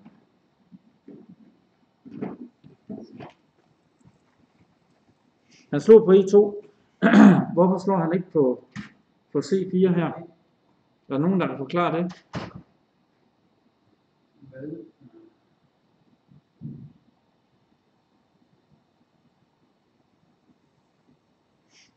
Hvid spiller måske tårn D6 eller noget i den stil.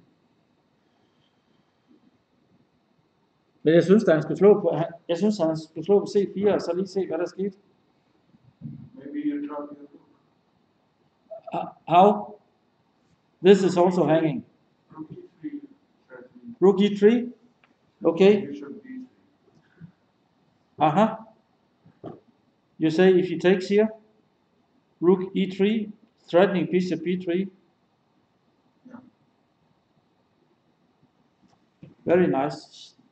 I think that's the solution. That's why.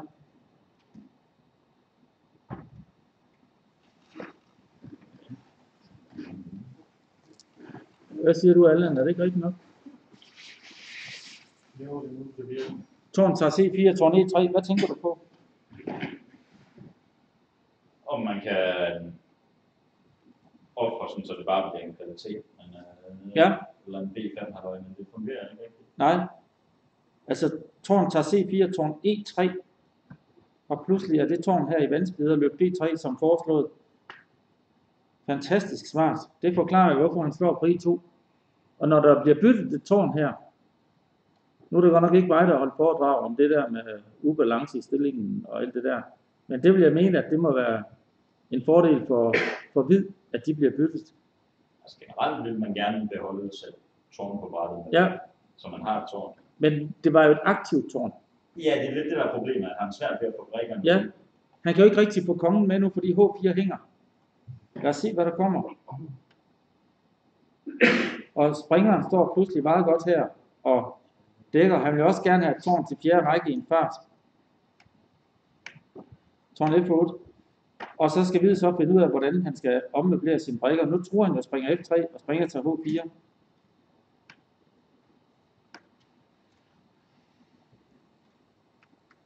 Kong F4.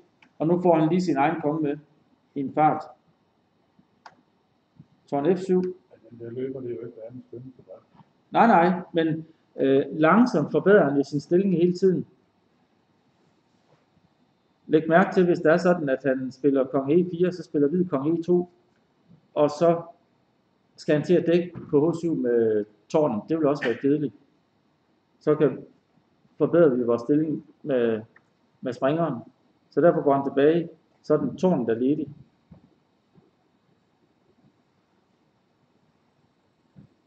en konge kan jo ikke øh, dække på på den i længden. Nej, det kan den ikke.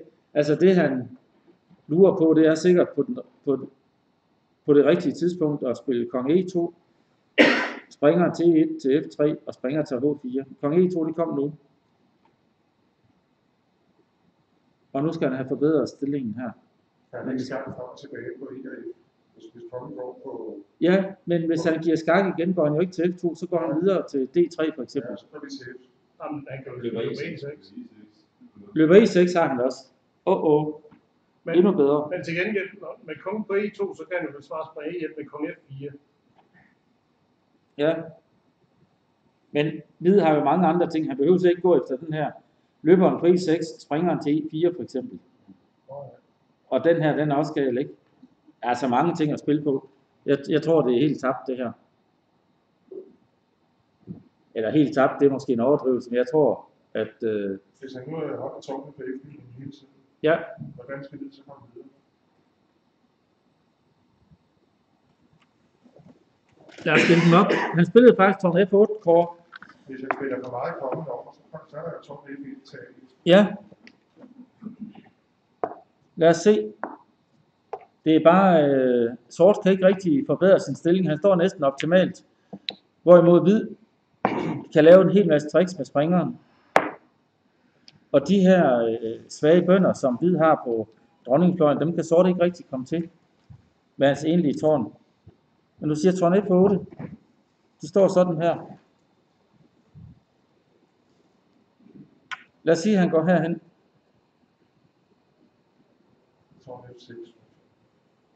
Jamen, så har vi jo skak her. Og springer til H4.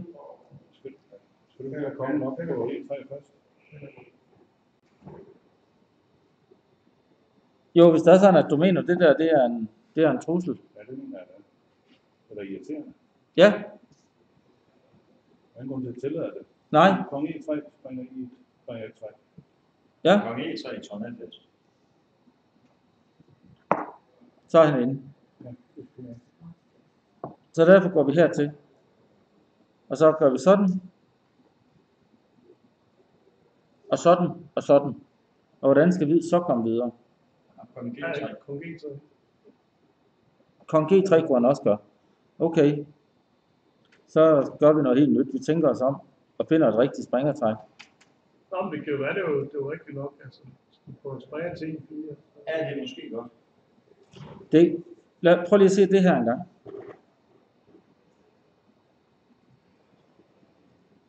Kong F4. Så var planen at spille det her. Du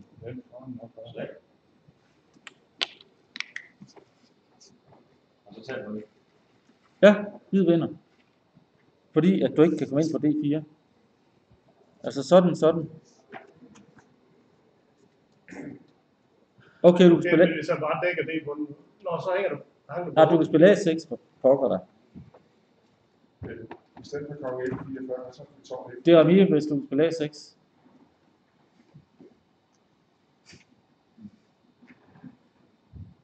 Så det giver ikke mening det her. Hurtigt tilbage.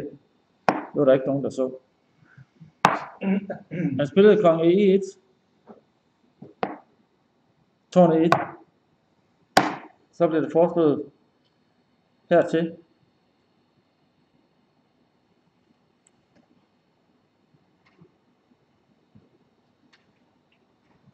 Men hvad med en plan med springer D3, springer F2? Ja.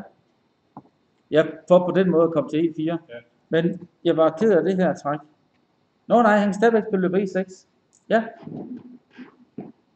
Du kan ikke spille på F2. nej. Den kan han slå. Men hvis vi nu starter med det her så. Jeg tror planen er at gå til F3 Ja, i stedet for.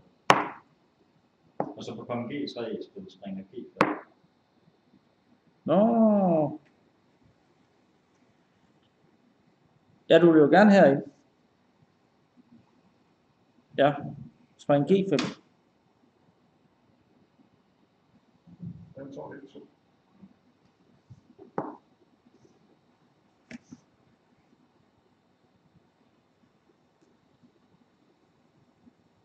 Maybe look at four instead.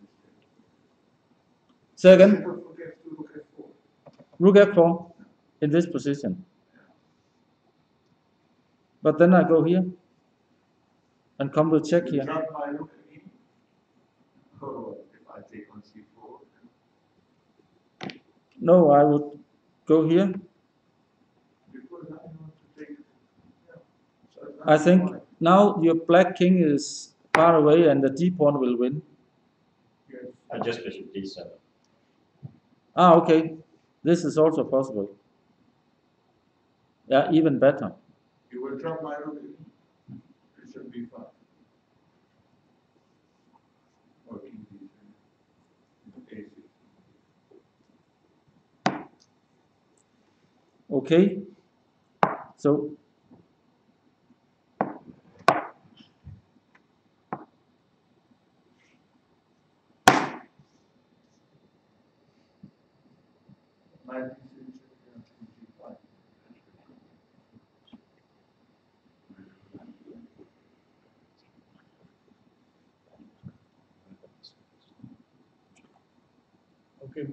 he, he, he went there. det kan godt være, at vi skal. Okay, knight f3. Men jeg tror, det er, han behøver jo ikke at gå med kongen nu. Det har han gjort. Det var derfor. Nej, efter springer H3, behøver han ikke gå til G3. Han kan bare hoppe lidt på stedet nu. Øh, spring f3. Kong f4 er spillet. Ja, så måske Tom H. Ja, tårn h8.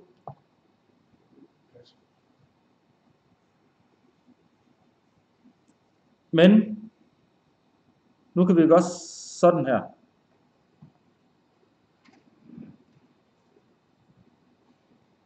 Med planen her og her.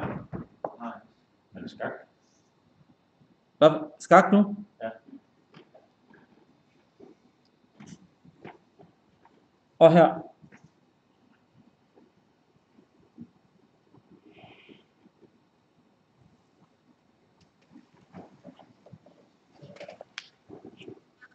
Maybe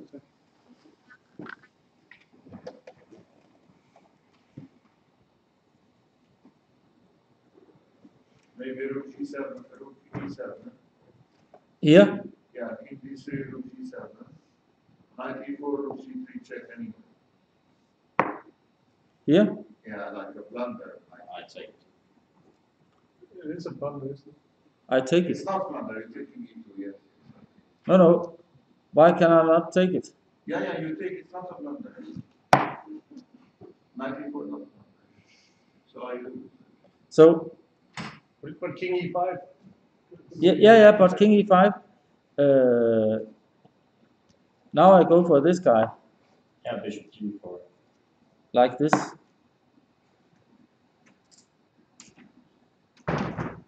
But that guy on H four, you can protect the.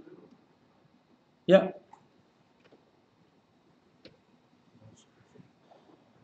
And for instance, rook f7, knight g5. And then knight f3 is this is threat. Yeah, but as you G eight.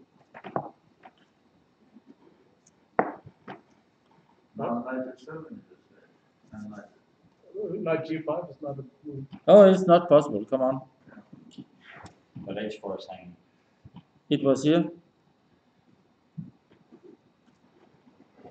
There's also knight d2.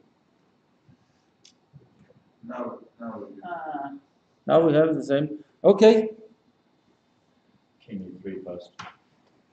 But it should be winning sooner or it should be winning, but maybe, Black enjoy it. because Yeah, yeah. but maybe it's not. It's not completely sure that uh, it will be possible. Um, vi kigger lige igen på short mod Urkedal. Okay, nu kom det ind i det her slutspil. I det mindste står springeren rigtigt. Lad os lige se. Det stiller vi lige op.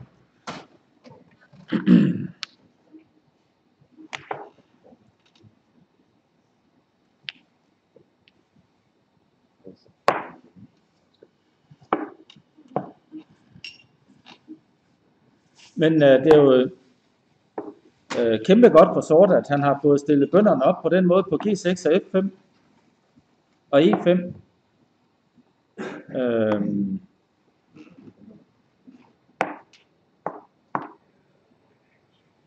Den hvide konge står her på 1. Lad os lige se, hvordan det kom. Vi så den her stilling.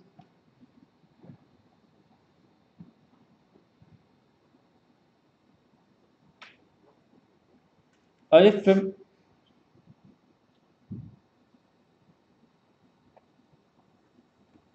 Og man spørger sig selv, hvorfor han ikke øh, slog en passant. Det gjorde han altså ikke.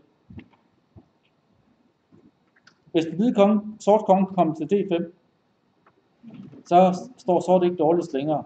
Det, det drejer sig om, det er, om hvid kan spille E4 på det rigtige, helt rigtige tidspunkt. Og de står sådan her. Altså hvids plan er jo at spille løberen herned og tro den her, og så spille E4, og så gå herop med kongen. Det er sådan kort fortalt, hvad planen er. Ja, kongen det to, det er. Jo, kongen D2, så begynder man på sådan noget her. Øh, say again? No, he didn't take. Oh, he can do it. He can do it. Uh oh. And then I think the idea to put the pawn on E3 and then Okay, he can take it. I think he can do like this. Oh yeah, okay. But here,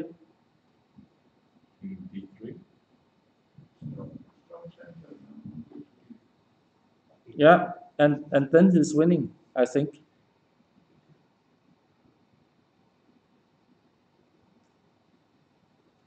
Okay, king d2 because he cannot go here because this is hanging. Ikke. Hvad, hvad går ikke? Det der, hvad var det, vi skulle springe det?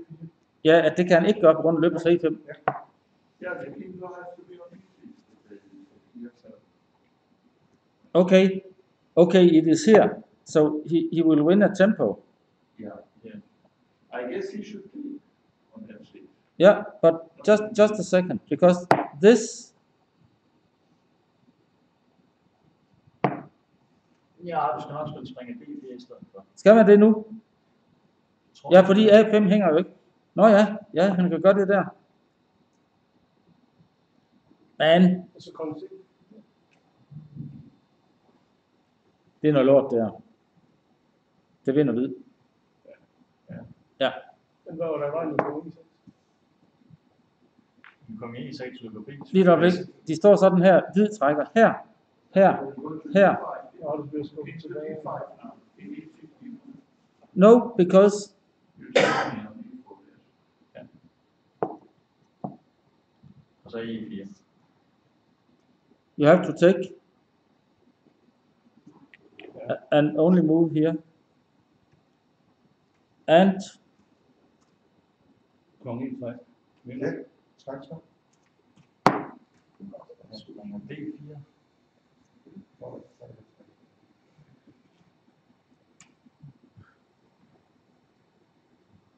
Kong E3. Ja, tak så. Springer D4. Løber slår F5. Ringer slår E4. Løber P6.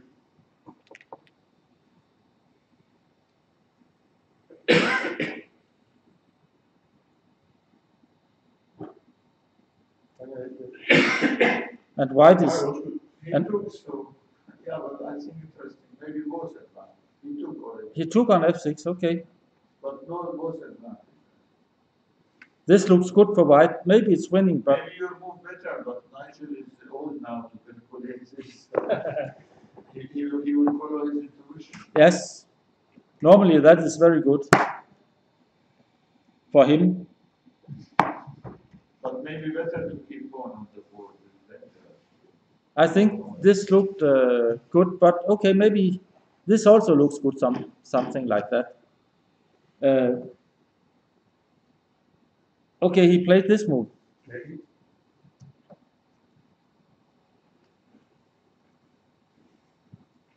Men det kan være, at han i den anden vej kunne, kunne spille kong D7 i stedet for kong D5 og jeg løberen væk. Fordi Ja.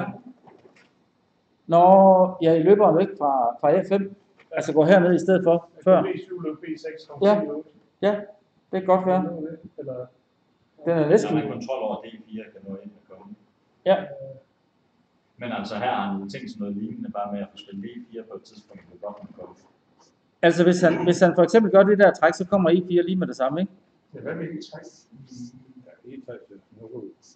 Jamen, så kommer vi jo her. Hvis den først kommer hertil, så, Konge E2. Ja, okay. Det er rigtigt. F4, så, er der jo et træk fra igen. F4 spiller G5. Now G5 is equal.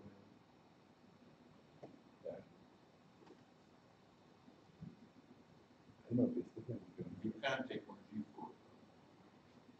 The draw. I think maybe this is okay for black. Yeah, but we didn't try E4 check. No, no, no, of course. That that was what I'm going to say in this position. In this position, immediately you will try this guy. But okay, again, there will be some checks if you go here. the only hope for black. What? This is only hope for black. Yeah, but maybe it's not so bad for black. Yeah, you're hoping D2 is better. I think I this is saying I'll play same as short because I don't want to calculate, but an analysis is good to calculate. But here will you lose this and maybe also this. Of course, this will be very strong, but another plan is to play like this. Yeah. Maybe king f2 instead. Instead, and when the king to e3 and here. No, no, no, before, at the, at the board, right now. we have this position. And I say this is a threat, I guess.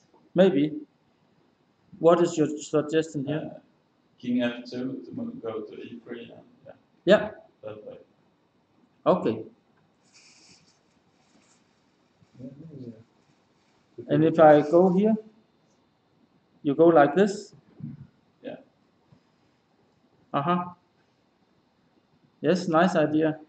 But, but if, if uh, black uh, exchanges the, the pawns, he, he could end up with the, white could end up with the wrong bishop. Uh-huh. Okay.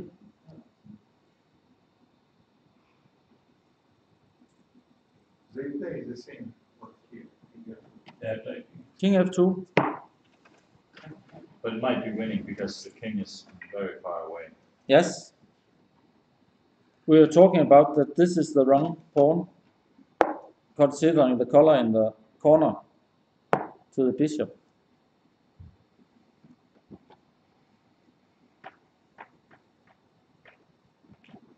So G, G five now, since we tried figure for G five. Say again? G five, because we tried. Yeah, G5, yes. But, but he Because played, he played before. he played before. He played before. But if he plays this, I think maybe this move. Yeah, but, but, but E4 isn't E4 just good? 'Cause- Because this, I think this is very bad for, Exactly, yeah. this is very bad for black. Now I come here, what to do? Yeah. So this move, Kong E5. I think this is good. Must take. Must take. And he takes with this guy, I guess. Yeah. And it's very difficult for black to, to get yes. the e3 pawn.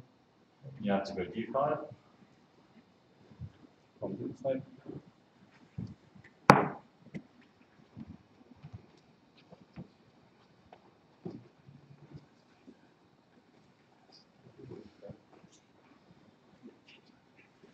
And now I think uh, the only chance is to go here. Something like this.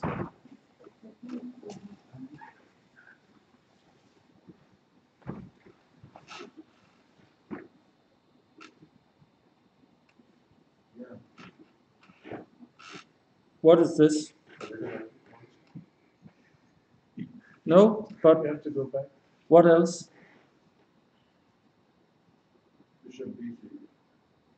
Bishop B three. Bishop b6?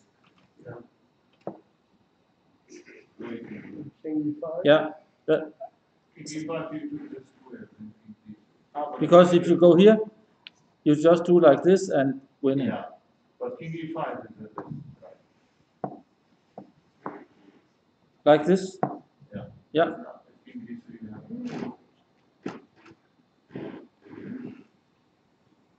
And if I go here, This is only, so king F four. ah, you can go here. Yes, of course. Well, it's, maybe king D5 is. No, I don't think so because now this. Knight E5. Okay, 95. Yes, yes, of course. But No, no, that's not. No, that's interesting also. Ah, maybe, maybe. King E2. We have this position. Yeah, it's happening, what we analyze. He took he took with the e pawn and played g5. Are they following our analysis? Yes.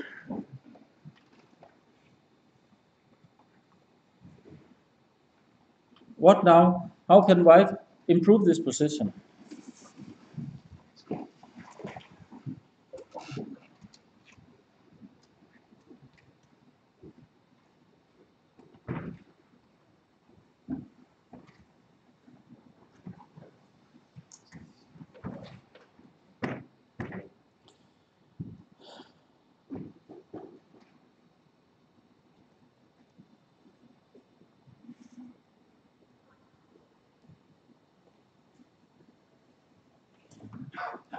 If you try this,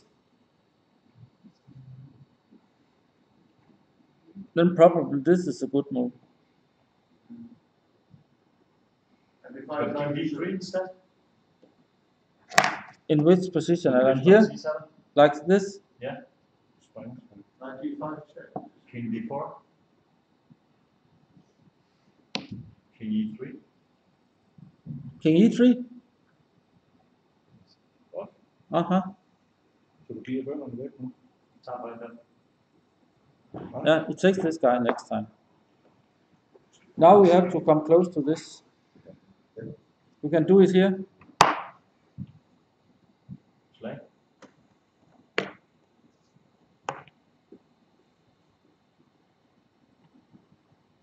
I see. Så- så skal den lave C6. Oh, nice. Og så løber bønderne. And draw. Jeg tror, jeg tror, vi skal tilstrække den stilling der med, med sorte træk. Det er muligt, at at løberen den har, har Ja, ja, det, det er meget tæt på, der er trækfang, ikke? Men, men det her, det er i hvert fald, det viser lidt om, at, at det er den forkerte farve, ikke? Altså, man spiller herned, så man når at komme herned med kongen, og så tager man den her næste gang. Eller når det er nødvendigt. Men okay, det kan lidt være, at det kan forbedres. Det er bare lige en sjov mulighed. Det man skal sigte efter, fordi din manøvre med kongen var rettet på, at jeg ikke kunne få den bunde der. At jeg ikke kunne få B3, ikke? Det er klart. Fordi hvis jeg får den, så er det jo noget helt andet. Så vi har den her stilling.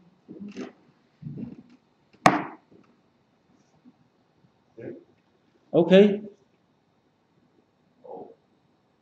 Four, like, fine.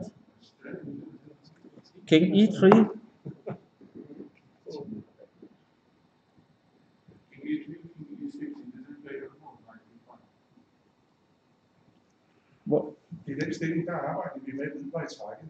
Det var åbenbart sort. Ja, han spiller. Kommer han ikke til at gå i tre? Okay, lad os lige- Okay, that's why. G5, King D3. Ah. He wants black to move this position.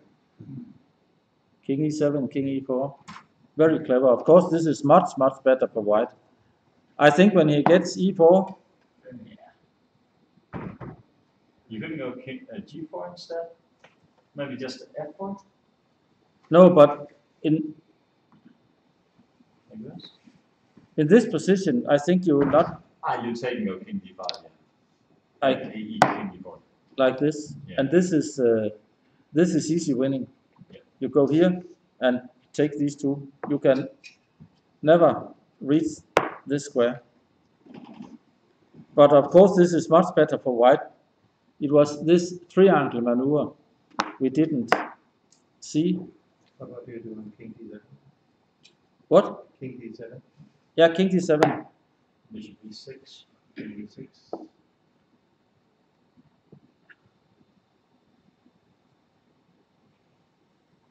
Uh, Bishop E3. Yes.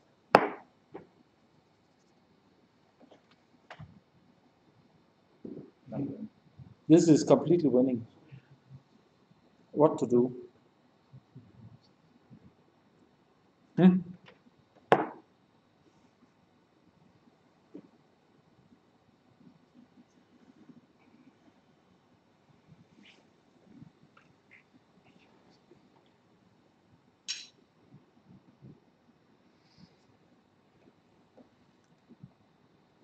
He has to try. Uh, no.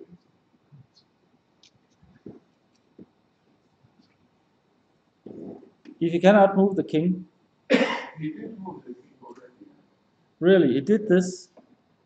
But I think, okay, in this position, what to do now? King F6. King f6, but then this is easy. Now I go and, Ninety-five Bishop E4. Yes, and, and this, of course. Or bishop takes E5. Uh, up, bishop takes d5, yes. B- E4. I take the biggest one first, you know. Ja, det tror jeg også.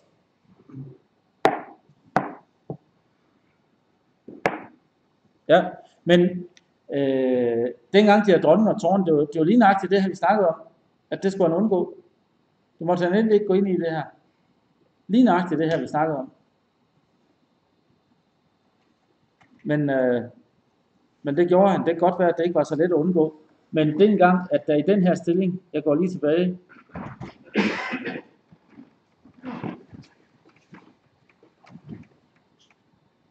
her, øh, han spiller A4, og så B4 her. Her tror jeg, at han skal finde på noget andet. Det er måske lidt nok at sige, men altså, kan han spille tårn til B8. han spiller tårn til B8, han kan bytte en enkelt gang og spille tårn til B8. Han må ikke spille B4. Hvad var? Hvad hjælper det? Jeg tager bare på B5.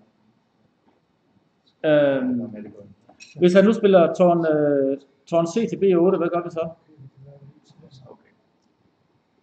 Hvis du slår, spiller F4, så slår du på A4.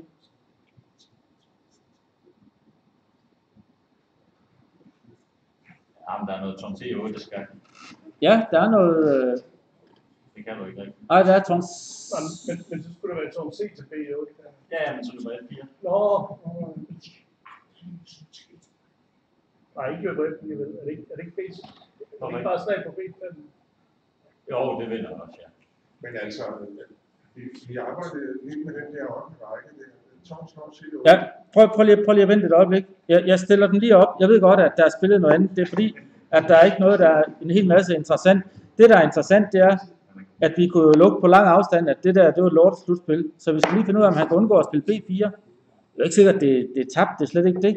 Det er bare det, vi snakkede om her. Det kunne man jo se på lang, lang afstand, og det ved han selvfølgelig alt om.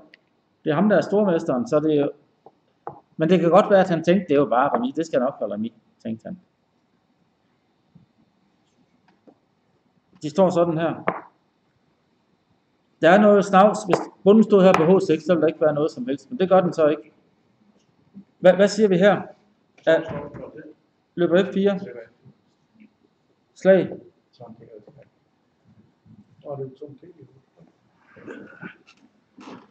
Ja, tårn det er 8 skak. Det er rigtigt. Det var sådan, det var.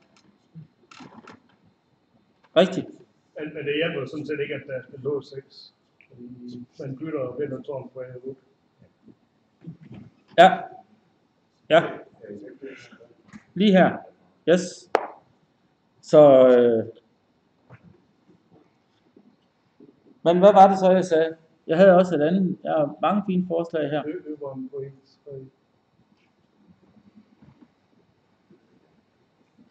Her for Og du eksempel. mener, han ikke skulle have? Ja, altså her for eksempel. Nej.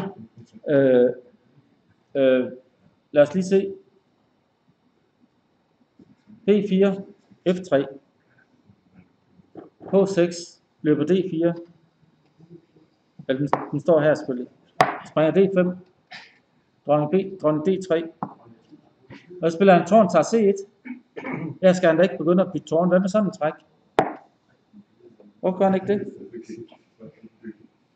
Og begynder at pege på den her.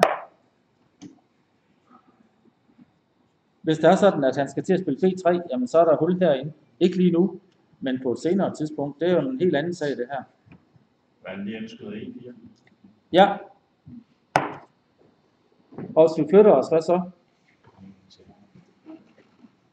Så vil du gøre det samme.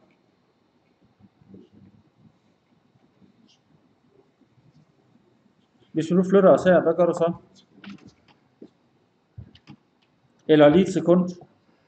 Endnu bedre at slå den her. Nu er I5 også en alvorlig trussel. Den hænger. Åh, ja. Ja, det. Det er strålende på sort, det her. Du slår på C8 først, og så spiller der en G3. Lige, lige inden her. I hvert fald en stilling. Ja, den der. Den her. Og der er inden du spiller. Slår på C8, og så E4.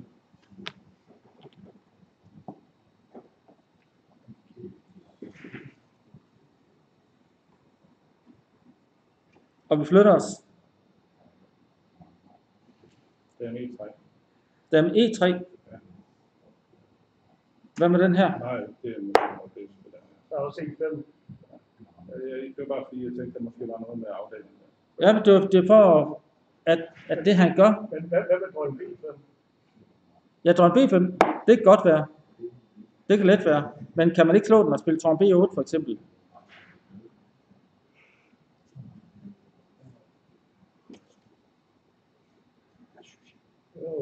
Altså, der er, der er jo masser af modspil her. Det han gør, hvor han begynder at bytte tårn på C1, og ikke giver ham noget som helst modspil. Der tror jeg altså, at han spiller lidt slap. Det kan godt være, at det er hårdt dømt. Øh, og det kan også godt være, at det ikke er rigtigt. Det skal jeg straks understrege. Men sådan som det kommer her i partiet, det er altså noget skidt.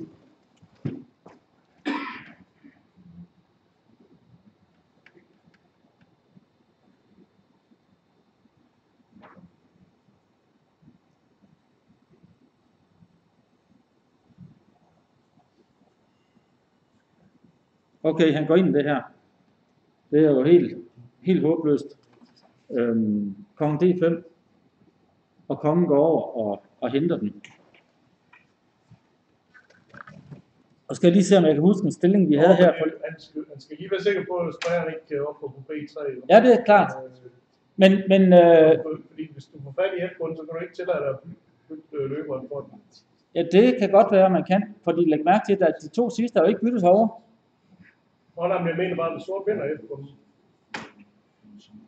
Og det tager alt for lang tid.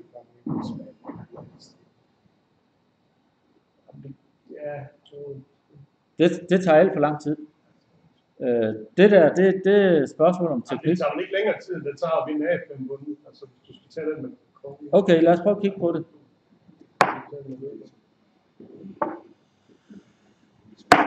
Jeg tror det er tabt. Ja, det tror jeg også. Jeg tror, det er steintabt. Vi har den her stilling.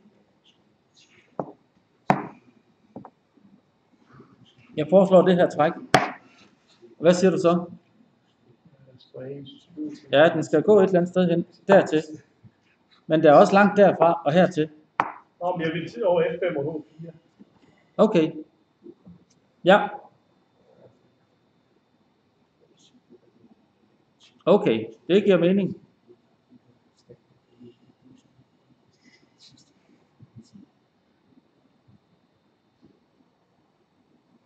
Vi går herover. Du går hertil. Så skal jeg lige finde det rigtige sted til løberen. Det er her. Ja, så spiller du måske F4 på spring H. Yes. Ja, det kender jeg. Det var det her. Øv.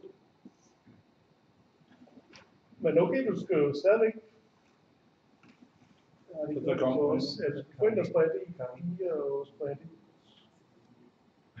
Kan, kan jeg spille sprede 3 i den stilling? Hvad er det for en stilling, vi snakker om? F4. Her. Ja, men selvom du får opret på B3, så står kongen jo her på G5. Okay. Ikke? Du skal også herned og stå. Ikke? Der er langt. Nej, det er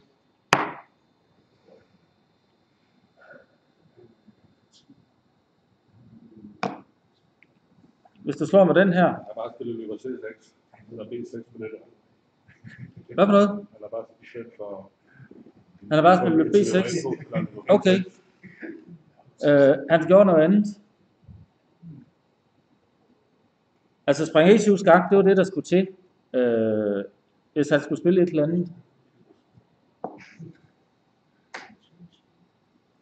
Og kong C4. Og springer F5. Og så spiller han løb B6. Men okay, se- selv her virker F4, fordi du har på D8 skak, hvis man slår. Øhm, altså han har spillet løberen fra E3, går til B6. Hvorfor går han ikke hertil? Nå, Det- fordi du B6, det, det, det er det bedste af begge verdener. Altså, Vi springer H4, F4. Nå, okay. Han har det her også.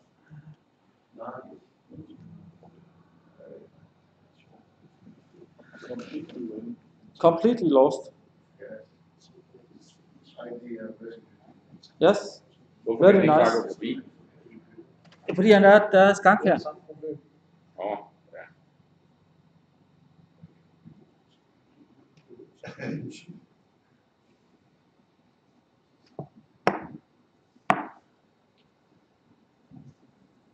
Så øh,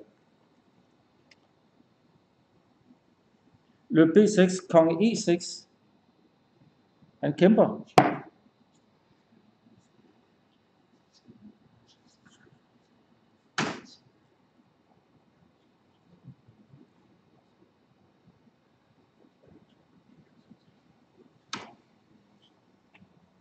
Altså, løber til A5, det er det, han gør nu. Eller går han, går han herned? Maybe first it would be fine, if you talk like before. But you know your mind. It would be fine. No, why not this? Because if I go king b5, he can go here. Now I want, ah, yeah. So I want this position Yeah. uh, here threatens this.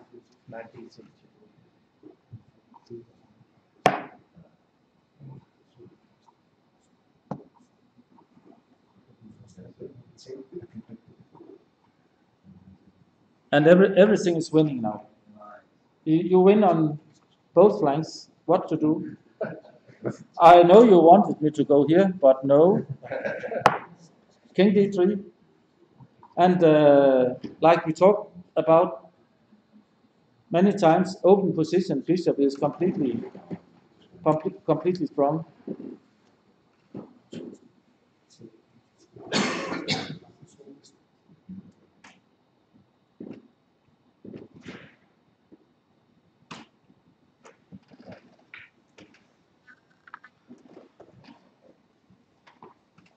So I think in this position he will play uh, knight. Okay.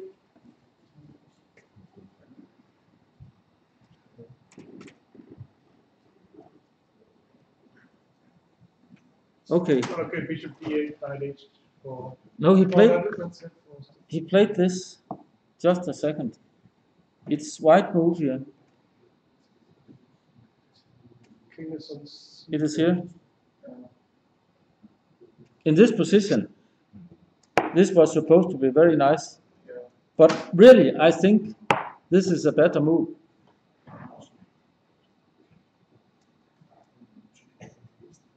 Because this is not possible because of this move. Keep the keep the bishop here, ruling over this guy, and then go and take with the king instead.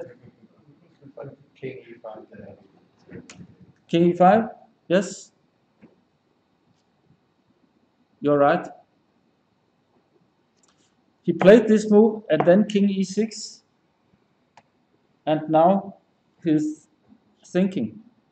Uh, we guessed this move. Oh, we are not Uh, Bishop takes e5. What? Bishop takes h5. Bishop takes knight h4. You think this is better?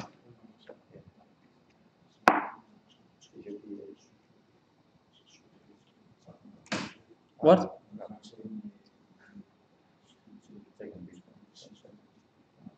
It, it is also winning, but uh, I think in this position, this is this is better.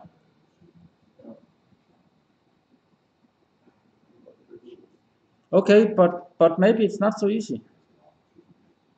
Because if you go here, here, f4. F F4 again. F4 again, of course. Come on. I'm sleeping. F4, of course. It was my own idea. I forgot. It was five minutes ago. But Come on. knight uh, f3 then, at least threatening knight d2 to take on b3. Yeah, that was the point. Yeah. That was my point. Here and then go here and threaten this. But now there's another over here. So it's not so big disaster. So knight what, knight d2 check now? or- Three. Very good. No. This is it draw? Maybe.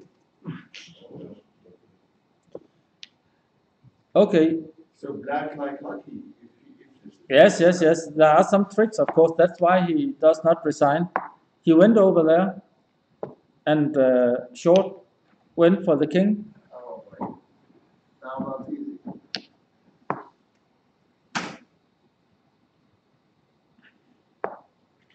In this position.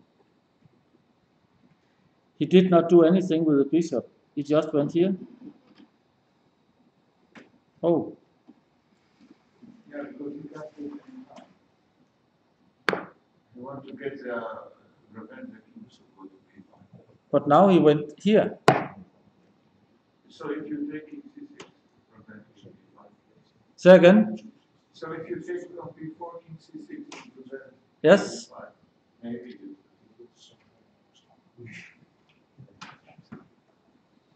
It's good to see your defense there. It look, king b4. King c6. I think you have to take this guy now. He can't take this, no, he played king c6. He already played king c6. Oh, really? Why? Because it's I think intuition. But not sure it's the right one. king a5.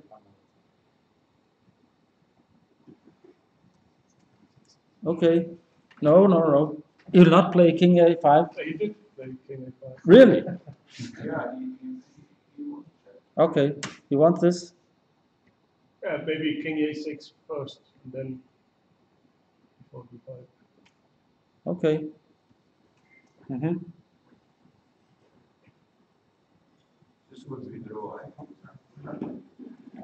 Okay, now he'll take this guy. Yeah, now there is counter play, g4. Very difficult.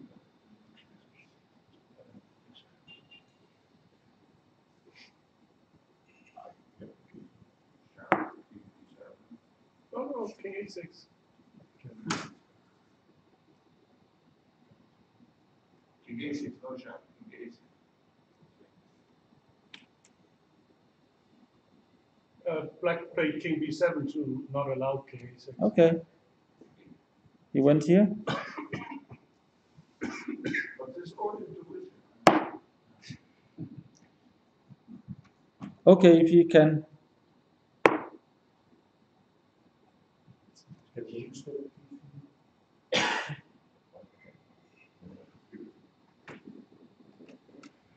If you can take this.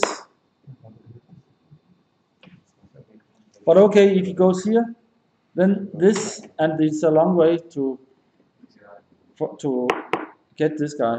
So you have to put your eye on b4, not b6, to put the knight on b6.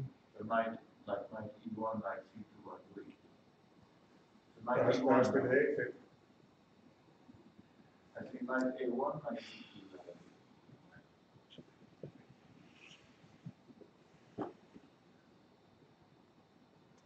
But he, So now knight e1, what do you do? My idea knight c2. Yes.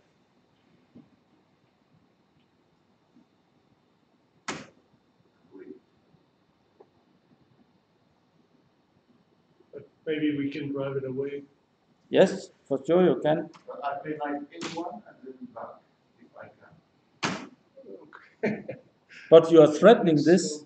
Yes, exactly, that's, Uh, put a6 probably. he he has to move the window. like this and go here. Yeah.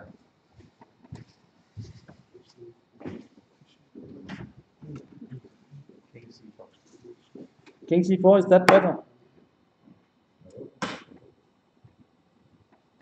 Knight c2, king c3.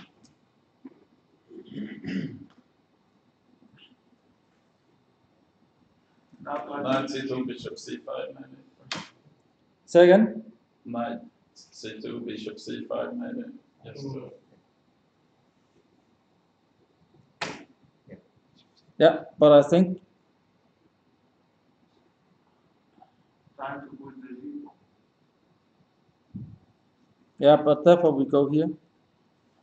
No, c5 to take a3. Is that better? He, he played, uh, played g4. I play king c3 king Okay, he didn't move the bishop yet, or the knight, it is called. He took like g4, a6, the king will go here for sure.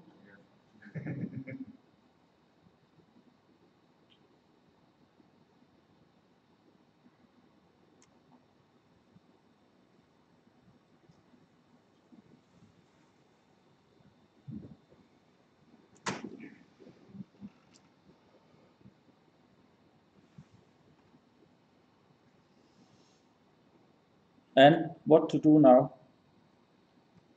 Bishop F2. What? Bishop F2. Bishop F2. Oh, but then G3.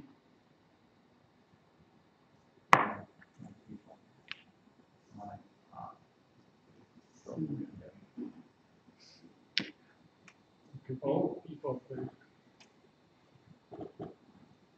B4 is played.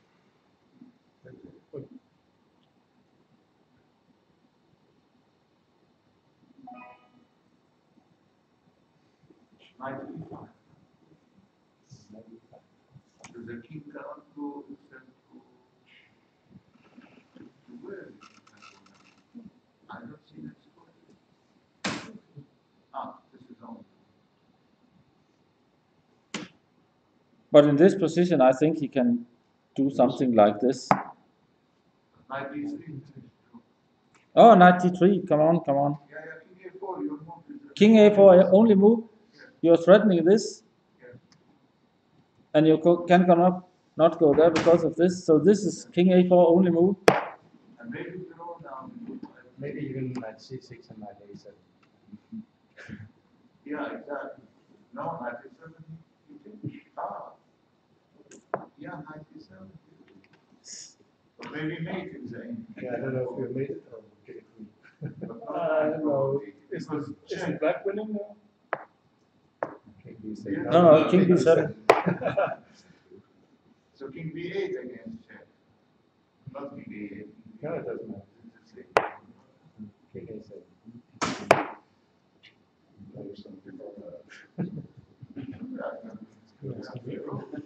What's going on? What is going on? Is this draw? Yes. Yeah, knight He e6. did it. Oh, he did it. Oh,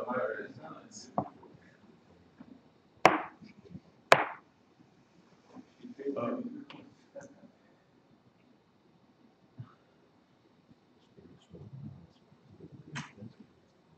He paid him.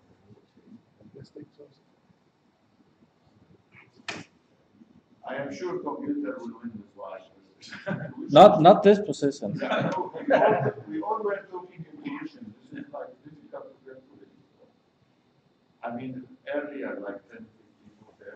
I mean, in this position, when he played the triangle, Yeah, this should be good for white. uh,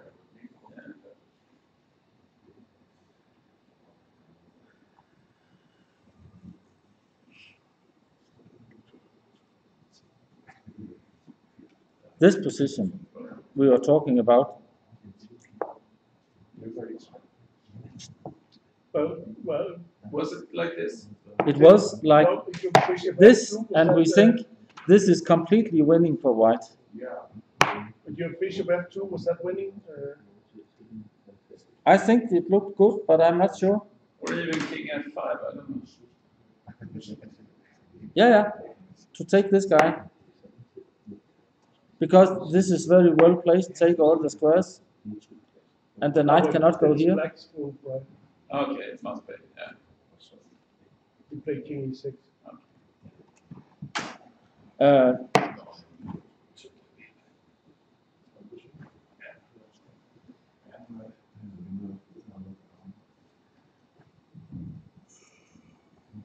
in this position, he played bishop b6. I think this was a better possibility, but of course I'm not sure. King and f6. Yeah, king on f6, that's important because King e5. because this is this is winning. But but maybe he can go here. And maybe it's not so easy.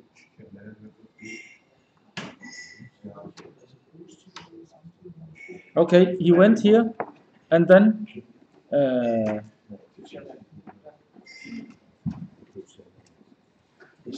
King e6 again.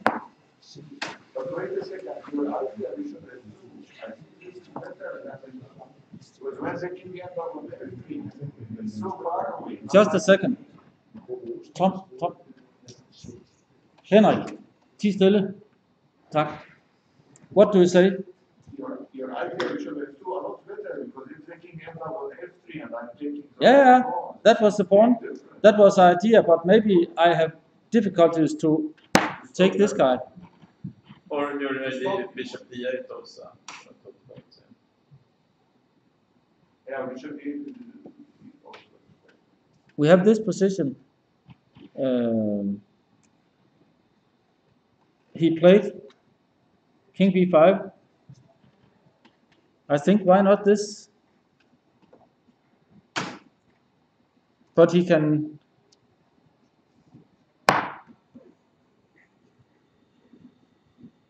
Of course, he cannot. Uh, F4, we speak. yeah, there's f4. But still, we wanted this.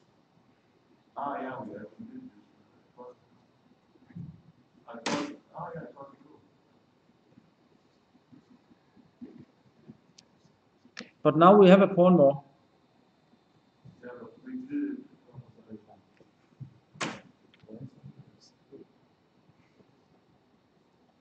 This could be done better. This position. I Um, don't know, I have a feeling he should play bishop take b4 and run the a5 in some way. Like sacrifice the bishop. Ah. In some point, I don't know. I think it's not. Not easy, but Okay, they made a draw. It looks like completely winning, but we did not find anything which was, you know, completely convincing. yeah. But of course, this position uh, with white, this looks very normal. But suddenly, black defended very, very well. And this idea with knight to 8, a7 was very clever. So instead of kings and this guy, uh, bishop take a5. Yeah, in this position. You have to go here. Yes, and now I take. So bishop. and take. So that's the point now. This maybe better version. Bishop on c3, maybe. it's good. Just Yeah, to but now this is fast take- oh, true. because the bishop is bad here. You have to go here. But then we have knight into, if I push a5. But I think the last move, maybe in this position,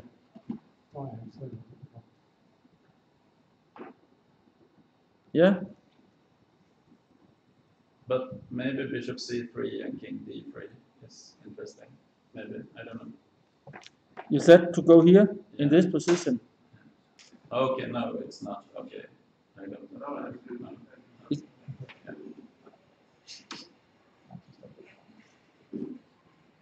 Black moves. But okay, you can you can go. No, you cannot. No, well,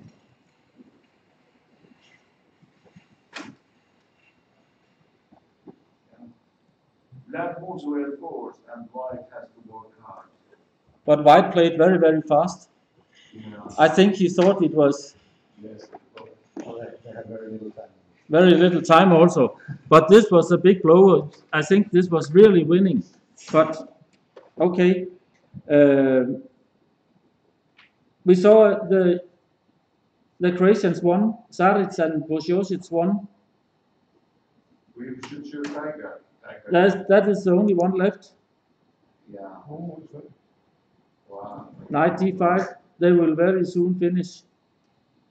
I guess there'll be a new queen. Let's see how it worked. We saw this position. This was something we were Yeah, talking yeah, about. Yes, you did it. yeah. exactly what we were talking about. And we thought this was completely winning.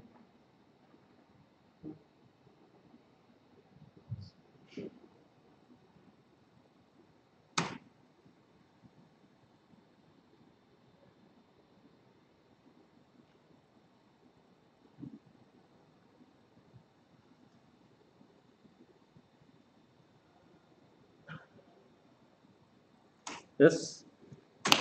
And I think he will resign this position. Yeah. There will be a queen in the next move.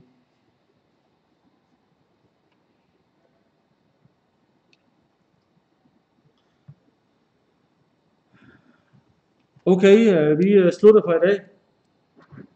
Igen i dag, masser af kampskab. Rigtig spændende. I morgen spilles sidste runde klokken 10. Er det korrekt? Ja.